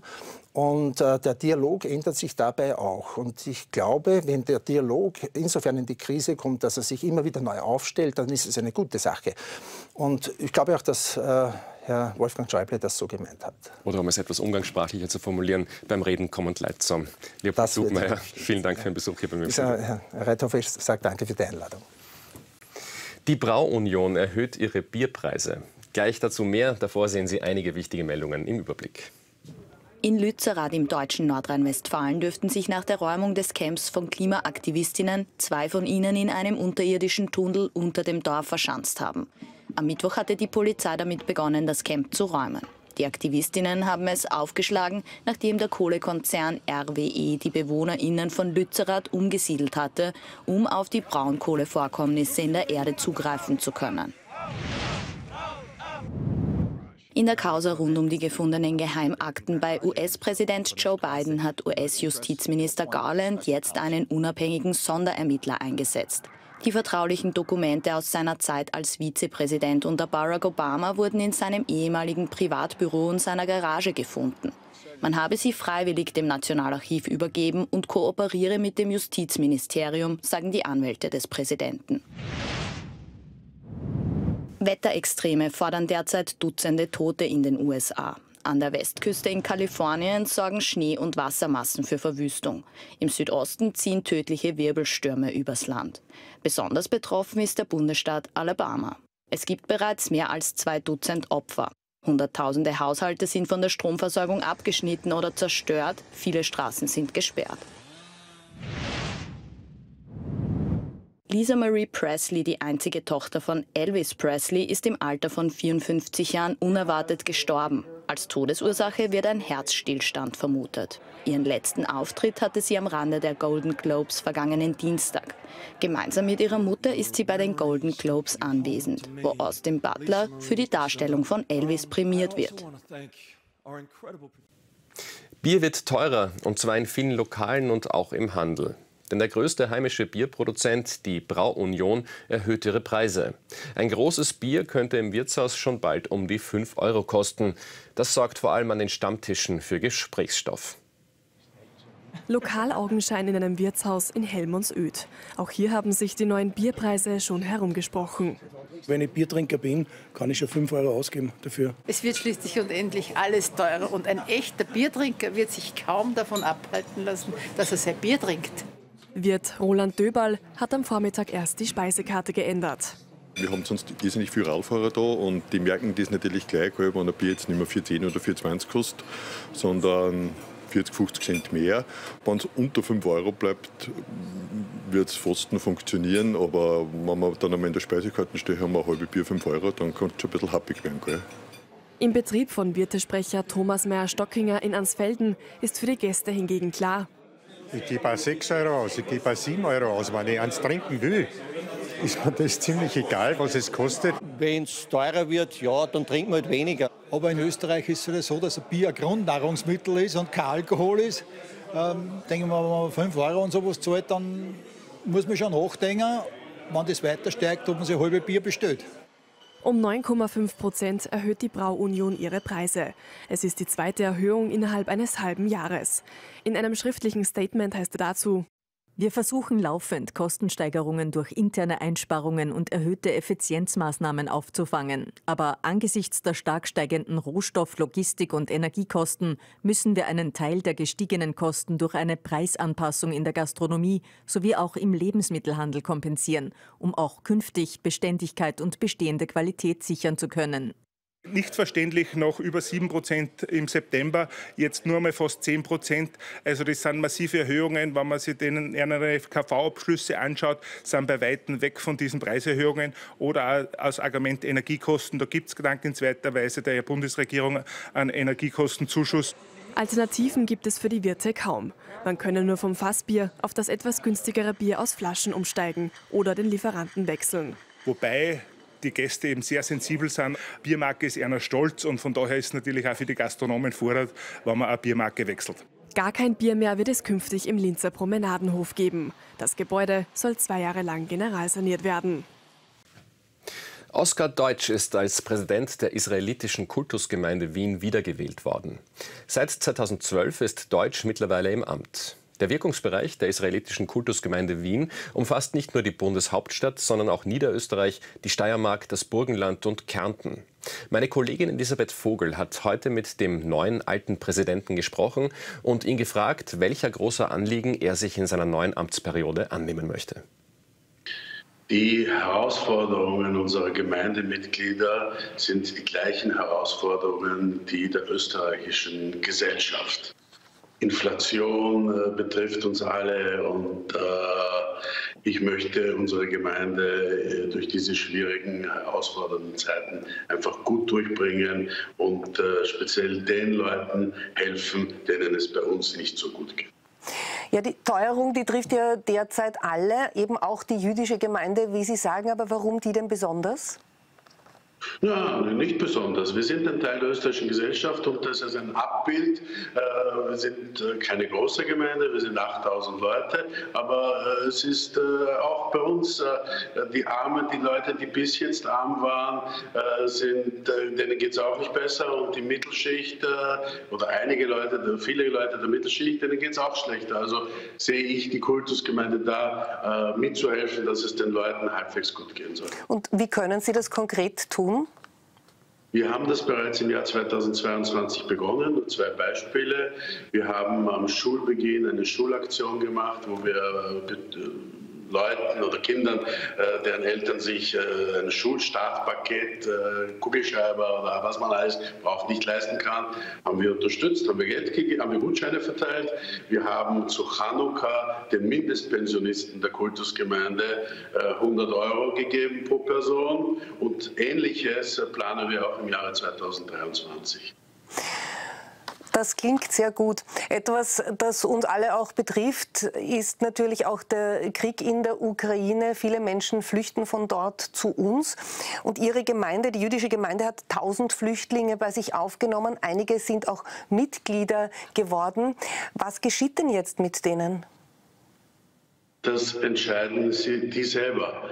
Man muss sich vorstellen, in erster Linie sind hier Frauen, Mütter mit ihren Kindern und viele von ihnen haben ihre, ihre Ehegatten, ihre, ihre, ihre, Väter noch in der Ukraine. Viele von ihnen äh, wissen nicht, ob ihre Wohnungen, die sie haben, nicht zerbombt wurden und so weiter. Und das müssen die entscheiden. Äh, können und wollen die zurück in die Ukraine oder wie schon äh, zwei, immerhin 200 Leute haben bereits die Mitgliedschaft in der Kultusgemeinde erhalten, wollen die anderen hier bleiben. Mich würde es sehr freuen. Mhm. Das heißt, es ist noch nicht sicher. Einige wollen sicher hier bleiben und andere möglicherweise, wenn sich die Lage verändert, wieder zurück in ihre Heimat. Ja, ich glaube, dass die das selber nicht wissen. Ich kann das auch wirklich nicht einschätzen. Ich kann auch nicht einschätzen, wenn Putin weiter bombardiert, ob nicht weitere jüdische und nicht-jüdische Flüchtlinge, da wollen wir ja keinen Unterschied machen, äh, nach, äh, nach, Europa kommen werden. Also das, das, Ganze ist ja noch nicht gegessen. Das ist ja alles noch, äh, und das alles 600 Kilometer von der österreichischen Grenze entfernt. Das ist leider noch nicht zu Ende leider noch nicht zu Ende. Immer wieder, und das ist auch nicht sehr schön, gibt es bei uns in Österreich Antisemitismusvorfälle. Jetzt meine Frage an Sie, haben Sie schon Daten diesbezüglich, wie es im vergangenen Jahr ausgeschaut hat, ob das mehr geworden sind oder doch vielleicht weniger? Nein, also Antisemitismus steigt überall in Österreich, in ganz Europa und eigentlich in der ganzen Welt. Wir haben äh, Daten für, erste, das erste Halbjahr letzt, äh, 2022. Da ist der Antisemitismus ein bisschen runtergegangen. Da sind weniger Vorfälle äh, uns gemeldet worden. Wie das im gesamten Jahr ist, weiß ich nicht. Aber wichtig ist, dass man hier in Österreich, aber überall versteht, dass Antisemitismus ein No-Go ist und dass es nur möglich ist, dieses Krebsgeschwür von Antisemitismus zu bekämpfen, indem nicht nur die Politik, sondern die gesamte Zivilgesellschaft Juden, Nichtjuden, alle dagegen aufstehen und Zivilcourage zeigen. Und wenn zum Beispiel in der Straßenbahn jemand sich antisemitisch äußert, würde es mich sehr freuen, und das wäre ebenso, ich sage Zivilcourage, freuen, wenn einer dagegen aufsteht und sagt, nein, das ist in Österreich verpönt. Und in diese Richtung müssen wir alle arbeiten. Also interpretiere ich Sie richtig, nicht wegschauen, sondern hinschauen und etwas tun dagegen. Genau so ist es. Und dann können wir den Antisemitismus einschränken. Besiegen werden wir ihn nie. Es ist Freitag und das bedeutet hier in ORF3 aktuell, dass der Politologe Peter Filzmeier das politische Geschehen der Woche für uns einordnet. Und diesmal geht es um die Regierungsklausur, die Wahl in Niederösterreich und das Parlament.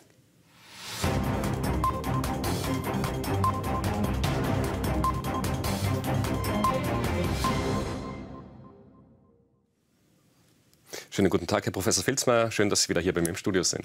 Einen schönen Freitagmittag. Es ist schön, wieder hier zu sein nach der Weihnachtspause. Die Regierung hat sich diese Woche äh, zur Klausur getroffen. Ähm, es ging darum, ein Zeichen zu setzen. Wir können und wollen noch etwas gemeinsam erreichen in dieser Legislaturperiode. Ist es gelungen, dieses Signal zu senden?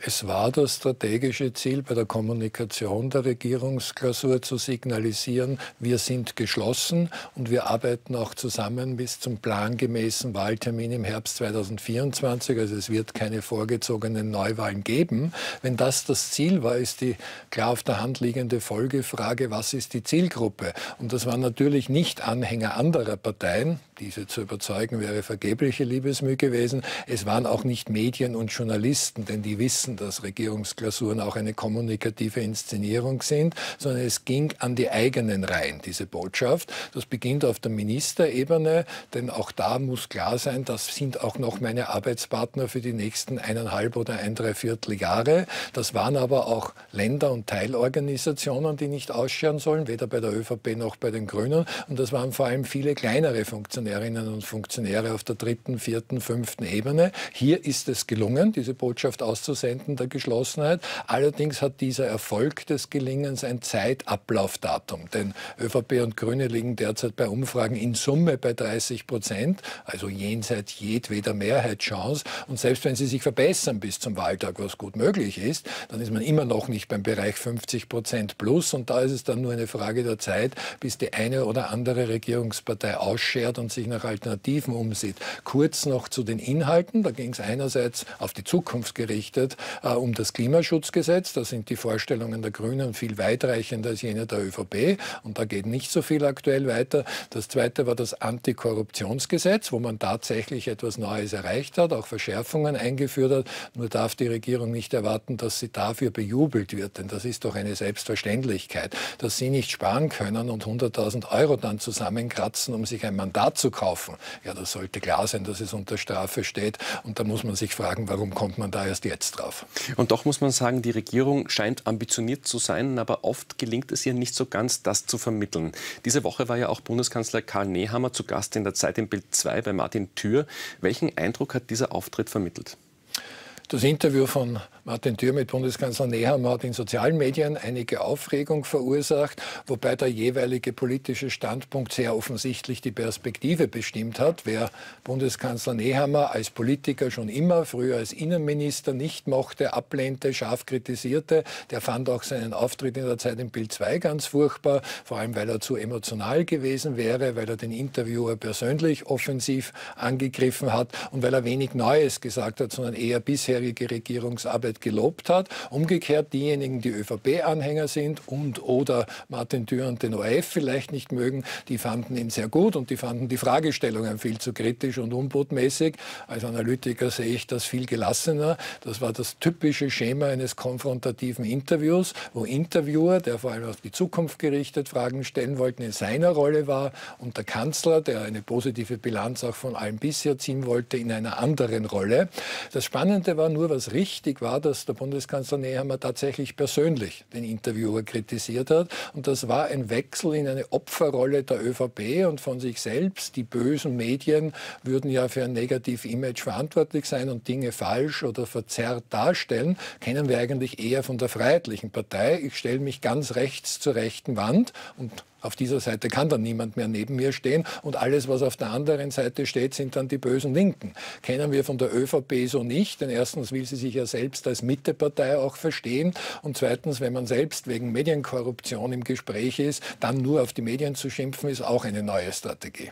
Manche haben den Kanzler in diesem Gespräch jedenfalls als angespannt wahrgenommen und vielleicht ist das ja der Fall, weil der Wahlkampf in Niederösterreich jetzt wirklich offiziell begonnen hat. Da steht für die ÖVP einiges auf dem Spiel, dass sich die absolute Minute noch einmal ausgeht, das glauben mittlerweile nur noch wenige. Wenn das so wäre, wer würde dafür verantwortlich gemacht werden? Natürlich gibt es den menschlichen Faktor und der steht auch Bundeskanzlern zu. Und in der Tat ist die ÖVP und damit auch der ÖVP-Bundesparteichef Karl Nehammer angespannt vor der Niederösterreich-Wahl. Denn in Niederösterreich gibt es rund 1,3 Millionen Wahlberechtigte, obwohl die Zweitwohnsitzer diesmal gar nicht dabei sind. Das ist in etwa ein Fünftel aller österreichischen Wahlberechtigten. Also keine Partei und insbesondere nicht die Kanzlerpartei ÖVP kann eine bundespolitische zumindest Signal- und Symbolwirkung leugnen. Und da nach allen Umfragen, die bisher öffentlich zugänglich sind, die ÖVP, also konkret die Niederösterreichische Volkspartei, die absolute Mehrheit in Mandaten eher nicht halten wird können, steigt natürlich der Druck auf den Kanzler.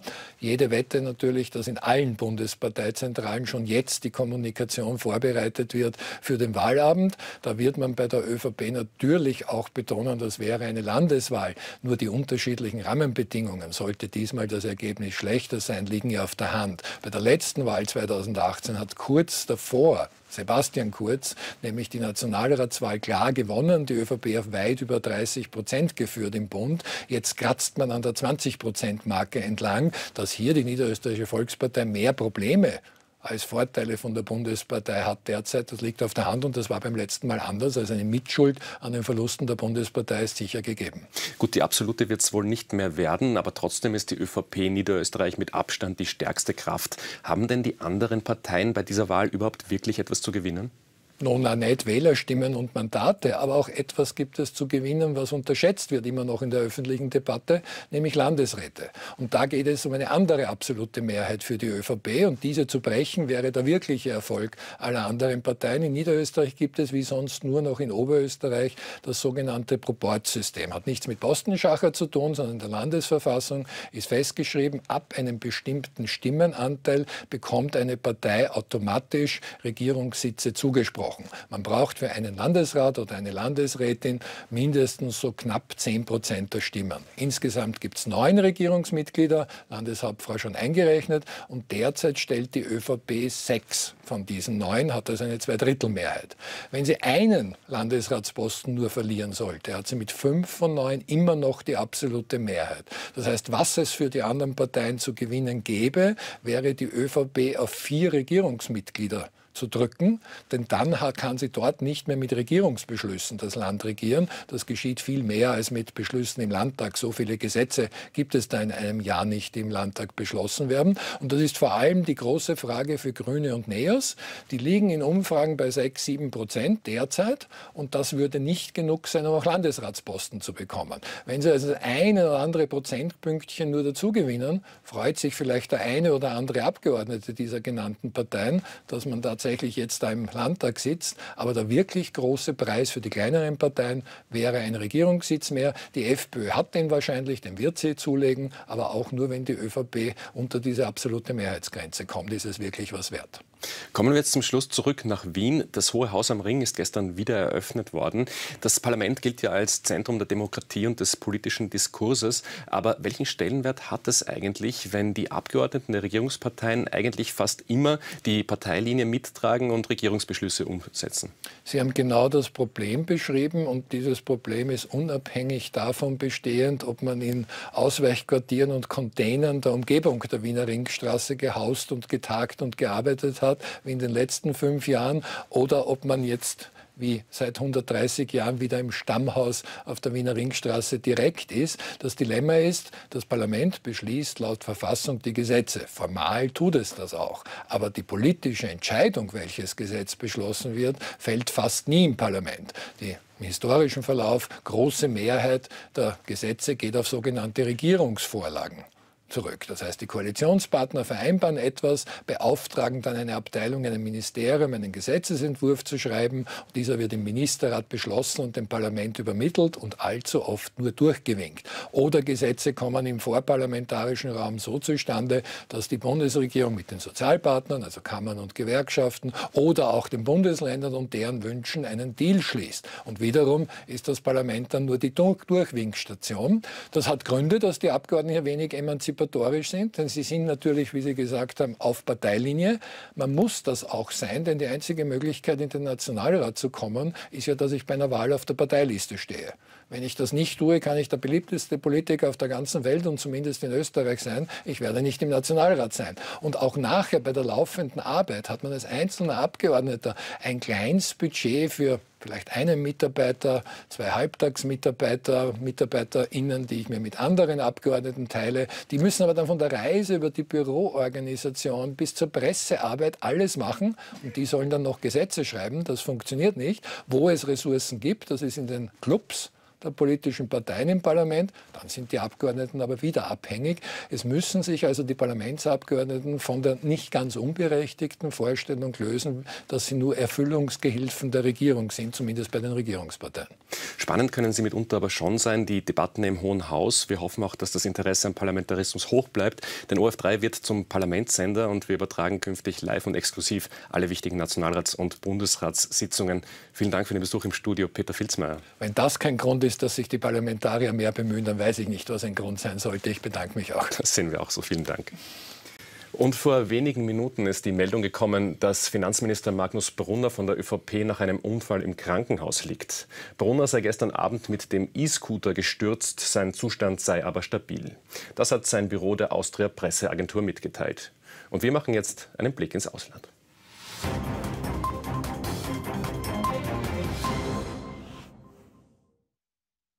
Wir kommen jetzt in die Ukraine zu einem Bericht unseres Korrespondenten Christian Wehrschütz. Er hat die Tochterfirma eines österreichischen Herstellers von Kornspitzen in der Ukraine besucht und sich angesehen, wie es der Firma in Kriegszeiten geht und wie die russischen Angriffe sich auf die Produktion ausgewirkt haben. Es waren die ersten Kriegsweihnachten, die die Ukraine seit Ende des Zweiten Weltkrieges vor mehr als 70 Jahren erleben musste. Gefeiert wurden sie im Jänner, denn auch die Ukraine ist ein überwiegend orthodoxes Land. An Festtagen steigt in der Regel der Konsum von Brot und Gebäck, zu Ostern genauso wie zu Weihnachten. Zu den Herstellern von Backmischungen zählt diese Tochter einer Firma aus Oberösterreich, die seit mehr als 15 Jahren in der Ukraine besteht. Zum Sortiment zählen Stollen und natürlich der Kornspitz, der in der Ukraine mit 25 Cent deutlich billiger ist als in Österreich. Die Backmischung für den Kornspitz kaufen wir in Österreich. Was das Roggenbrot betrifft, so kaufen wir die Germ in Österreich. Doch zum Unterschied von Österreich machen wir hier ein Halbfabrikat, weil das deutlich die Vorbereitungszeit für das Brot verkürzt und den technischen Aufwand vereinfacht. Gerade jetzt, wenn der Strom oft fehlt, wo viele Menschen ausgereist sind und Fachkräfte fehlen, Umwelt erleichtert das deutlich die Herstellung in den Bäckereien und Betrieben.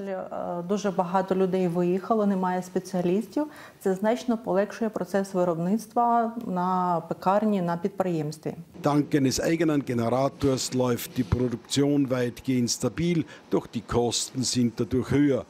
Teurer wurden auch Transport und Rohstoffe. Versucht wird, mehrere Lieferanten zu beschäftigen und längerfristig einzukaufen. Trotzdem musste die Firma die Preise für ihre Produkte anheben. Це відразу видно по асортименту. Immer wenn es eine Krise gibt oder als der Krieg im Jahre 2014 begann, geht die Produktion des Premium-Sortiments zurück. Die Kunden greifen zu mittleren oder niedrigeren Angeboten. Тобто люди переходять на середній та нижчий сегмент. Das sind die einfacheren Brotsorten wie Weißbrot oder Mischbrot. Teurere Sorten treten in den Hintergrund. Krieg und russische Besatzung hinterlassen noch weitere Spuren. Was die Produktion für die Ukraine betrifft, so ist die Erzeugung um 20 Prozent geringer. Außerdem haben wir vor dem Krieg Teile unserer Produkte exportiert, und zwar nach Weißrussland, Polen und auch die Slowakei. Weißrussland ist jetzt als Markt ausgeschlossen, während Polen sehr schwierig ist, weil die Schlangen an der Grenze groß sind und es Probleme mit dem Transport gibt. Daher exportieren wir nun nicht dorthin. Auch das beeinflusste unsere Produktion um ein Minus von 10 bis 15 Prozent.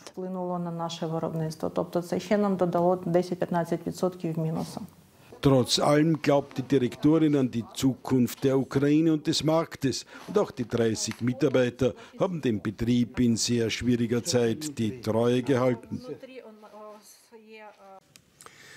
Im Ukraine-Krieg zeigt sich wieder, wie sehr Russland mittlerweile zu einem diktatorischen Willkürstaat geworden ist. Rekrutierung von Soldaten und die Freilassung aus dem Gefängnis wird privater Gewalt überlassen.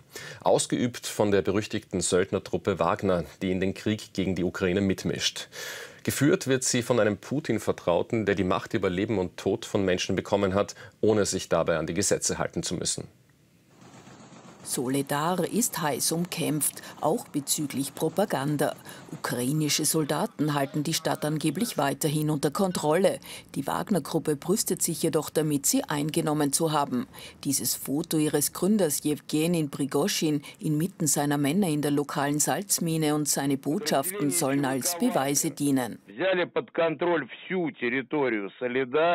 Prigoschin, früher als Putins Koch bekannt, ist nun Oberbefehlshaber von geschätzten 50.000 Söldnern. Er gilt als äußerst brutal. Deserteure soll er grauenvoll hinrichten lassen und auch seine Rekrutierungsmethoden in Gefängnissen sind umstritten. Das ist eine wirklich mächtige Armee, die zu einem guten Teil aus verurteilten Straftätern besteht. Sie unterliegt keinen Gesetzen und handelt rein nach Absprache zwischen Putin und Prigoschin. Prigoschin verteidigt und lobt die ehemaligen Gefangenen an der Front. Sie haben Russland beschützt. Sie verdienen von der Gesellschaft daher den höchsten Respekt. Viele davon werden nach ihren Einsätzen auch tatsächlich begnadigt. Prigoschin strebt offenbar ein hohes Amt im Kreml an. Mit mutmaßlichen Erfolgen wie in Soledar versucht er sich dafür zu qualifizieren. Doch bei der russischen Armee macht er sich damit keine Freunde. Im Ukraine-Krieg zeigt sich wieder, wie sehr Russland mittlerweile zu einem diktatorischen Willkürstaat geworden ist. Rekrutierung von Soldaten und die Freilassung aus dem Gefängnis wird privater Gewalt überlassen. Ausgeübt von der berüchtigten Söldnertruppe Wagner, die in den Krieg gegen die Ukraine mitmischt. Geführt wird sie von einem Putin-Vertrauten, der die Macht über Leben und Tod von Menschen bekommen hat, ohne sich dabei an die Gesetze halten zu müssen. Soledar ist heiß umkämpft, auch bezüglich Propaganda. Ukrainische Soldaten halten die Stadt angeblich weiterhin unter Kontrolle. Die Wagner-Gruppe brüstet sich jedoch damit, sie eingenommen zu haben. Dieses Foto ihres Gründers Jewgenin Prigoschin inmitten seiner Männer in der lokalen Salzmine und seine Botschaften sollen als Beweise dienen. Prigoschin, früher als Putins Koch bekannt, ist nun Oberbefehlshaber von geschätzten 50.000 Söldnern. Er gilt als äußerst brutal. Deserteure soll er grauenvoll hinrichten lassen und auch seine Rekrutierungsmethoden in Gefängnissen sind umstritten. Das ist eine wirklich mächtige Armee, die zu einem guten Teil aus verurteilten Straftätern besteht. Sie unterliegt keinen Gesetzen und handelt rein nach Absprache zwischen Putin und Prigoschin. Prigoschin verteidigt und lobt die ehemaligen Gefangenen an der Front. Sie haben Russland beschützt. Sie verdienen von der Gesellschaft daher den höchsten Respekt. Viele davon werden nach ihren Einsätzen auch tatsächlich begnadigt. Prigoschin strebt offenbar ein hohes Amt im Kreml an. Mit mutmaßlichen Erfolgen wie in Soledar versucht er sich dafür zu qualifizieren. Doch bei der russischen Armee macht er sich damit keine Freunde. Über die Einsatzgruppe der sogenannten Wagner-Sölder hat meine Kollegin Elisabeth Vogel heute Vormittag mit dem Politikwissenschaftler Andreas Heinemann-Grüder gesprochen. Zu Beginn hat sie ihn gefragt, ob die ostukrainische Stadt Soledar von russischen Söldnern jetzt erobert wurde oder nicht. Kiew bestreitet das nämlich. Die Wagner-Gruppe soll kompensieren für die Verluste, die Russland seit August letzten Jahres erlitten hat. Äh, wir treten hier in eine neue Phase des äh, Kriegsgeschehens, nämlich dass äh, anstelle des Einsatzes von Distanzwaffen, mit denen also die Infrastruktur der Ukraine ähm, angegriffen worden ist, es jetzt um Häuserkämpfe geht, das heißt um den Kampf um Städte wie Bakhmut und Solidar. Und die Verantwortung darüber wird jetzt an diese paramilitärische private Söldnerarmee Wagner übergeben. Wer sind denn diese Wagner-Söldner überhaupt? Die Wagner-Söldner sind zum Teil ältere Kämpfer, die schon an den beiden Tschetschenienkriegen teilgenommen haben. Äh, die Gruppe ist entstanden 2014, als es um den äh, Separatismus im Donbass in der Ukraine ging, sind eine von den vielen äh, mal, irregulären bewaffneten Gruppen, die Russland geschaffen hat, um diesen Separatismus zu fördern. Sie haben dann später in Syrien gekämpft, auch in Libyen, in Mali, jetzt in der Zentralafrikanischen Republik. Das sind ehemalige äh, Spezialkräfte, Luftlandetruppen äh, vom Militärgeheimdienst, dem russischen GRU, aber jetzt eben auch seit Sommer letzten Jahres rekrutierte Strafgefangene, die ähm, sozusagen im Gegenzug dafür, dass sie kämpfen, äh, Strafnachlass bekommen oder, ihn, oder nicht mehr in den Straflagern äh, sein müssen. Und für welches Ziel kämpfen diese Soldaten? Wagner ist von Anfang an eine kommerzielle ähm, äh, Militärfirma gewesen, die vor allen Dingen ähm, ja, die Profitinteressen von dem Unternehmer Prigozhin bedienen soll. Insofern ist Plündern, äh, Ausbeuten von Bodenschätzen immer Teil sozusagen der Kampflogik von Wagner gewesen, auch in Syrien, in Afrika äh, und so jetzt auch in Solidar, wo sie eine der Salzminen unter Kontrolle bekommen wollen. Sie sind bestimmt auch nationalpatriotisch eingestellt. Der Kommandeur Utkin ist bekennender Nazi, hat auch entsprechende Runen eintätowiert auf seinem Körper.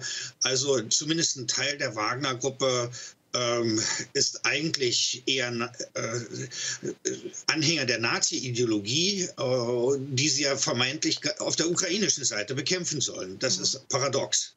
Und um welches weitere Ziel geht es Ihnen da? Es kann ja wohl nicht nur die Plünderung im Vordergrund stehen, oder? Es geht letztlich darum, den Einfluss äh, dieser Gruppe auch im politischen System Russlands zu stärken. Das heißt, äh, auch mehr Einfluss auf die äh, Politik des Nationalen Sicherheitsrates zu bekommen, vielleicht auch mehr Aufträge noch zu bekommen. Ähm, es ist so eine Vermischung aus politischen, militärischen und wirtschaftlichen Interessen. Manche sagen Prigozhin, dem äh, Eigentümer von Wagner, auch nach, dass er politische Ambitionen hat, das halte ich für eher unwahrscheinlich, dass er die durchsetzen kann. Aber äh, es ist Ausdruck dessen, dass eine Art von Parallelstaat entstanden ist. Also ein Doppelstaat. Es gibt sozusagen die regulären Sicherheitsorgane und dann gibt es äh, irreguläre und deren Einfluss nimmt im russischen politischen System zu. Sie sind Ausdruck einer Radikalisierung und sie sind Ausdruck dessen, dass Putin quasi Gefangener seiner deklarierten Ziele ist und mit der Gruppe Wagner jetzt seine ursprünglichen Ziele doch noch erreichen will. Weil Sie jetzt Putin ansprechen, in welcher Verbindung stehen denn die Söldner mit der russischen Spitze? Auf der einen Seite sind sie abhängig von der Logistik, äh, von den nachrichtendienstlichen Erkenntnissen, von der Bewaffnung, von der Bereitstellung von Munition. Das heißt, all das ist äh, nicht selber generiert, sondern es wird vom russischen Generalstab, von der russischen Armee bereitgestellt. Insofern sind sie einerseits Durchführungsorgan, auf der anderen Seite sind sie auch Konkurrent, äh, weswegen also auch das Militär immer wieder sozusagen die Eigenmächtigkeiten der Gruppe Wagner kritisiert kritisiert hat, auch schon in Syrien, weil sie dann äh, auch die Siege sich selbst zuschreiben und das dem Prestige der Armee schadet. Also es ist kein spannungsfreies Verhältnis, sondern zum Teil eben auch äh, Konkurrenz. Weil Sie jetzt auch die Waffen angesprochen haben, immer mehr westliche Staaten wollen ja jetzt schweres Kriegsgerät in die Ukraine liefern. Welchen Einfluss kann das denn auf den weiteren Kriegsverlauf haben? Ja, also die schweren Waffen sind natürlich dazu da, äh, den Nachschub der russischen Seite zu treffen. Äh, sie sollen auch dazu dienen, mal die Lufteingriffe oder die, die, die, den Schutz vor den Luftangriffen der Russen äh, zu stärken, vor allen Dingen aber auch die russische Logistik im Hinterland treffen zu können. Die schweren Waffen werden für diesen Häuserkampf äh, eine sehr geringe Bedeutung haben, weil da werden eher äh, Handfeuerwaffen zum Einsatz kommen, gepanzerte Transportfahrzeuge, vielleicht auch Hubschrauber. Aber der Städtekampf unterscheidet sich von diesen schweren Waffen, mit denen man äh, die Russen sozusagen äh, in ihrem Nachschub und, und in ihrer äh, Luftangriffsfähigkeit äh, treffen will. Aber wie gefährlich können denn etwa diese Panzer- und Waffenlieferungen sein für eine mögliche weitere Eskalation des Ukraine-Kriegs in Richtung eines Kriegs der NATO gegen Russland? Dieses Argument wird schon seit geraumer Zeit vorgetragen. Ähm, letztlich geht es darum, die Ukraine äh, zu ertüchtigen, zu ermächtigen, so viel wie möglich von dem eroberten Gebiet zurückzubekommen, um sie in eine Verhandlungsposition zu bringen, bei der sie nicht äh, kapitulieren muss. Also insofern sind die schweren Waffen eigentlich auch ein eine Fortsetzung der Politik mit anderen Mitteln, nämlich um Russland in eine äh, Ecke zu drängen, wo sie letztlich auch politische Kompromisse machen müssen. Insofern ähm, die Gefahr einer Eskalation hin zu einem Atomkrieg äh, halte ich mittlerweile für gering, auch wenn mal, Putin mehrfach mit einem Atomkrieg und Eskalation diesbezüglich gedroht hat. Aber ich glaube, die sind sich angesichts der Stärke der Ukraine auch bewusst, was die Kosten einer Eskalation mit der NATO wären. Der werden sie aus dem Wege gehen. Heute empfängt Bundespräsident Alexander van der Bellen seinen Amtskollegen aus der Schweiz, Alain Berset. Während dieses Besuchs in Wien wird Berset auch mit Nationalratspräsident Wolfgang Sobotka und Gesundheitsminister Johannes Rauch sprechen. Vorher aber haben die beiden Präsidenten eine gemeinsame Pressekonferenz gegeben und Ausschnitte daraus wollen wir Ihnen jetzt zeigen. Äh, die Schweiz hat eine interessante interessante zweijährige Periode vor sich, nämlich als Mitglied des Sicherheitsrats der Vereinten Nationen. Österreich, wenn alles gut geht, mit den äh, Abstimmungen wird es einige Jahre später tun. Wir sind sehr dankbar, dass im Rahmen eines Diplomatenaustauschs auch Österreich an ihren Erfahrungen im Sicherheitsrat direkt partizipieren kann. Kurz noch die Schweiz und die Europäische Union. Äh, die Fragen in diesem Zusammenhang begleiten uns jetzt seit äh, mindestens zehn Jahren. Äh, Sie wissen, nehme ich an, dass, die, dass das sogenannte institutionelle Rahmenabkommen äh, vorläufig nicht mehr auf, auf, äh, zur Verhandlung steht. Das ändert aber nichts daran, dass die Schweiz in verschiedener Hinsicht die Europäische Union braucht und die Europäische Union die Schweiz braucht. Das gilt für verschiedene Gebiete. Für mich persönlich gilt es ganz besonders im Forschungsbereich, in der Kooperation in der Forschung. Ich finde es persönlich unerträglich, dass die Schweiz mit den besten Universitäten äh, der Welt, muss man schon sagen, mit der EPFL in Lausanne oder der ETH in Zürich oder der Universität Zürich äh, von Horizon Europe, von dem Forschungsprogramm der Europäischen Union derzeit ausgeschlossen ist. Nicht ausgeschlossen, aber doch habe ich in Erinnerung letztes Jahr, ich erzähle das hier, weil das ein interessantes Schlaglicht auf die Situation wirft. Die Schweizer Universitäten haben rund 20 Forschungsprogramme meiner Erinnerung nach genehmigt bekommen. Und als es zur Auszahlung kam, hat Brüssel die Auszahlung verweigert, weil die Schweiz ist ein Drittstaat und nicht mehr im Forschungsverbund äh, der Europäischen Union. In dieser Situation hat Bern die Auszahlung übernommen, aber das kann ja kein Dauerzustand sein. Wir brauchen diese Universitäten, das sind auch zwar Schweizer Universitäten, aber das Personal, das dort forscht, ist natürlich international. Werden auch jede Menge Österreicher und Österreicherinnen dabei sein. Es geht da nicht um Schweizer, äh, äh um eine rein Schweizer Angelegenheit, das geht uns alle an. Also wir werden, Österreich wird alles tun, um auch auf dieser Ebene das Verhältnis zwischen der Union und der Schweiz zu verbessern, in normale Bahnen zu legen. Es liegt in unserem beiderseitigen äh, Interesse. Ich möchte das noch einmal betonen. Lieber Herr Berset, lieber Herr Bundespräsident, the floor is yours. Ja. Sehr geehrter Herr äh, Bundespräsident, äh, lieber Herr van der Bellen, es freut mich sehr, äh, heute hier in Wien zu, zu, sein. Vielen Dank für diesen sehr warmen Empfang hier in, in, Wien eine große Freude. Das ist auch eine große Tradition für die Schweiz, dass, das erst, diese Tradition des Erst, Erstbesuchs, die haben wir immer festgehalten. Und das ist auch über, übrigens auch während der Pandemie der Fall gewesen. Mhm. Und äh, wir danken auch sehr, sehr dafür. Und äh, es ist einfach ein Ausdruck dafür, dass äh, wir haben zwei Länder, die eine sehr enge Verbundenheit haben. Äh, wir haben auch sehr starke äh, Partnerschaften entwickelt, strategisch.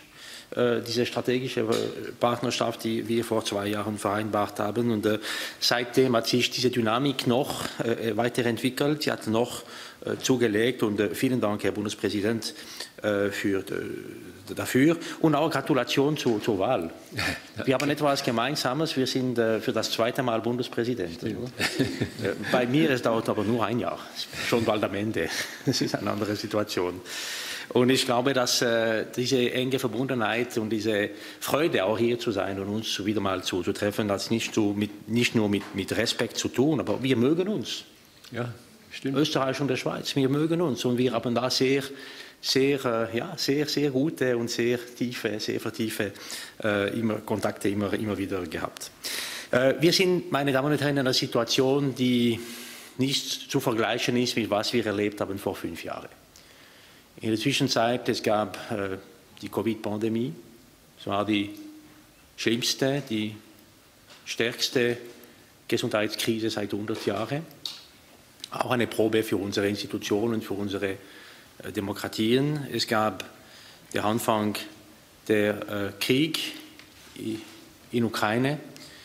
Äh, es gibt auch die Fragen mit Migrationsfragen, Energiefragen. Ich weiß, dass die Steuerung ist auch in Österreich wie in der Schweiz ein großes, ein großes Thema. Und in diesem Kontext es ist besonders wichtig, dass wir mit oder im Rahmen unserer Institutionen weiterarbeiten dass wir alles tun, um eine gewisse Stabilität zu erzielen, dass wir auch Zukunftsperspektiven geben können für unsere Bevölkerungen, äh, aber auch, dass wir, wo wir es können, in unsere äh, Tätigkeiten helfen können, Wege zu finden, auch in, auf die multilaterale Ebene, aber auch bilateral, nicht nur unter uns, aber auch, wir haben eine Rolle zu spielen auf dem Kontinent äh, sowohl Österreich als die, die Schweiz haben Sie die, Neutralitäten, die Neutralität, die uns mal verbindet, auch äh, erwähnt. Und ich glaube, es ist besonders wichtig, dass wir das auch im Auge haben in diese sehr getrübten Zeiten, sehr unstabile, äh, instabile Zeiten. Und in diesem Kontext es ist es besonders gut, dass wir uns wieder mal mehr persönlich begegnen können. Ich meine, ich habe das auch an Bundespräsident Van der Bellen vorher gesagt, ich meine, nach zwei Jahren mit dieser Videokonferenz, ich konnte das nicht mehr, oder? Äh, und wir sind nicht so äh, als Menschen geboren, wir sind nicht als, würde ich sagen, soziale Tiere da, äh, um nur per Video mal miteinander zu diskutieren. Wir brauchen diese Kontakte und noch einmal sehr herzlichen Dank für diesen Empfang. Haben Sie Europa erwähnt, das ist für uns ein sehr wichtiges Thema. Bezie Beziehung zwischen Europa und der, der, Schweiz. Wir hatten auch ein Thema, das wir angesprochen äh, haben. Äh, wir äh, sind der Meinung, dass diese Beziehung ist von zentraler Bedeutung für die Schweiz, aber sie ist sehr wahrscheinlich auch von großer Bedeutung für äh, die Europäische Union äh, selbst. Wir haben sehr viele Partnerschaften zusammen und äh, äh, wir sind äh, ja auch eine umgekehrt eine wichtige Partnerin für die, äh, für die EU. Und äh, wir teilen auch Werte. Wir haben gemeinsame Werte auf dem Kontinent immer wieder äh, geteilt. Und wir möchten, wir wollen unbedingt diese Partnerschaft weiterentwickeln. Wie Sie es wissen, es gibt laufen im Moment Sondierungen, Gespräche mit der EU. Das funktioniert gut, es geht vorwärts. Und es wird einfach für uns die Herausforderung sein, ein gutes Resultat für beide Seiten zu erzielen und dann auch äh, eine stabile Entwicklung in der Schweiz, weil wir wissen schon, dass es wird auch eine große Debatte geben dazu und auch sehr wahrscheinlich immerhin eine, äh, eine, Volks, eine Volksabstimmung. Aber es geht vorwärts und in eine, äh, mit gutem Rhythmus, Tempo in eine gute, gute Richtung.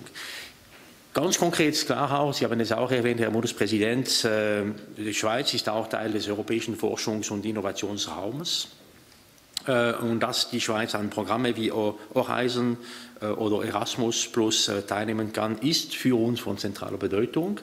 Äh, nichts Persönliches, aber auch für unsere Institutionen, für unsere mhm. Studentinnen und Studenten, für die Leute, die einfach in diesen Institutionen arbeiten, weil es geht um die gemeinsame Zukunft des Kontinentes. Wir brauchen eine starke Wissenschaft, wir brauchen eine äh, starke Institutionen, um nur diesen Beispiel zu, äh, zu erwähnen.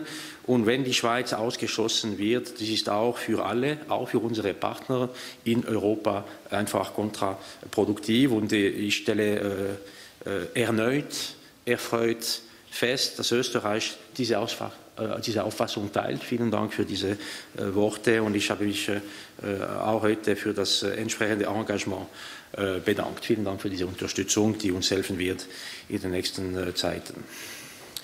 Der russische Krieg gegen die Ukraine war auch ein Thema unserer Gespräche. Wir haben da auch uns ausgetauscht über das Engagement und die Position unserer äh, Länder, wie der Bundespräsident es erwähnt hat. Die Schweiz hat auch die Sanktionen äh, mitgetragen. Die Schweiz trägt auch die EU-Sanktionen gegen Russland mit. Und es ist absolut vereinbar äh, mit der Neutralität. Neutralität darf nie Gleichgültigkeit bedeuten. Das ist da selbstverständlich klar. Und in diesem Sinn haben wir auch diese Sanktionen äh, mal mit, äh, mitgetragen. Aber wir haben auch eine besondere Rolle mit der Schweiz, mit das internationale Genf, mit unserem Engagement für Friedenprozesse, für Mediationen. Es gibt auch diese Konferenz in Lugano, die stattgefunden hat im letzten äh, Juli, ein sehr wichtiger Moment und sind wirklich Elemente, wo wir, wo wir beitragen, beitragen können, mit einer sehr starke Element äh, um Multilateralismus, wenn ich das so erwähnen darf. UN-Sicherheitsrat wird, äh, ist schon jetzt äh, seit elf, zwölf Tagen äh, eine Realität für die Schweiz. Wir haben Einsitz genommen und werden wir uns engagieren im Rahmen von was wir können, von was wir wissen, mit unseren, äh, ich würde sagen, Erfahrungen und Fähigkeiten in diesem Rahmen, um auch äh, mit Österreich und mit anderen Ländern zusammenarbeiten zu, zu können. Und auch in diesem Sinn, ich habe, ich habe es auch erwähnt, Herr Bundespräsident gestern noch ein, ähm, einen Besuch gemacht bei den ähm, multilateralen Wien, sagt man das so, oder? Bei der OSZE, die auch eine sehr wichtige äh, Organisation ist für die, äh, für die Schweiz und haben wir da die Fragen der europäischen Sicherheit auch äh, diskutieren, äh, diskutieren können. Zwei Alpenrepubliken, zwei Präsidenten. Alexander van der Bellen trifft seinen Schweizer Amtskollegen Alain Berset. Roland Adrowitzer, der ist noch gar nicht so lange im Amt. In der Schweiz dauert die Legislaturperiode eines Bundespräsidenten nur ein Jahr. Warum eigentlich? Das haben sich die Schweizer so gegeben, diese Bestimmung. Das ist in der Schweizer Verfassung. Das spart natürlich Geld. Es wird immer wieder als Vorbild auch hingestellt, etwa ja, in Österreich oder in Deutschland, aber es hat eben jedes Land seine andere Tradition. Die Schweiz hatte auch nur sieben Minister, diese sieben Bundesräte, Bundesrätinnen, die über Jahrzehnte nach dem sogenannten, nach dieser äh, Standardformel, diese äh, Schweizer Geheimformel verteilt gewesen ist, aufgeteilt auf die verschiedenen politischen Parteien. Und die Schweizer Volkspartei hat dann diese, diese goldene Formel irgendwann aufgebrochen. Aber es ist in der Schweiz eben Tradition, dass ein, äh, einer der Minister, der Ministerinnen dann auch immer für ein Jahr den Bundespräsidenten, dann immer das wechselt dann durch. Alain Berset hat gesagt, er ist bereits zum zweiten Mal jetzt an der Reihe. Das heißt, er muss schon länger als sieben Jahre Mitglied der Schweizer Regierung sein. Alexander von der Bellen ist auch zum zweiten Mal allerdings zum zweiten Mal äh, direkt gewählt. Wir mögen uns, hat er gesagt. Also die Schweiz und Österreich, daran besteht ja auch, auch kein Zweifel.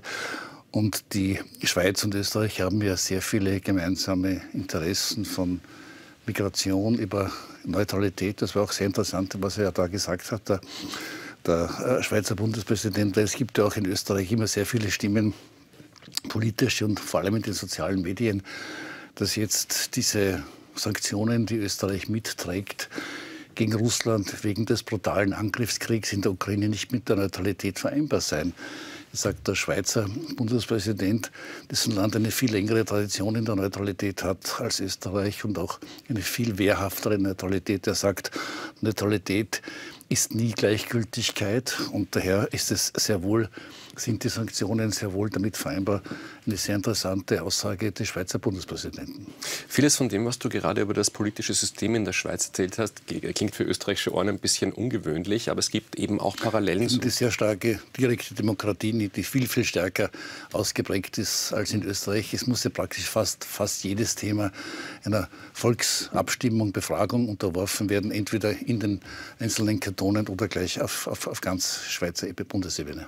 Und dann sind die beiden Länder aber doch wieder vergleichbar. Wenn man jetzt schaut, wie Österreich und wie die Schweiz mit der aktuellen Wirtschaftskrise umgehen, wie hoch ist denn zum Beispiel die Inflation in der Schweiz?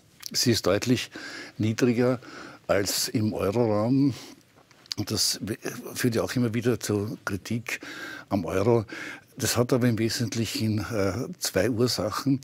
Die Schweiz und das ist in Österreich ein Tabuthema Atomenergie. Die Schweiz bekennt sich zur Atomenergie. Die Schweiz betreibt fünf Atomkraftwerke und hat die Wasserkraft in einem noch viel stärkeren Ausmaß als Österreich ausgebaut. Das heißt, sie ist da viel autarker in der Energieproduktion und ist daher weniger als Österreich auf Energieimporte angewiesen. Das, ist, das drückt einen Teil der Inflation und die Schweizer Erzeugerpreise sind, weil sie nicht äh, die in EU Stützungen haben. Die Schweizer Erzeugerpreise sind höher.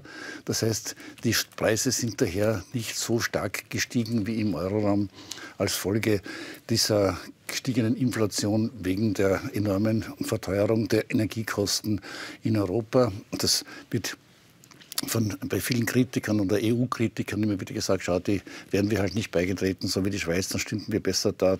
Da kann man auch klar wieder sagen, nein. Man konnte die Position Österreichs vor 30 Jahren, als wir der, der damaligen EG, späteren EU beigetreten sind, nicht vergleichen mit jener der Schweiz. Die Schweiz ist viel stärker durch ihre multilateralen Konzerne da verbunden gewesen und Eben die, Schweiz, die Schweiz könnte auch niemals Mitglied der Europäischen Union werden, eben wegen dieser ständigen Zwangs, alle möglichen Themen ständig Volksabstimmungen zu unterwerfen. Das wäre mit der Übernahme des EU-Rechts äh, nicht vereinbar. Aber andererseits, man arbeitet da sehr eng zusammen. Interessant war, ja auch, war mir auch neu, dass die Schweiz nicht an diesen Forschungs europäischen Forschungsinitiativen gemeinsam teilhaben kann. Die Schweiz wirklich mit ihren sensationellen Universitäten, vor allem die ETH in Zürich, ganz klar, dass, dass die da in, in einen europäischen Forschungsverbund da, da hineingehört, hineingehört. Und das sind schon, das sind Themen, wo die die auch, wo auch Österreich äh, der, der, der, Schweiz da, da behilflich sein kann. Der, deutsche, der Schweizer Bundespräsident hat ganz klar gesagt, weil ja die, die, die Anbindung an die Europäische Union so, eine, so ein großes Thema ist, von, die, die EU ist von zentraler Bedeutung für die, für die Schweiz nun auch.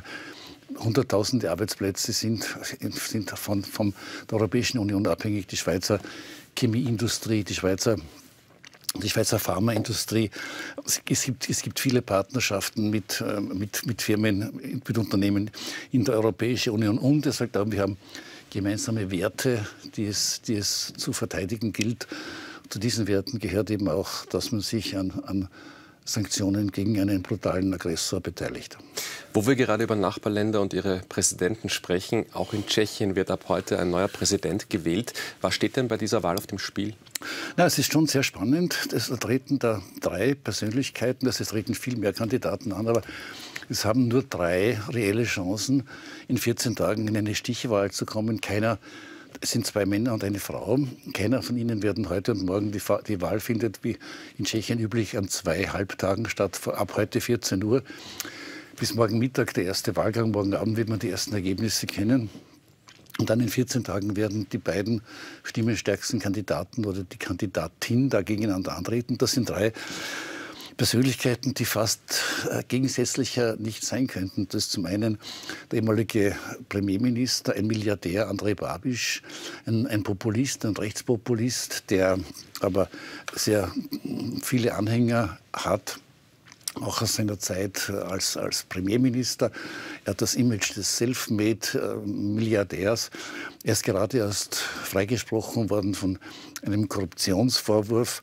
Da ging es um EU-Förderprojekte. Das, das hilft ihm. Es hat ihn vor wenigen Tagen Emmanuel Macron empfangen. Das haben die anderen, das haben die anderen Kandidaten gar nicht gutiert. Sie haben gemeint, der mischt sich der französische Präsident quasi in den tschechischen Wahlkampf ein. Der zweite, Petr Pavel, ist ein hochdekorierter ehemaliger Berufsoffizier. Er war Generalstabschef in, in, in äh, der Tschechischen Republik und auch auf europäischer Ebene war, war einer der, der ranghöchsten Offiziere. Ein, sehr schneidiger äh, Mann, der sehr, der sehr viele Anhänger hat und der eher so für, für Law and Order steht. Und dann eine, eine sehr eine ungewöhnliche Kandidatin, die eher das Gegenteil repräsentiert. Sie wäre dann die erste Frau im Amt, wenn sie gewählt wird. Danusche Nerudova, die ehemalige Rektorin der Universität Brünn, die für ein, ein liberales, äh, ein liberales Tschechien steht, eine tschechische Republik, die sagt, sie ist vor allem die Stimme der Jungen, sie ist auch noch verhältnismäßig jung, erst 44 Jahre alt. Und Zwei dieser drei Kandidaten werden morgen Abend überbleiben, wobei vermutlich Babisch nach den bisherigen Umfragen im ersten Wahlgang die äh, vorne sein dürfte. Aber bis jetzt äh, in allen Umfragen wird prophezeit, dass er gegen wen immer, sowohl gegen Peter Babelach als gegen Danuschin Neredova, Rudova in einem zweiten Wahlgang unterliegen könnte, würde. Aber die, die Entscheidung liegt wie immer bei den Wählerinnen und bei den Wählern. Eine sehr spannende Wahl, die Ernst Gellix für uns beobachtet. Bin schon sehr, sehr gespannt. Und morgen Abend wissen wir dann, wer sozusagen ins Finale kommt. Wer ins Finale kommt, ja. Sicher, es ist, ein, es ist ein, ein, Zeitenwechsel auch in der, in der tschechischen Politik, weil, weil der bisher, bisherige Präsident Miloš Seemann ja sehr polarisierend gewesen ist, wie es uns auch Ernst Gelix heute erzählt hat, der eher so ein Politiker der, der alten Schule war, der auch noch herüberreicht aus den, aus den kommunistischen Zeiten der, der Tschechischen Republik und der, der eher mit ja, nicht immer ganz salonfähigen Auftritten äh, sich bemerkbar gemacht hat. Auf alle Fälle bricht da in unserem, in unserem Nachbarland sicherlich eine, eine, neue, eine, eine neue politische Zeit an. Alexander van der Bellen wird schon sehr gespannt sein, wenn er da in Kürze in, im kommenden Jahr in Prag besuchen kann oder als Besucher aus Prag in Wien empfangen können wird. Und auch wir sind, wie du sagst, gespannt. Vielen Dank für diese Analyse, Gerne. Roland Adrowitzer. Es ist jetzt fast 15 Minuten nach eins und folgende Themen sehen Sie noch bei uns in der letzten Stunde. Kurzbericht. Die Ermittlungen der Wirtschafts- und Korruptionsstaatsanwaltschaft gegen Ex-Kanzler Sebastian Kurz sind abgeschlossen. Wie es nun weitergeht, erfahren Sie bei uns in ORF3 aktuell. Anklage. Der österreichische Schauspieler Florian Teichtmeister muss sich wegen Besitzes von Kinderpornografie vor Gericht verantworten. Doublecheck. Niederösterreich-Wahl, ORF-Finanzierung und die neuen Strukturen im Magazin Profil. Zu diesen Themen ist Stefan Kappacher live im Studio. Er war Fernsehkommissar, spielt in vielen Kinofilmen und ist auf den großen Bühnen des Landes zu Hause. Jetzt muss sich Florian Teichtmeister in Wien wegen des mutmaßlichen Besitzes von Kinderpornografie verantworten. Die Polizei hat bei einer Hausdurchsuchung Unmengen an Material gefunden und beschlagnahmt. Die Rede ist von rund 58.000 Fotos, Videos und anderen Mediendateien, die Teichtmeister besessen haben soll. Ins Rollen gebracht hat den Fall die Lebensgefährtin des Schauspielers, berichtet Christian Hoffmann. Seit mehr als 20 Jahren steht Florian Teichtmeister auf den großen Bühnen des Landes und in zahlreichen Film- und Kinoproduktionen vor der Kamera. In rund drei Wochen am 8. Februar wird sich der Wiener vor Gericht verantworten müssen. Teichtmeister muss sich wegen Besitzes kinderpornografischer Dateien verantworten. Laut Anklage soll der Schauspieler im Zeitraum von Anfang 2008 bis August 2021 pornografische Darstellungen Minderjähriger, hauptsächlich aus dem Darknet, verschafft und besessen haben. Konkret geht es um knapp 60.000 Mediendateien, hauptsächlich um Fotos, die die Polizei auf zahlreichen Computern, Festplatten und Speicherkarten sichergestellt hat, und zwar auf 22 Datenträgern. In dem psychiatrischen Gutachten im Auftrag der Staatsanwaltschaft Wien, das derzeit im Bild vorliegt, ist zu lesen, Es ist daher zu erwarten, dass die tatsächliche Zahl gespeicherter Dateien mit kinderpornografischen Inhalten noch größer ist. Seine damalige Lebensgefährtin hatte im Sommer 2021 einschlägige Bilder an die Polizei übergeben. Daraufhin gab es die umfangreiche Hausdurchsuchung in seiner Wohnung. In dem Gutachten gibt der Angeklagte Florian Teichtmeister an, mir hat diese Illegalität einen Kick gegeben, an meine Grenzen geführt. Leider habe ich die Kontrolle darüber verloren. Er selbst habe nie Minderjährige angerührt. Laut Ermittlungsakt wurden auch keine Spuren einer Weitergabe der kinderpornografischen Materialien gefunden. Sehr wohl aber soll der Schauspieler zum Teil selbst Minderjährige fotografiert und dann Collagen angefertigt haben mit Sprechblasen mit pornografischen Inhalten. Teichtmeister sei folgeständig, sagt einer seiner Anwälte Michael Rami im Ö1 Mittagsjournal.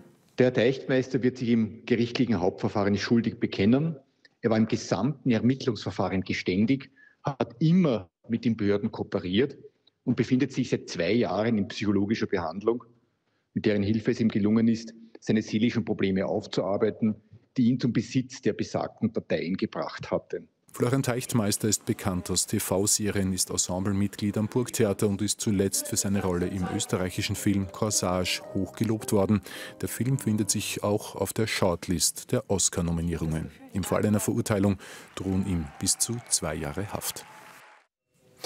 Der ORF nimmt die Vorwürfe sehr ernst und wird bis zur gerichtlichen Klärung Abstand von Herstellung und Ausstrahlung von Produktionen mit Florian Teichtmeister nehmen. Dass der Schauspieler vor Gericht muss, das steht also fest. Beim ehemaligen Bundeskanzler Sebastian Kurz könnte es auch so weit kommen. Da steht die letzte Entscheidung aber noch aus. In seinem Fall um mögliche Falschaussagen hat die Staatsanwaltschaft jetzt die Ermittlungen abgeschlossen. Ein Vorhabensbericht ist auf dem Weg zur Oberbehörde und zum Waisenrat ob der ehemalige Kanzler wegen seiner mutmaßlichen Falschaussagen im Untersuchungsausschuss angeklagt wird oder ob die Staatsanwaltschaft eine Einstellung plant, ist dem Aktenstück, das dem ORF vorliegt, nicht zu entnehmen. Wohl aber, dass ein Vorhabensbericht unterwegs ist rund um Fragen wie war Sebastian Kurz bei der Reform der Staatsholding eingebunden, bei der Bestellung von Thomas Schmidt, bei der Auswahl der Aufsichtsräte bei seiner Befragung im Ibiza-Untersuchungsausschuss im Juni 2020 habe Kurz seine Rolle heruntergespielt und falsche Aussagen getätigt, lautet der Vorwurf. Chatprotokolle, die danach aufgetaucht sind, lassen laut Justiz aber den Schluss zu, dass Kurz sehr wohl involviert war. Das sagt auch Thomas Schmidt in seinen Einvernahmen. Kurz hat eine Falschaussage stets bestritten. Sein Anwalt Werner Suppern sagt gegenüber dem ORF, rund 30 Zeugen hätten bestätigt, dass Kurz keinen Einfluss auf Personalentscheidungen in der ÖBAG genommen habe.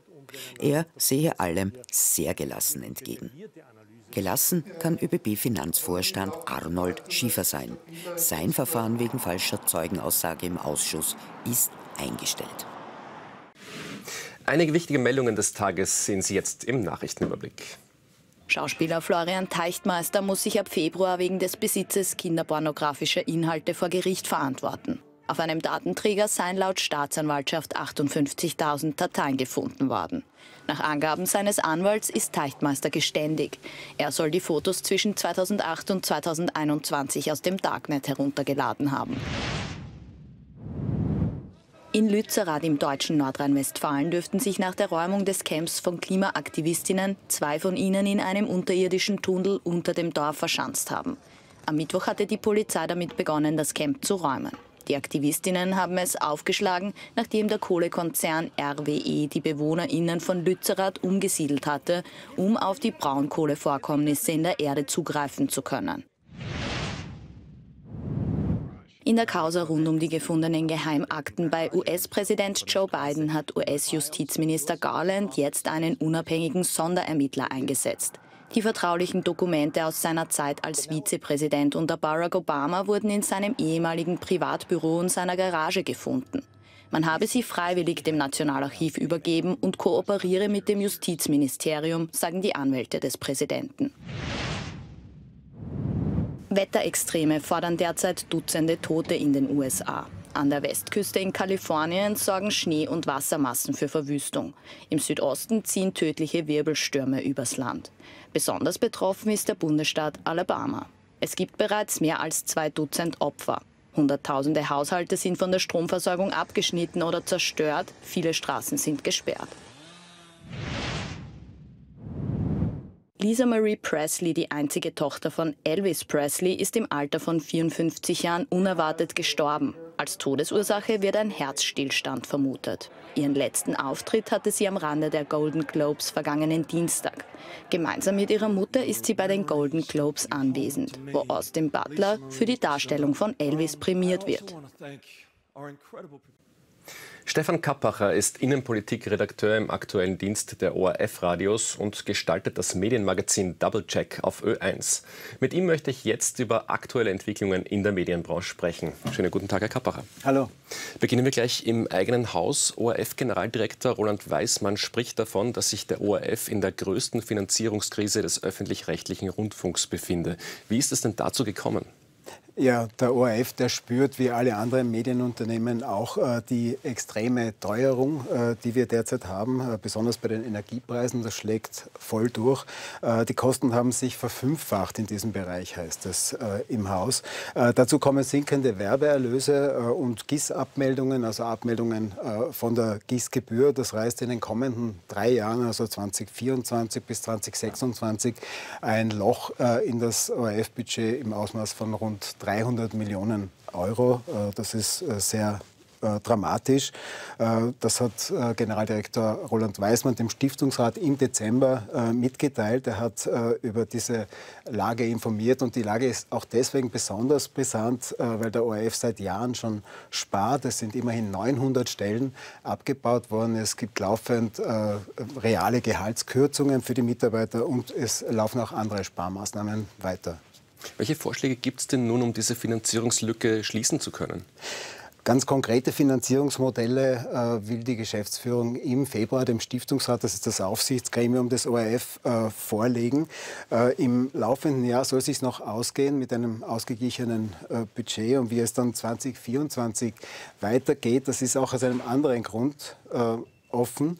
Äh, die Regierung muss nämlich die ORF-Finanzierung neu ordnen, auf neue Beine stellen. Das ist ein Auftrag äh, des Verfassungsgerichtshofs. Äh, der hat das in einem Erkenntnis verfügt und er sagt, dass auch Personen, die ORF-Angebote am Handy und am Laptop äh, konsumieren, dass die auch Gebühren zahlen müssen. Äh, und das soll bis Ende dieses Jahres sichergestellt werden, dass das äh, auch passiert. Wie das geschieht, darüber sind sich äh, ÖVP und Grüne nicht einig. Es gibt da mehrere Möglichkeiten, äh, dass man die Gießgebühr ausweitet, eben auch auf äh, internetfähige Geräte. Äh, und das würde dann in Wirklichkeit jeden treffen, weil jeder hat äh, im Prinzip ein Handy. Äh, eine weitere Möglichkeit ist eine Haushaltsabgabe, die auch jeder Haushalt zahlen müsste. Oder äh, die dritte Möglichkeit, eine Budgetfinanzierung. Erschwert wird eine Lösung dieser Frage dadurch, dass die ÖVP-Medienministerin Susanne Raab jetzt weitere strukturelle Einsparungen vom ORF fordert.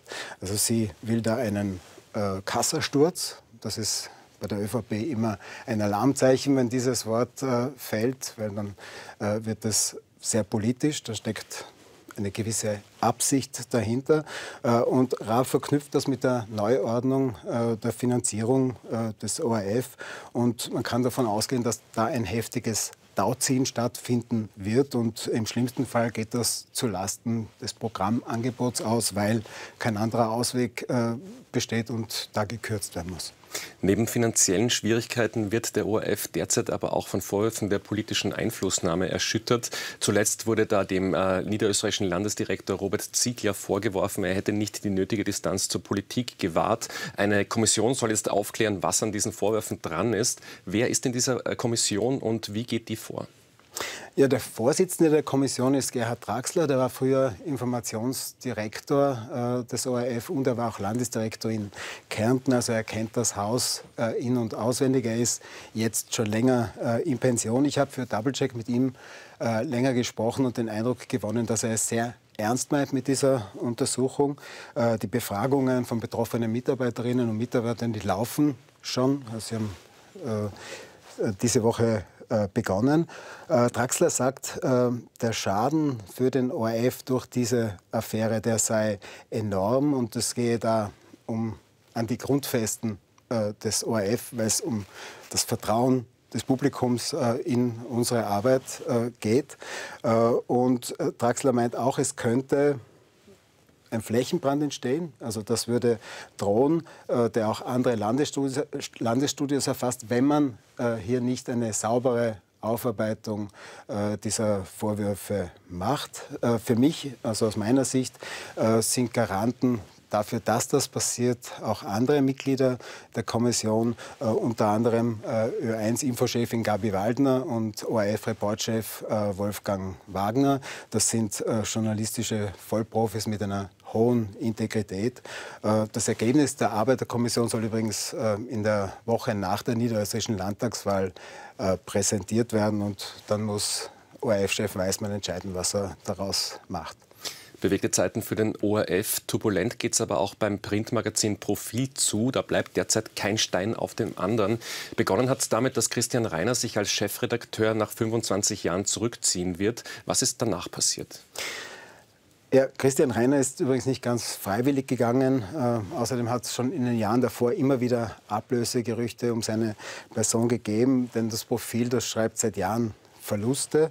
Äh, es wurde im Kurierkonzern, da gehört es dazu, äh, das Profil, äh, auch stiefmütterlich behandelt zuletzt. die digitale Transformation, also die Präsenz im Internet, die hat man überhaupt verschlafen, aber nicht erst jetzt, sondern schon vor Jahrzehnten in Wahrheit. Und das ist jetzt der Versuch, das Ruder doch noch herumzureißen.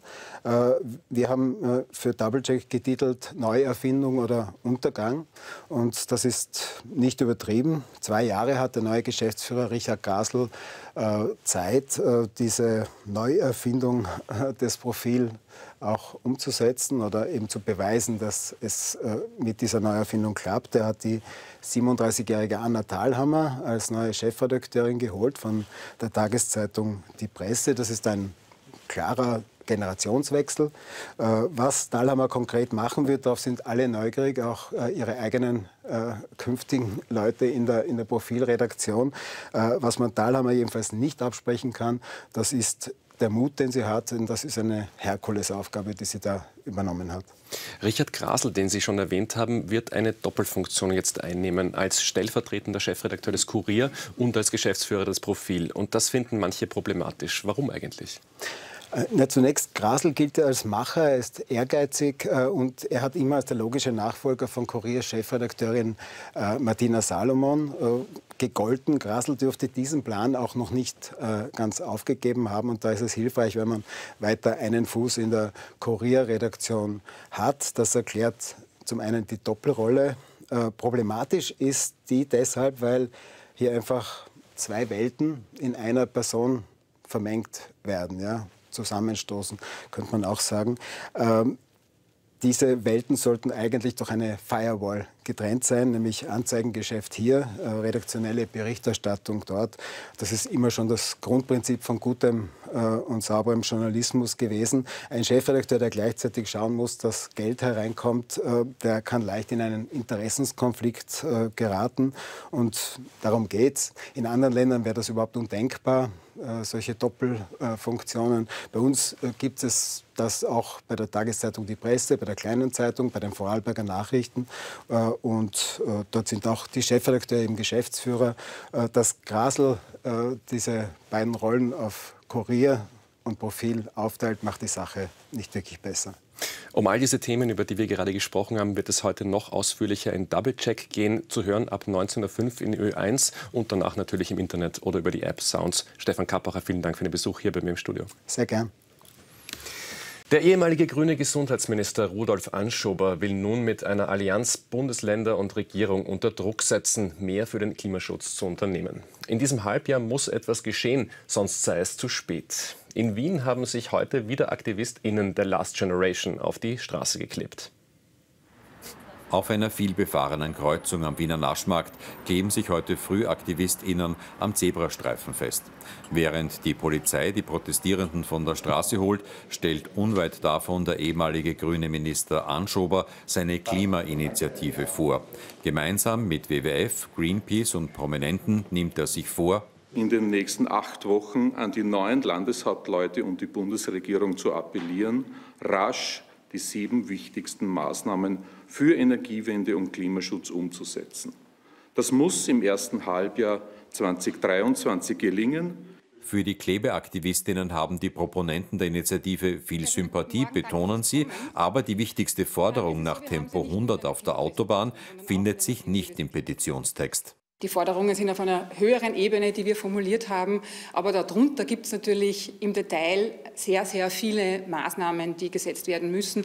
Temporeduktion auf den Straßen wäre eine sehr schnell umsetzbare und sehr effektive Maßnahme. Zwölf Aktivisten werden heute vorübergehend festgenommen. 51 Festnahmen waren es über die ganze Woche. Österreich ist ein Tourismusland. Vor allem der Wintertourismus spielt eine große Rolle bei uns. Doch genau die Skigebiete sind es, die immer öfter in die Kritik geraten, weil sie sehr viel Energie benötigen. Angesichts des Klimawandels ist der Skitourismus für viele KlimaaktivistInnen nicht mehr zeitgemäß. Wir zeigen Ihnen gleich ein Gespräch der Leiterin des Klimaschutz-Volksbegehrens und des, Klima äh, des Generalsekretärs der österreichischen Hoteliersvereinigung. Davor ein kurzer Überblick von Ronny Taferner. Es sind Bilder, die polarisieren. Diese Woche kleben sich KlimaaktivistInnen der sogenannten letzten Generation auf Straßen in Wien fest und blockieren den Frühverkehr. Diese Aktionen seien notwendig, um auf die Dringlichkeit der Klimakrise hinzuweisen, sagen die AktivistInnen. Wir wollen Menschen aufrütteln wie der Feueralarm auf einer brennenden Erde. Und es ist eine Schande, dass es notwendig ist, so weit zu gehen, dass es notwendig ist, dass sich Lehrlinge, Ärztinnen gemeinsam an die Straßen kleben, damit diese Bevölkerung endlich aufwacht und realisiert, in was für eine unvorstellbare Katastrophe wir hier schlittern. Und auch diese Bilder polarisieren. Künstlich geschaffene Schneeteppiche, die sich über eine grüne Landschaft rollen. Die Rekordtemperaturen Anfang Jänner zwingen manche Skigebiete sogar dazu, ihre Skilifte für Wanderinnen und Wanderer zu öffnen, weil der Schnee fehlt. Und damit müssten Skigebiete auch in Zukunft rechnen, so die Expertin. Der Wintertourismus in Österreich wird sich jederzeit verändern. Wenn man von den Klimamodellen ausgeht, äh, müssen wir uns darauf einstellen, dass die Reduktion der Schneetage im Ausmaß von mehreren Wochen bis, zum, bis zur Mitte dieses Jahrhunderts stattfinden wird. BetreiberInnen von Skigebieten bemühen sich in den vergangenen Tagen darauf hinzuweisen, dass Skifahren im Vergleich zu Flugreisen ins Ausland viel weniger CO2-Emissionen verursacht. Allerdings zeigt auch eine Studie des Umweltbundesamts, rund die Hälfte der Emissionen eines Skiurlaubs entstehen bei der An- und Abreise. Fest steht, wenn der Klimawandel weiter voranschreitet, wird Skifahren in Österreich in immer weniger Skigebieten möglich sein. Daher eint Klimaaktivistinnen und Tourismusvertreterinnen dann doch ein Ziel, den Klimawandel zu stoppen. Über dieses Thema hat heute meine Kollegin Elisabeth Vogel mit der Klimaaktivistin und Autorin Katharina Rogenhofer und mit dem Generalsekretär der österreichischen Hoteliervereinigung Markus Grazer gesprochen. Zu Beginn wird Rogenhofer gefragt, ob sie jetzt damit zufrieden sei, dass der Klimaaktivismus vermehrt Aufmerksamkeit bekäme. Also auf jeden Fall gehört das Thema auf die Tagesordnung, weil so wie wir bei Corona gesehen haben, so wie wir bei anderen Krisen sehen, gibt es da eine Krise, wo ähm, die Gesellschaft sich ändern muss, wo aber auch vor allem PolitikerInnen und Gesetze sich ändern müssen. Und man hat während Corona gesehen, dass die Aufmerksamkeit extrem runtergegangen ist. Und jetzt braucht es, glaube ich, den gesellschaftlichen Druck, wie wir es bei Fridays for Future gesehen haben, damit auf anderen Ebenen eben zum Beispiel gesetzlich was vorangeht. Und da braucht es echt Aufmerksamkeit, da braucht es Medien, da braucht es Menschen, die auf die Straße gehen, Menschen, die das einfordern. Und deswegen ist es natürlich ein wichtiger erster Schritt. Jetzt haben wir gerade gesehen, der Skitourismus äh, steht jetzt auch immer mehr in der Kritik. Wie stehen Sie da dazu? Natürlich ist es auf der einen Seite sehr traurig. Ich war selber in Vorarlberg und da sieht man die weißen Bänder auf der grünen Wiese und man denkt sich, wo sind wir gelandet? In welchem dystopischen Film, wo wir auf einmal irgendwie beschneien müssen und dann nur noch so weiße Bänder runter haben?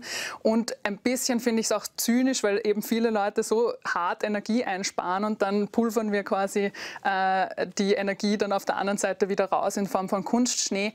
Aber was ich mir denke, ist eigentlich viel mehr, wie können wir überhaupt noch in Zukunft Tourismus machen und das ist großteils abhängig von der Politik. Weil wenn wir nichts ändern, dann steuern wir in Österreich bis zum Ende des Jahrhunderts auf eine Erwärmung von 5 Grad zu.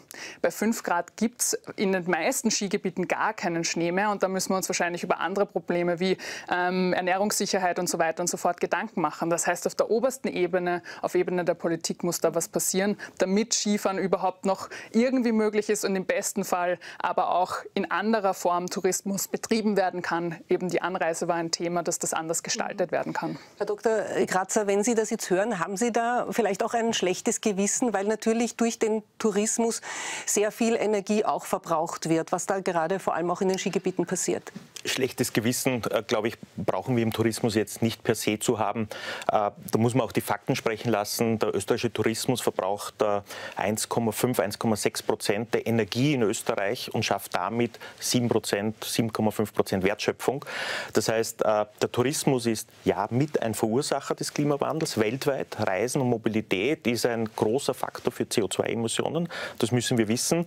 Aber gleichzeitig müssen wir auch wissen, dass gerade der österreichische Tourismus schon sehr lange versucht, sehr nachhaltig zu agieren.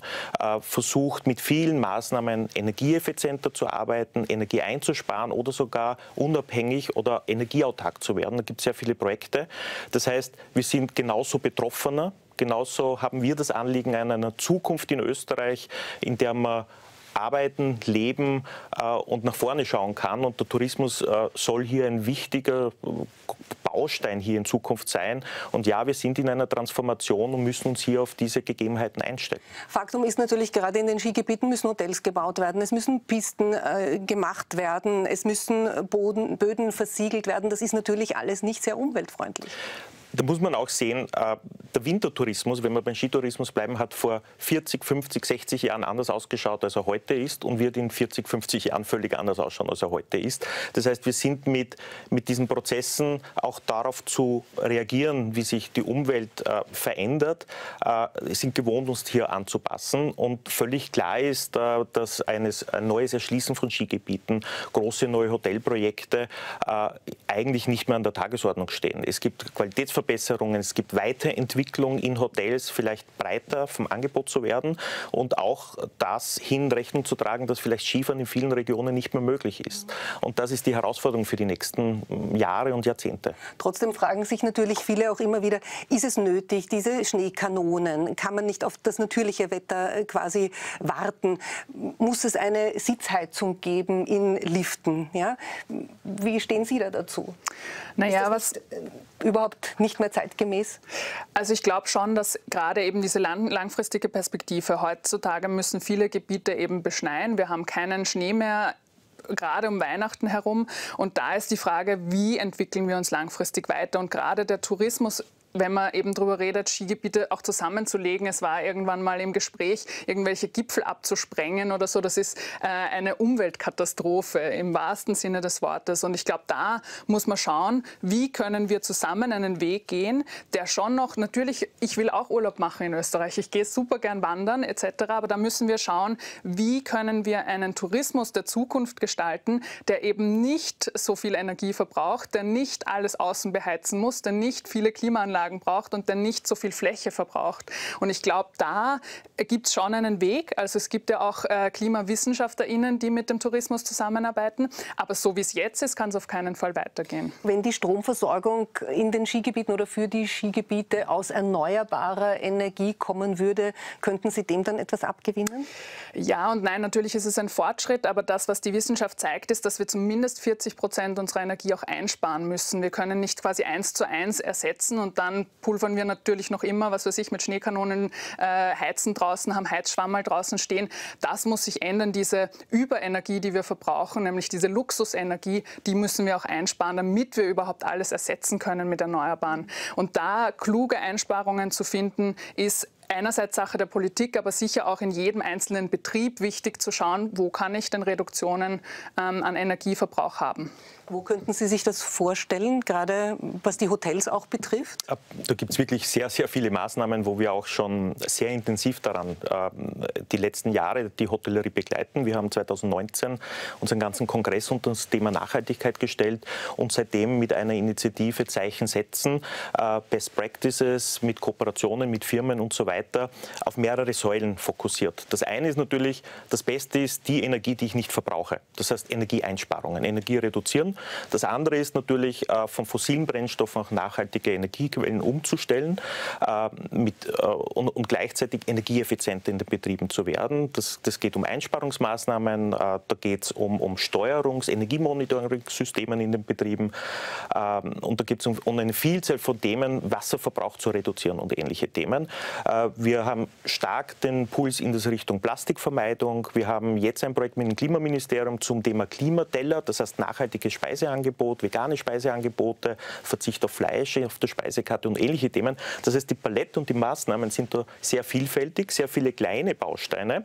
Die großen Hebel, und das, das muss man auch, äh, ich, ich glaube, die Diskussion über Heizschwammerl, über Beschneiung, das ist eine, äh, eine sehr emotionale, aber das sind nicht die großen Hebel. Die großen Hebel ist die Mobilität, eat das, das Anreisen in, in Österreich oder auch der private Verkehr, äh, Großindustriebetriebe, wo Energie verbraucht wird. Und ich glaube, wir müssen den Fokus auch auf große Hebeln äh, legen, bevor wir uns in Diskussionen dort verstricken, wo wir eigentlich fast keinen, keinen Hebel haben, um was zu bewegen in Österreich. Weil Sie das jetzt ansprechen, und wir haben es ja zuerst auch in dem Beitrag gehört, äh, dass es so ist, dass die, der meiste Energieverbrauch eigentlich bei der Anreise passiert. Da gibt es eben diese Studie des äh, Bundesumweltamts, die Emissionen kommen zu die Hälfte der Emissionen entstehen bei der An- und Abreise, 18 Prozent beim Skibetrieb selbst und 32 Prozent mhm. bei der Beherbergung. Aber müsste es dann nicht eigentlich so sein, dass Sie viel mehr zum Beispiel für Zugreisen werben müssten? Ja, äh, ja äh, da gibt es auch viele Aktionen bis hin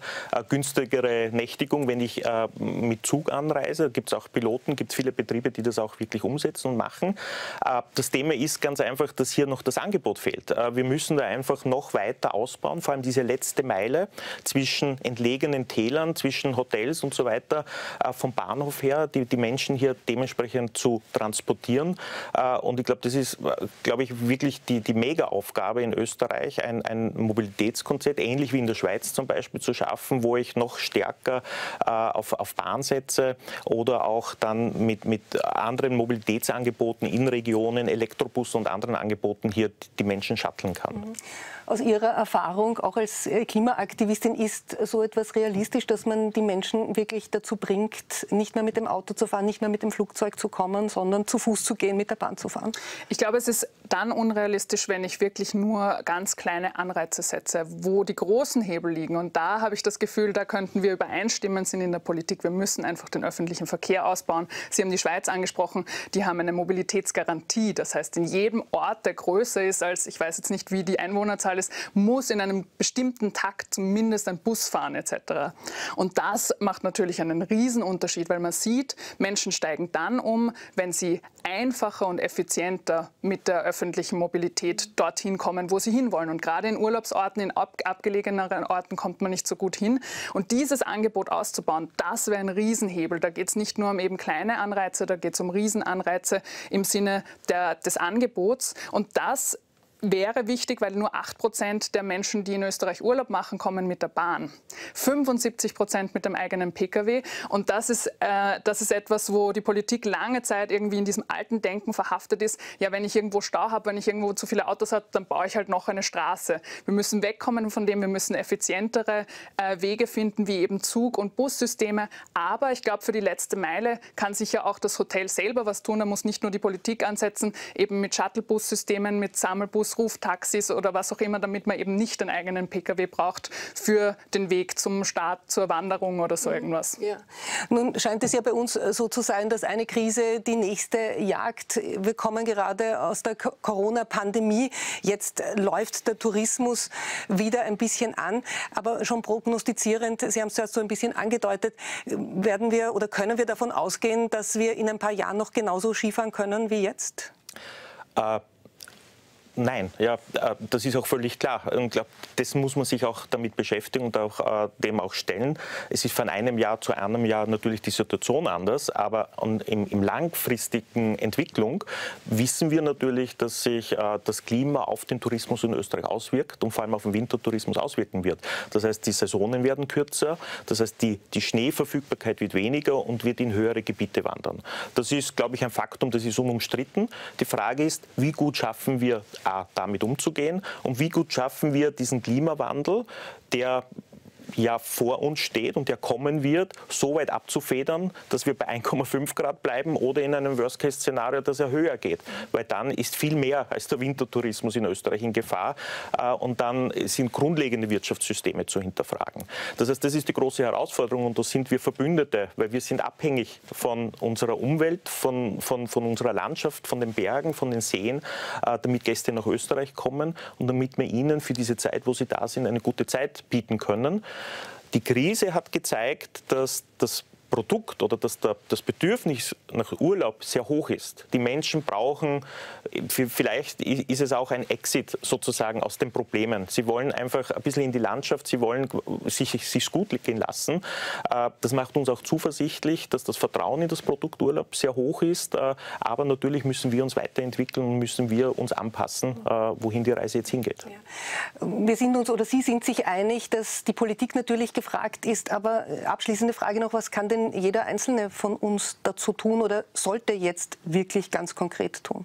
Also natürlich gibt es die, die Sachen äh, auf der Hoteliersebene wie Heizschwammerl und solche Sachen. Auf unserer persönlichen Ebene kann man natürlich auch Energie sparen, kann man schauen, dass man eben das nächste Mal mit dem Zug fährt und nicht mit dem Auto.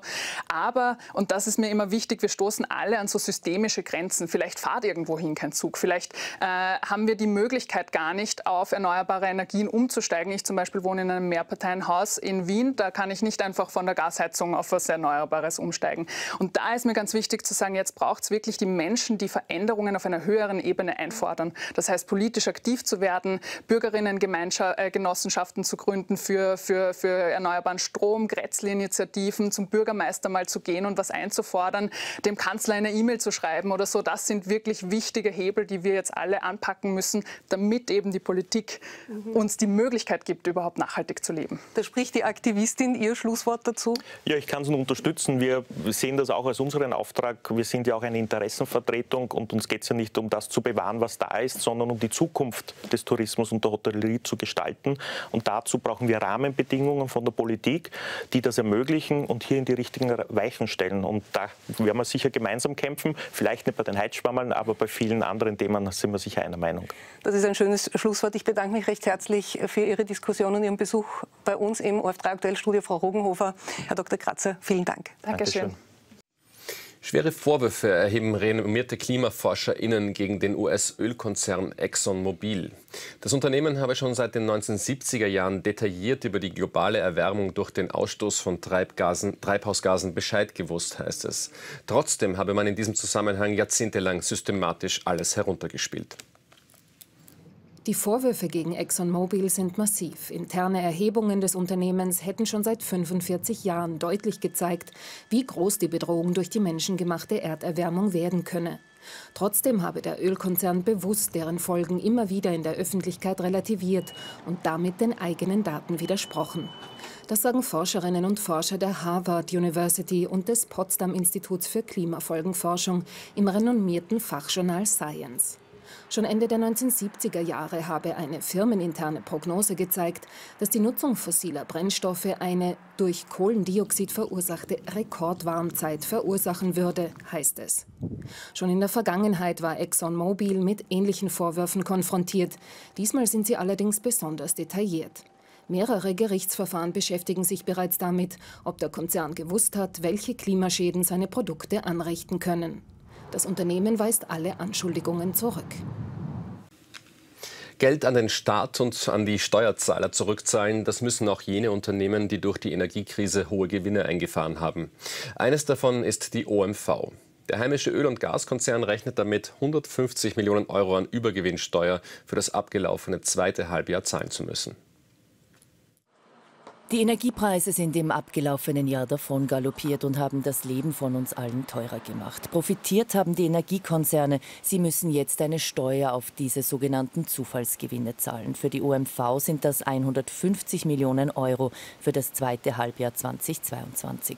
Mag angesichts der Milliardengewinne wenig klingen. Tatsächlich versteuert die international tätige OMV aber nur die Produktion im Weinviertel und das Raffineriegeschäft in Österreich, heißt es von dem Konzern. Und Stichwort Raffinerie, der Unfall in Schwächert schlägt sich jetzt mit einem Versicherungswert von 175 Millionen Euro zu Buche. Zur Erinnerung, nach einem schweren Zwischenfall im Juni ist die Raffinerie bis Oktober ausgefallen. Diesel ist unter anderem knapp geworden. Dreimal musste die staatliche Ölreserve angezapft werden. Sie muss bis März wieder von der OMV befüllt werden. Das James Webb Weltraumteleskop liefert immer wieder atemberaubende Bilder aus dem All. Vor kurzem wurde eine neue Entdeckung gemacht. Ein sogenannter Exoplanet, ein um einen Stern kreisender Planet außerhalb unseres Sonnensystems. Er ist ähnlich groß wie unsere Erde und relativ nah, zumindest für Weltallverhältnisse. Der Blick in die Sterne war noch nie so tief und detailreich wie dieses Foto von den Säulen der Schöpfung, knapp 7000 Lichtjahre entfernt. Ganz so weit musste das James Webb Weltraumteleskop dieses Mal nicht blicken. Ungefähr 41 Lichtjahre von der Erde entfernt, also verhältnismäßig nah, entdeckt das Weltraumteleskop seinen ersten Exoplaneten. Die Unterbrechung des Lichtes durch den Planeten habe seine Existenz bestätigt. Der steinige Exoplanet habe laut NASA fast exakt dieselbe Größe wie unsere Erde, sei allerdings auch um einige hundert Grad heißer. LHS 475b, so der Name, kreist um einen sogenannten roten Zwerg, einen Stern. Die ForscherInnen wollen nun die Atmosphäre dieses Exoplaneten genauer erforschen. Einige wichtige Meldungen des Tages sehen Sie jetzt noch bei uns im Überblick. Schauspieler Florian Teichtmeister muss sich ab Februar wegen des Besitzes kinderpornografischer Inhalte vor Gericht verantworten. Auf einem Datenträger seien laut Staatsanwaltschaft 58.000 Dateien gefunden worden. Nach Angaben seines Anwalts ist Teichtmeister geständig. Er soll die Fotos zwischen 2008 und 2021 aus dem Darknet heruntergeladen haben. In Lützerath im deutschen Nordrhein-Westfalen dürften sich nach der Räumung des Camps von Klimaaktivistinnen zwei von ihnen in einem unterirdischen Tunnel unter dem Dorf verschanzt haben. Am Mittwoch hatte die Polizei damit begonnen, das Camp zu räumen. Die Aktivistinnen haben es aufgeschlagen, nachdem der Kohlekonzern RWE die BewohnerInnen von Lützerath umgesiedelt hatte, um auf die Braunkohlevorkommnisse in der Erde zugreifen zu können. In der Causa rund um die gefundenen Geheimakten bei US-Präsident Joe Biden hat US-Justizminister Garland jetzt einen unabhängigen Sonderermittler eingesetzt. Die vertraulichen Dokumente aus seiner Zeit als Vizepräsident unter Barack Obama wurden in seinem ehemaligen Privatbüro und seiner Garage gefunden. Man habe sie freiwillig dem Nationalarchiv übergeben und kooperiere mit dem Justizministerium, sagen die Anwälte des Präsidenten. Wetterextreme fordern derzeit Dutzende Tote in den USA. An der Westküste in Kalifornien sorgen Schnee- und Wassermassen für Verwüstung. Im Südosten ziehen tödliche Wirbelstürme übers Land. Besonders betroffen ist der Bundesstaat Alabama. Es gibt bereits mehr als zwei Dutzend Opfer. Hunderttausende Haushalte sind von der Stromversorgung abgeschnitten oder zerstört. Viele Straßen sind gesperrt. Lisa Marie Presley, die einzige Tochter von Elvis Presley, ist im Alter von 54 Jahren unerwartet gestorben. Als Todesursache wird ein Herzstillstand vermutet. Ihren letzten Auftritt hatte sie am Rande der Golden Globes vergangenen Dienstag. Gemeinsam mit ihrer Mutter ist sie bei den Golden Globes anwesend, wo Austin Butler für die Darstellung von Elvis prämiert wird.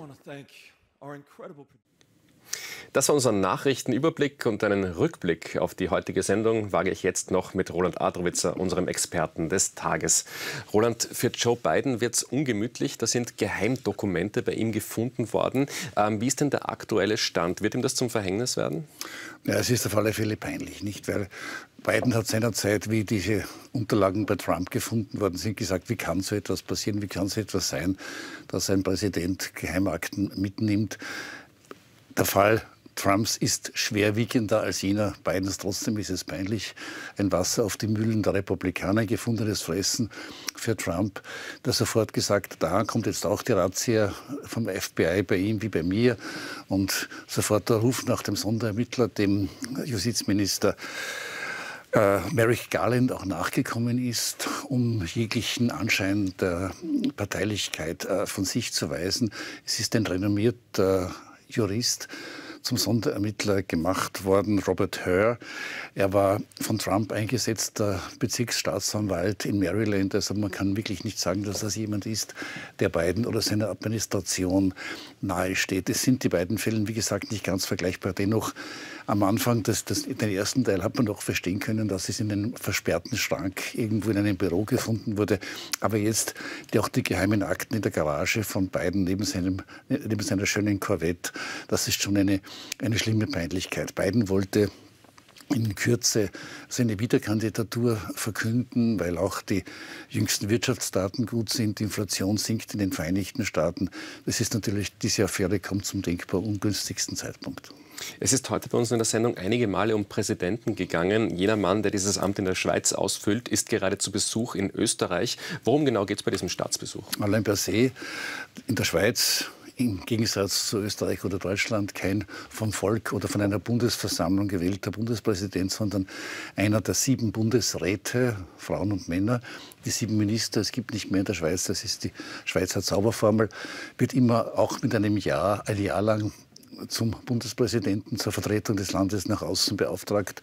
Jetzt Alain Berset, ein Sozialdemokrat aus der Westschweiz, aus der französischen Schweiz, der wie alle seine Bundespräsidenten traditionell seinen ersten Auslandsbesuch beim Nachbarn in Österreich macht. Er hat gesagt, wir mögen uns, wir mögen einander, heißt eigentlich korrekt, äh, äh, sprachlich korrekt, aber er ist ja auch Westschweizer, muss das nicht so genau wissen. Nein, also es gibt sehr viele Gemeinsamkeiten natürlich der beiden Alpenrepubliken, sowohl etwas Themen der alpenüberschreitende Verkehr, aber jetzt auch die gemeinsame Mittragen, das gemeinsame Mittragen der Sanktionen gegen, die, gegen Russland, wo auch er heute sehr deutlich gesagt hat, Neutralität heißt nicht Gleichgültigkeit.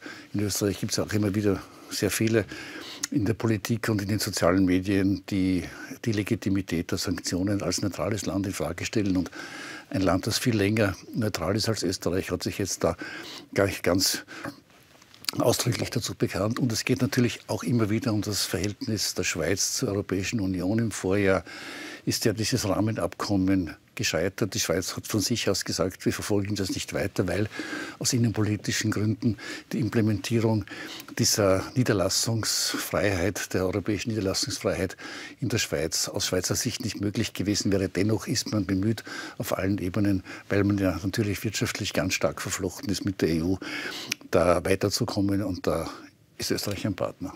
Dann ganz kurz noch zum Schluss, weil wir schon äh, zum Ende unserer Sendezeit äh, hinkommen.